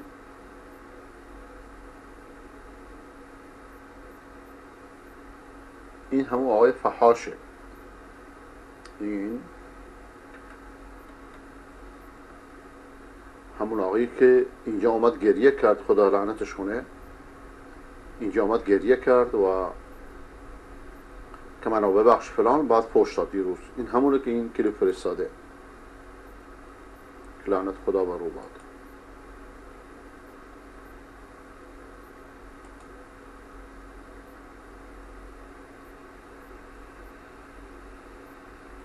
آیا در مسجدی که در آن عکس های زیادی باشد و هم حالی آن مسجد دست به کارهای شرکامیز آیا نماز خوندن در آن جایز است؟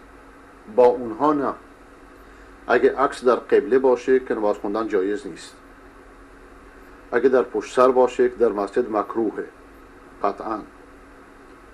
و با چنین افرادی نماز خوندن جایز. اما اگر ناچار شدید جای دیگری نبود و در هر جا می‌تونی نماز بخونی جز در حمام و جز در جایی که واقعا منکر باشه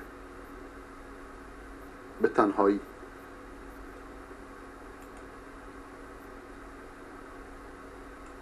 مسلمان شدن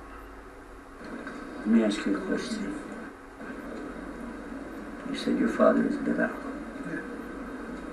Any doubt about that? No. Would you swear in court that this is my father? Testify in court, this is my father? Yeah. Who is your mother? What's her name? Patricia. Is there any doubt in your mind about that? 100% sure. You to bear witness in court, this is my mother, Patricia is my mother, yeah? So you're willing to testify to your mother and your father, but you don't want to testify to the one who created both your mother and your father.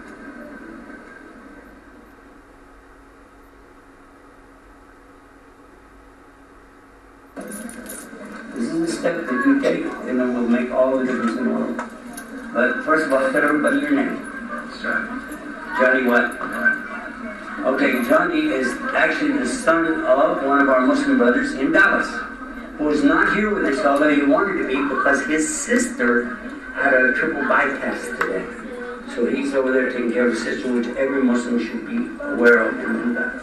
So you'll tell him for us how much we really appreciate him and we miss him. Okay. All right. So do you believe there really is only one God? Yes. And you want to serve him on his terms? Yes. And this means the Shahada. Uh, I know you already know that, but so everybody knows this is what we always say. And you bear witness to that. Yes. And Muhammad is a messenger of Yes. And Jesus is a messenger of God. Yes. All right. And you swear to that? That's right. All right. Then we'll do it formally. And first in English and then in Arabic with a little bit of Texas influence. All right. Ready? Okay. I bear witness. I bear witness. There's no God to worship. There's no God to worship. Except one God. Except one God. Allah. Allah. And, and I bear witness. I bear witness. Where that Muhammad, that Muhammad is his messenger. Is his messenger. And Jesus is his messenger. Jesus is his messenger. I know try the Arabic. Ashadu. Ashadu. An la. An la. Ilaha. Ilaha. Illallah. Illallah. Wa. Wa. Muhammad, Rasulullah, Rasulullah, wa Isa, Rasulullah. Allahu Akbar. Allahu Akbar. Allahu Akbar. Allahu Akbar. MashaAllah. Now, what's happened is Johnny has had a chance to start his life all over again, right here and now. All of his mistakes, sins, whatever, been erased, but he kept all his good deeds. And according to some narrations, we know that uh, that Allah really even gave you an equal amount to the other deeds He took off as good deeds. But regardless, the most important thing you're closer to Allah now than you ever been. I'm happy for that. And you have a direct connect right now. You have no sins, and you have a direct connect to your Lord. Means you're actually better off than some of us been born in Islam. That's true. And anything you ask Allah from right this minute is really accepted immediately. So uh, I like to just encourage you, get you started on the du'as. Allahumma, Allahumma, Ya Rabb, Ya Rabb, give hidayah, give hidayah to, to Yusuf Aziz. And all of us. Amen. Hidayah means guidance. Give gu- and I collect my commission check up front. You know. So I'm not going to use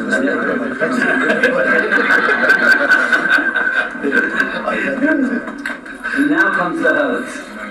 Now comes the hugs. Where's Tori? He's he become expert in the. Right here, extra. Here's Tori. Tori became an expert hugger. If you want anybody needs hugging lessons, he's here. I love all of you for the sake of Allah. Keep sharing Islam with everybody. Show them the right thing about Islam. And may Allah always bless you, your children, your community from now on. Ameen.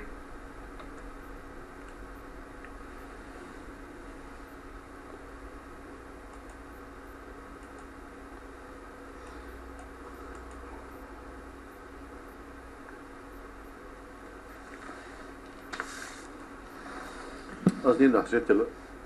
تلفن ها را باز می‌کنم.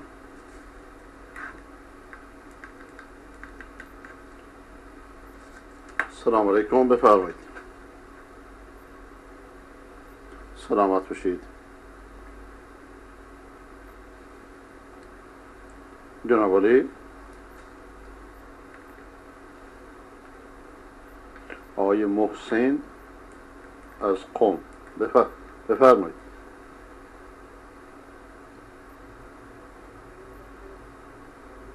مردم قلبه تاج کلید وارد همه پخش نمی کنید این سوال شده برای من.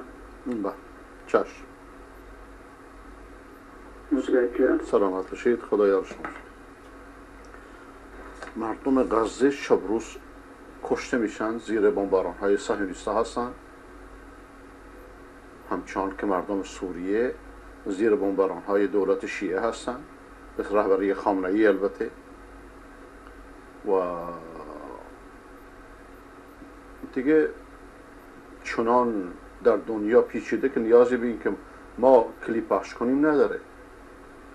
الجزیره دنیا را پر کرده در این مورد. همچنین بقیه رسانه های دست جمعی جهان. ما اینجا گروه تلویزیون اخباری نیستیم. یه نفری بفرسته ما پخش می‌کنیم همین. لیکن اون چی که در غزه رخ میده خیلی کمتر از اون چیزی که در دست به وسیله آی خامنه ای در سوریه انجام میشه. سلام علیکم بفرمایید. سلامت باشید. جناب علی.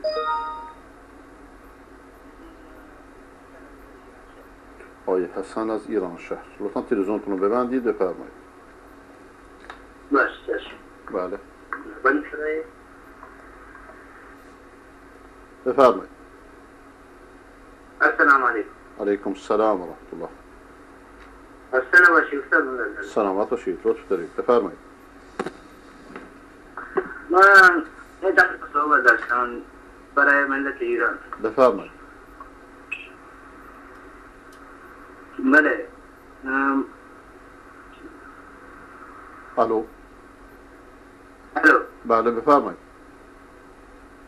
بله من من علی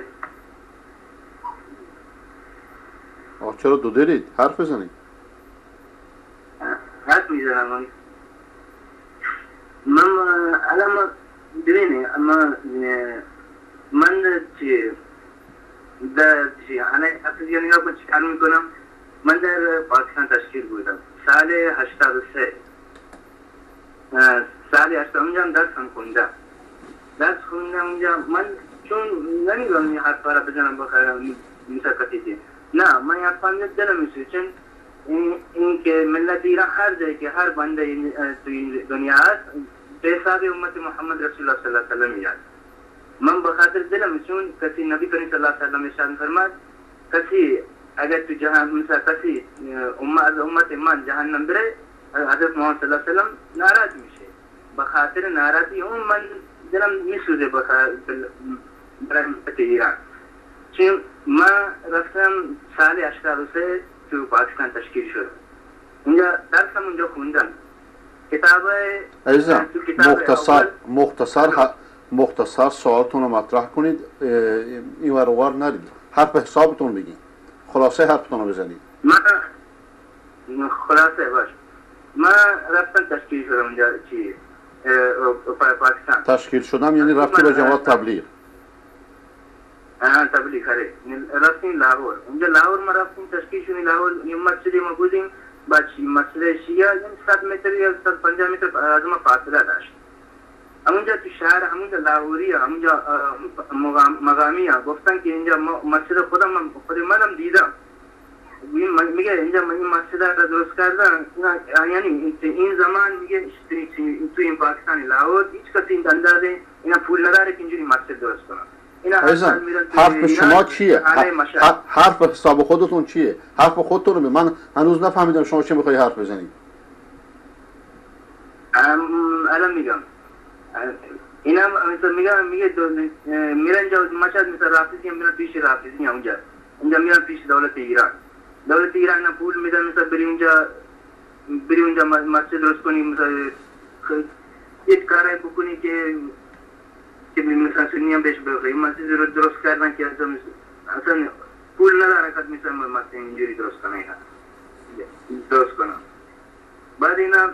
ina gustan milan dunja ina ina toji milan. Ya maulana أن maulana طارق اعظم طارق اعظم مسجد امام امجا بود مسجد سنيه سنيه بود نش شهيد كذا أنا كتابة مثلا كتابي اول دوم في باكستان ابو ابو بكر صديق رضي الله تعالى عنه حضرت عمر رضي الله تعالى عنه يعني أنا صحابيا كتابة داستان شو هستم آقا ما که نفهمیدم شما چی میخواد بگید چرا چرا وقت ما رو تلف می‌کنید؟ سلام علیکم بفرمایید. علیکم السلام شما؟ سلامت باشید. شما؟ آقای قادری از ایران. از کجا ایران؟ از یزد. بفرمایید. لطفا تلویزیون لطفا تلو تلو ت- ببخشید الو بفرمایید لطفا تلویزیونتون رو ببندید بفرمایید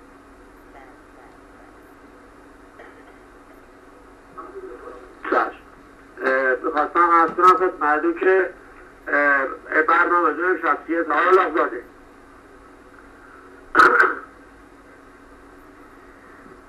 پخشش کیه پخشش هم بگون کیه توضیح خواهم داد. نمی‌خوام سوال کنم ازتون برنامه دون شخصیت توضیح میدم. توضیح میدم. آقای رازاده الان بگون بخوام من با اون صحبت کنم سوال دارم. مگه شما برنامه رو نشنیدید ندیدید نه عزیزم من الان اومدم. برنامه دو قسمته. هر شب یک قسمت رد بر روایت های دروغین مراجعات نیم ساعت. و یک ساعت هم راجع به خداشناسی است. که امروز راجع به معنای عبادت و معنای کلمه الله بود. بفرمایید. آقای مولا آقای من اگه به شما ثابت کنم شما گوشی من پنج دقیقه اجازه من بده صحبت کنم. نه خیر. نه خیر. چرا؟ اه، من پول میدم که شما نه بستگی به سخن شما داره. اگه سخن شما مهم باشه پنج دقیقه که نه نیم ساعت هم به تو وقت میدم. با حرف من می‌زنم اجازه بدین اجازه من بدین. این این اینو اینو ب- ت- تشخیصش با بنده. که اگر سخن شما مهم باشه گفتگو می‌کنم با شما. اگر نه سوالتون رو مطرح فرمایید برید بستگی به حرف شما داره. بفرمایید. من می‌خوام از خدمتتون عرض کنم آقای مولا الو. آقای آقا چی؟ آقا. آقا شما الان سه چهار باره که اسم بنده رو می‌گیری. چرا اینجوری اسم می‌گیری؟ اسم اسم بنده چیه؟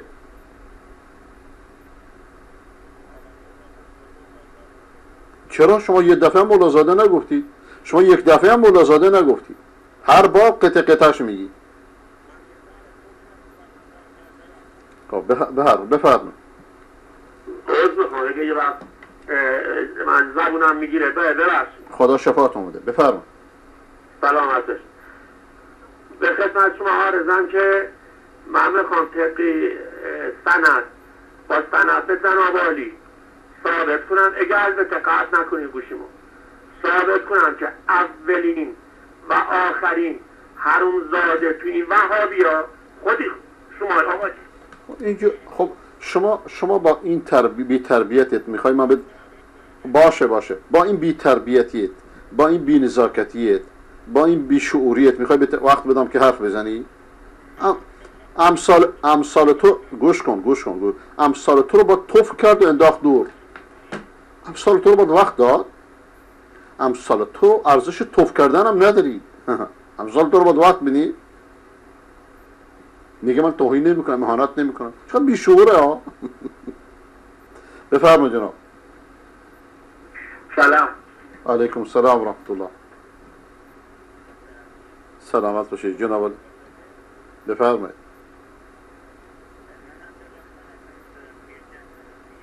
بفرمایید. چرا لحجت عوض کردید؟ چرا لحجت عوض کردید؟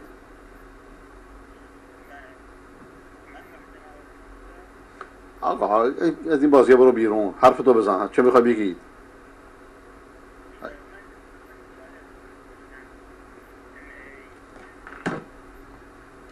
سلام علیکم. بفرمایید. السلام علیکم جناب آقای دکتر. سلام باش. جناب علی؟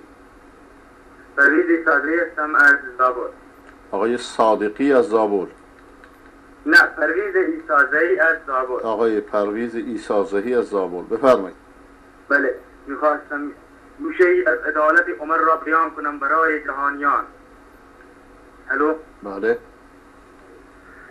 در زمانی که پسر حضرت عمر رضی الله عنه را می‌گیرن به جرم شرابخواری خبر به گوش حضرت عمر می‌رسد. حضرت عمر فرمان می‌دهد که پسرم را بیاورید و ببندید. او را میآورم و میبندند سلام علیکم بفرمایید سلام علیکم سلام بر شما بفرمایید آقای ملازاده بله جناب علی.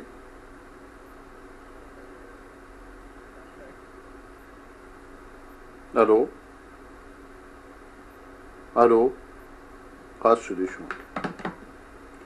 سلام علیکم بفرمایید ألو سلام علیکم. علیکم السلام رحمت الله. حسن هستم از یزد قربان. آقای حسن از یزد بفرمایید. بود می‌خوام.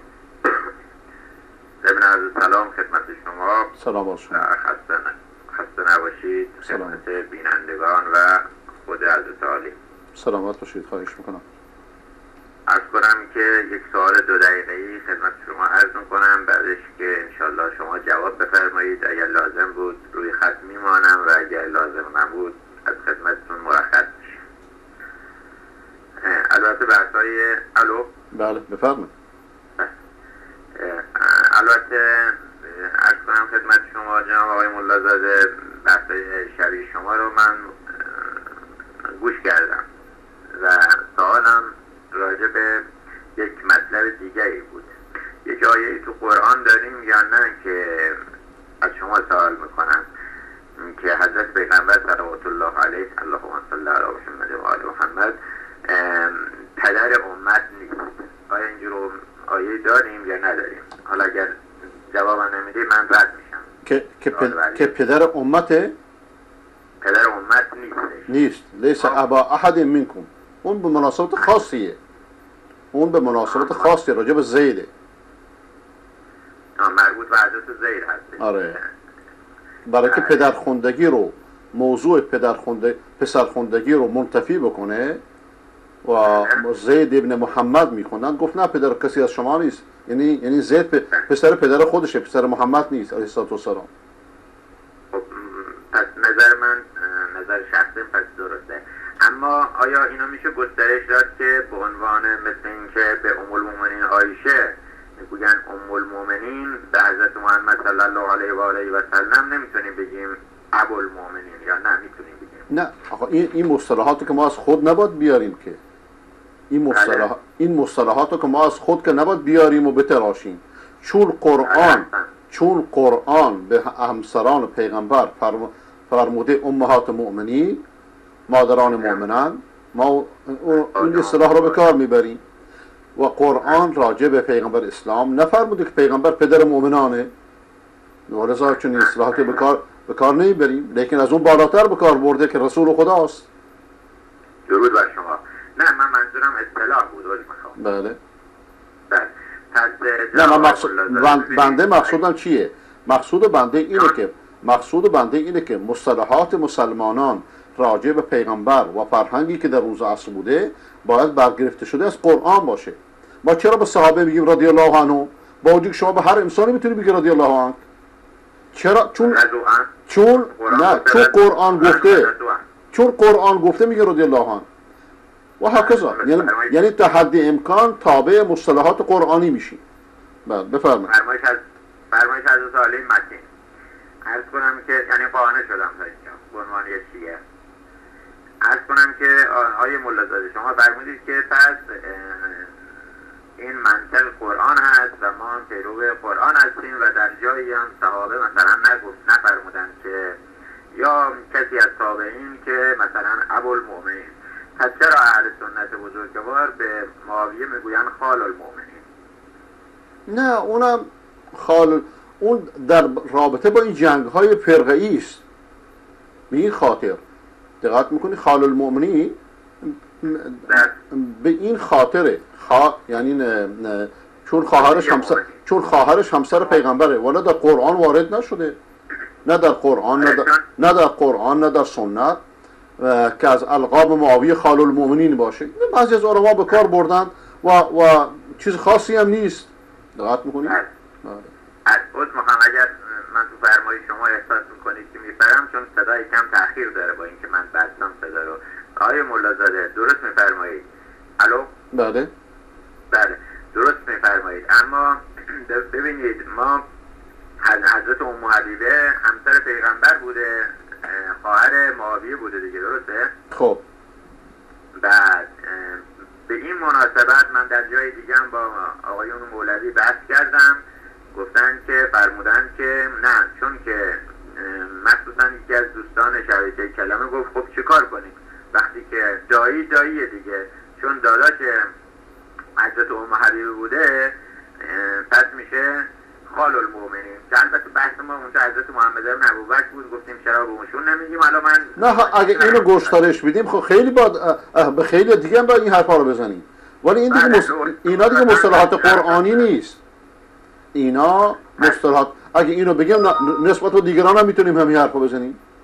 دقت می‌کنید ولی اینها بیشتر به جنگای فرقه‌ای میمونه تا تا به پیروی از مصطلحات قرآن. پس آیه ملازده از کنم خدمتتون آیا شما اینو قبول میفرمایید یا نه؟ یا من اشتباه می‌کنم که این یک بدعت است که به معاویه بگوییم قال المؤمن نه بدعت نیست. برای که نسبا اینجوری هست. بدعت نی... بدعت در امور دینیه. بدعت در امور دنیوی نیست که. بدعت در امور عرفی نیست که. بدعت وقتی به چیزی بدعت گفته میشه که در امور دینی بدعتی تراشیده بشه. این یه چیز دنیویه این عبادت نیست شعار دینی نیست. این از یک لحاظ. و بعدم و, و, و واقعا هم خال مؤمنان هست. از اون جهت که خواهر برادر امهات مؤمنینه از در نسب پس آقای مولازاده اگه بدعت نیست پس اگر به حضرت محمد مصطفی صلی الله علیه و آله و سلم بگیم ابوالمؤمنین چرا اشکال می‌گیرن؟ نه اشکال کسی نمی‌گیره. شما به حضرت ابراهیم گفته نمیشه ابوالانبیا؟ بله بله خب بدعت نیست. اینا ولی اینها بدعت عموما بدعت در امور عبادی گفته میشه در امور شرعی نه در مصطلحات نه در در در اعراف نه در امور دنیوی بدعت چیز خاصیه. جناب آقای ملازاده ببخشید تموم شد فرمایشتون؟ بفرمایید. آقای ملازاده من شیش ماه با تا شما تماس نگرفتم با قری از نمازی از چرا چند مرتبه من زنگ زدم؟ راه نداری تو برنامه من هیچ وقت توهینی به شما نکردم. نه برای که شما تو تلویزیون های توحیدی خوشنام نیستی. علتش اینه. من آیا به شما توهینی نه توهین نه مسئله توهین نیست. من تا حالا شما از خود شما چیز بد ندیدم. ولی شما از کارکنان تلویزیون ولایتی درسته؟ نه من کارکنانشون نیستم. من تو برنامه ندای شیعه تو بحث دنیای مجازی صحبت می‌کنیم. اما از شما یه کلی بحث کردم که فرمودید صدام از آل بیته و اونو جواب دادم فقط همین. نه اون که مسئله دنیویه صدام آل مجید از آل بیتن که مشکل دیگریه. من من میگم من میگم صدام شهیده. بعضی از دوستان من از اهل علم من میگن صدام مثلا مسلمان نیست. اینا اینا بس با اینا دین نیست. اینا آرای دنیویه آرای اشخاصه. دقت می‌کنی؟ در بعد پس مذارت می‌خوام شما در زمانی که تلویزیون با آقای حضرت الله قزوینی مناظره فرمودید بعد جلسه دوم مناظره نکردم در تلویزیون سلام اون زمان ما بیننده بودیم. شما بعدش در روز بعد از مناظره یعنی در تلویزیون خودتون باز صحبت های خودتون راجع به نظام و غیر و انجام دادید. حضرت آیت الله قزوینی دیگه مناظره نکردن گفتم آقای ملازاده مجددا صحبتهایی کردن و اینا. شما فرمودید که آقا بنده در مناظره آداب مناظره رعایت می‌کنم. شما چیکار دارید که من جای دیگه چیز میگم به همون منطق شما من در شبکه های دیگه فقط مناظره و بحث با بقیه کردم. و الا با شما هیچ وقت در زمان گفتگو با حضرت عالی نه، ولی خب آ- خارج از ادب باشه انجام ندادم. باشه ولی آقای آقای قصبینی آقای قصبینی که این حرف زد بنا به طرح اطلاعات اینا می‌خواستن رشوه مناظراتی به بنده بدن تا من لحجه عوض کنم. درست؟ ولی بنده در مقابل شما همچین تکلیفی ندارم و در مقابل شما همچین وظیفه هم ندارم و شما رو تازه نمی‌شناسم. من نمی‌دونم شما اهل علمی نمی‌دونم شما اهل علمی درس خونده اتفاقا الان می‌خواستم بپرسم که شما اهل علم هستی؟ بنده دبیر هستم. د- دبیر فیزیک هم. همه می‌شناسن در فضای مجازی. دبیر فیزیک. ولی امور دینی رو کجا کجا خوندید؟ ما امور دینی رو علاقه داشتیم دیگه دنبالش می‌کردیم. یعنی در حوزه هر حال از, از, از سخنگویان شیعه من تا حالا یک نفر در این 20 سال ندیدم که بگه من اهل علمم. همه خودشون رو قائم می‌کنن. مشکل اینجاست. من دیگه مدرکم مشخص همه باش، در. خیر باشه. الان که الان الان چند دقیقه با هم دیگه صحبت می‌کنیم؟ نمی‌دونم شما بفرمایید. به فکر می‌کنم من نزدم اینجا ساعت. بله ده دقیقه بود. حدود حول هوش ده دقیقه. ولی به هیچ نتیجه نرسیدیم. به هیچ نتیجه نرسیدیم. من از شما سوال من من من از شما سوالی می‌کنم. در خدمتم. شما شیعه علی هستی درسته؟ افتخار می‌کنم انشالله اینجوری باشه. چرا دین علی رو عوض کردید؟ کجای دین علی رو عوض کردید؟ شهادتین شو عوض کردید؟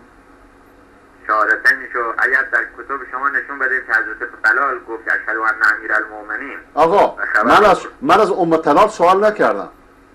من از علی سوال کردم. گفتم که علی شما خودتون شیعه علی می‌دونید نه شیعه ام طلال. یا ابو طلال. آیا علی سه تا شهادت وقتی مسلمان شد شهادتین گفت یا سه تا شهادت گفت؟ ال- البته حضرت عالی می‌دونید که در ببین من خواهش می‌کنم. من خواهش می‌کنم. من خواهش می‌کنم آقای ببخشید آقای؟ باقری. آقای باقری خواهش می‌کنم. یعنی برای یک بار هم که شده من آرزو داشتم که گویندگان شیعه شاخ به شاخ نپرن. سوال دو کلمه. ایه. آیا علی شهادتین گفت وقتی مسلمان شد یا سه تا- سه تا شهادت؟ مثل بقیه مسلمان ها شهادتین گفت یا سه تا شهادت؟ بفرمایید. بله حضرت علی علیه السلام دو همه مسلمانان ما شیعیان هم دو تا شهادت میدیم. نه. دو تا شهادت نمیدیم. ای بابا اینی که همه می‌دونن دروغه. اینی که همه می‌دونن دروغه. اینی که همه دنیا بابا شما تو ازا میگردی ولی الله؟ تو ازا میگردی امیرالمومنین حجت الله؟ الان شیعیانی که به اصطلاح یه لحظه یه لحظه یه لحظه. من واجب غیر واجبش کار ندارم. من حرفم اینه که شما دین علی رو عوض کردید علی که با. دو کلمه مسلمان شد با شهادتین مسلمان شد خوده شما شهادتین علی رو به سه شهادت تبدیل کردید. یعنی همه چیز اسلام رو عوض کردید. از شهادتین گرفته تا بقیه. آقا علی خمس می‌گرفته شما چرا خمس می‌گیرید؟ بفرمایید. بله حضرت علی علیه السلام چرا خمس نمی‌گرفت کجا خمس گرفته؟ گرفت؟ بله؟ فلک رو کی گرفت؟ آقا فدا اجازه آقا فدا که ربطی به علی نداره فدا که قبل از علی ب... فدا که قبل از علی بوده. من حرفم راجع به خ- ببین از شاخ به شاخ پریدنه. آیا علی وقتی که خلیفه مسلمانان بود از مسلمانان خمس می‌گرفت؟ بفرمایید. بله احتیاجی نداشت. زکات بود احتیاجی نداشت. این که بدتر شد که این که بدتر شد آقای باقری. این که رسوایی شد که این چه حرفیه؟ مگه آخونده احتیاج دارن؟ اجازه بدین اجازه بدین اجازه بدین. یعنی آقای آقای سیستانی یا آقای خامنه ای یا آقای خویی یا بقیه آقایون مراجع که میلیون ها و دلار به جا می‌ذارن احتیاج دارن. مسئله احتیاج نیست. مسئله اینه که آیا اجازه بدین اجازه بدین اجازه بدین. آیا آیا اصول و فروع دین معموم با اصول دین فروع امام فرق داره یا یکیه؟ یکیه درسته؟ خب آ- وقتی یکیه چرا امام خمس نمی‌گیره؟ معموم بعد 1400 سال میاد خمس می‌گیره؟ پس معلوم شد دینش عوض کرده. نه امام هم خمس می‌گرفت همه امام ها هم امام می‌گرفت آقا آقا اینا اینا ادعاهای اینا ادعاهای دروغه. چرا در نهج البلاغه حرفی از خمس نیست؟ چرا در نهج البلاغه؟ صحبت از خمس از کجا هست؟ اجازه کجا در کجا در نهج البلاغه علی از خمس حرف می‌زنه؟ اجازه بدید من عرض کنم. آره. آقای ملازاده حضرت علی بحث کل بحث شما اینه. چرا در زمان خلافتش چهار سال و نه ماه یا کمتر یا بیشتر خمس نگرفت؟ نه من حرفم این نیست. من ح- این این مثالیه که می‌زنم. من میگم شیعه شیعه دین علی رو عوض کرده. حرف اجازه بدین اجازه بدین. حرف بنده اینه که شیعه دین علی رو عوض کرده. از شهادتین گرفته تا شعائر. علی دو تا شهادت می‌گفته شیعه سه تا شهادت میگه. علی پنج وقت نماز خونده شیعه سه وقت نماز می‌خونه. علی زکات می‌گرفته شیعه خمس می‌گیره زکات نمی‌گیره زکات تعطیل کرده. علی یک حج داشته شیعه هزاران حج داره. اینی من می‌خوام بگم. الجواب بله؟ الجواب ها بفرمایید. خب را- راجع به خمس جواب بدین. راجع به خمس جواب بدین که علی در وقت خلافت خودش کجا خمس می‌گرفته؟ جناب آقای ملازاده فر به قول فرمایش خودتون. آقا جواب من بدین خواهش می‌کنم یه میدم دیگه. بله. ببینید همین جواب شمایی دیگه. همه اینا ادعاست. بنده ثابت می‌کنم که حضرت علی خمس می‌گرفته. خب بفرمایید ثابت کنید. زمان خود پیغمبر اشهد آقا عجب حرفیه. در زمان من, که- من که شما رو از زمان پیغمبر نخواستم که. نمی‌دید من صحبت کنم و. ثابت کنم. باشه ولی شما میگید در زمان پیغمبر در زمان پیغمبر که علی کاری نیست که. در زمان در زمان پیغمبر خود پیغمبر بود خمس بگیره. در زمان پیغمبر خود پیغمبر بود خمس بگیره. خمس پیغمبر می‌گفت از غنم جنگی. من حرفم شما عمل علی رو حجت می‌دونید. من حرفم اینه که کی علی در وقت خلافت خودش در وقت خلافت خودش خمس می‌گرفته. بفرمایید. چشم حضرت علی علیه السلام طبق حدیثی که ما داریم فرمود از اون موقعی که فلک حضرت فاطمه که خمس حضرت فاطمه بود قطع شد در زمان خلافتش خمس نگرفت. ولی خب این, این, دلیل به دروغ بودن روایت شماست دیگه این دلیل بر دروغ بودن روایت شماست. اجازه بدید اجازه بدید با هم صحبت کنیم. این دلیل بر دروغ بودن روایت شماست و دلیل بر اینه که علی وقتی خمس نگرفته دین شما با دین علی غیر یه, یه, یه چیز فرق می‌کنه. منم همین رو می‌خوام ثابت کنم. خیلی متشکرم. خیلی متشکرم جناب. خیلی متشکرم. کافیه. منم همین رو می‌خوام ثابت کنم که دین شما غیر از دین علیه. شهادتین عوض کردید نماز رو عوض کردید زکات رو عوض کردید حج رو عوض کردید همه رو همه چیز رو عوض کردید.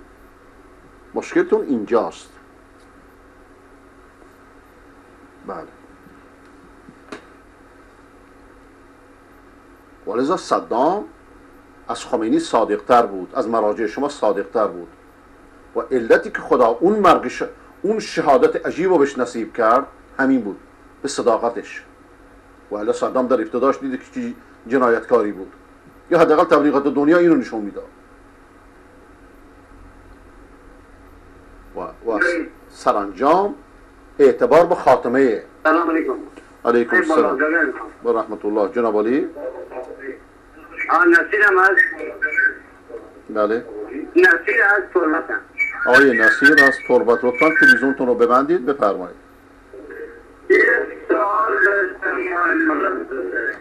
آقای محترم. لطفا تلویزیونتون چرا صداتون عوض شد؟ الان بله بفرمایید. چرا صداتون عوض شد؟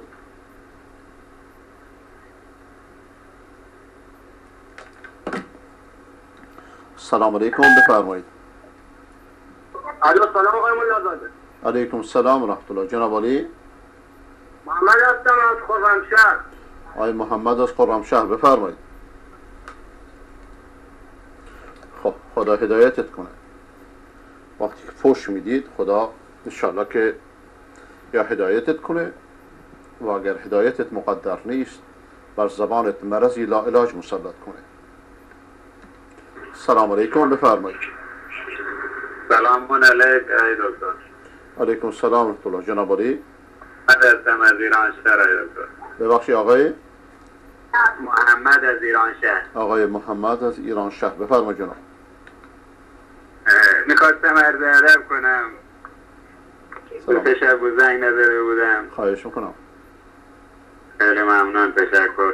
سلام. آقای دکتر چند موقع کسالت دارم کم مشکل مریضی دارم. خدا شفا. از ما همیشه دعاگوییم. خواستیم شما هم سر نمازتون برام دعا کنید. انشاءالله انشاءالله. خدا شفاعتون بده انشاءالله. هم شما و هم بقیه مریضان موحد را. خیلی ممنون. تشکر. خدا عزت بده. خدا حافظ شما. خدا حافظ شما شد دوستان اجازه بدید این این ایمیل رو بخونم. خواهش می‌کنم این پیام رو بخونید و برام راهی پیشنهاد کنید. دارم دیوانه میشم. دکتر اعصابم داغونه. آها توکلت بر خدا کن. اعصابت راحت میشه. پشتیبان تو پیدا کن. ولی تو پیدا کن. این برنامه های خداشناسی رو گوش کنید.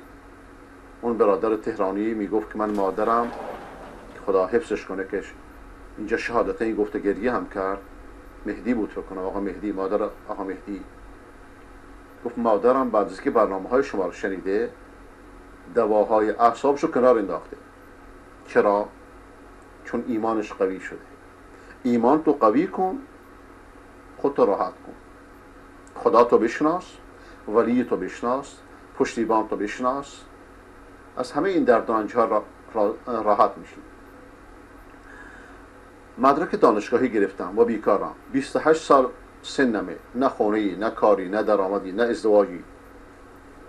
به هر دری زنم زدم کار پیدا نکردم. اقوام هم خدا امورتون آسان بکنه. همسالان خودم رو می‌بینم. از من و وضعشون خرابتره. بازانشون مشکل دارن تو فرق به سر می‌برن و من برای اونها هم غمگینم. هر کسی خدایی داره. برای مردم کشورم هم ناراحتم. وقتی آمارش میاد بیرون که دومین کشور افسرده و غمگین دنیایی. بله. من اعرض عن ذکری فان له معیشتا ضنکا ایران شرک آلودترین کشور منطقه اگر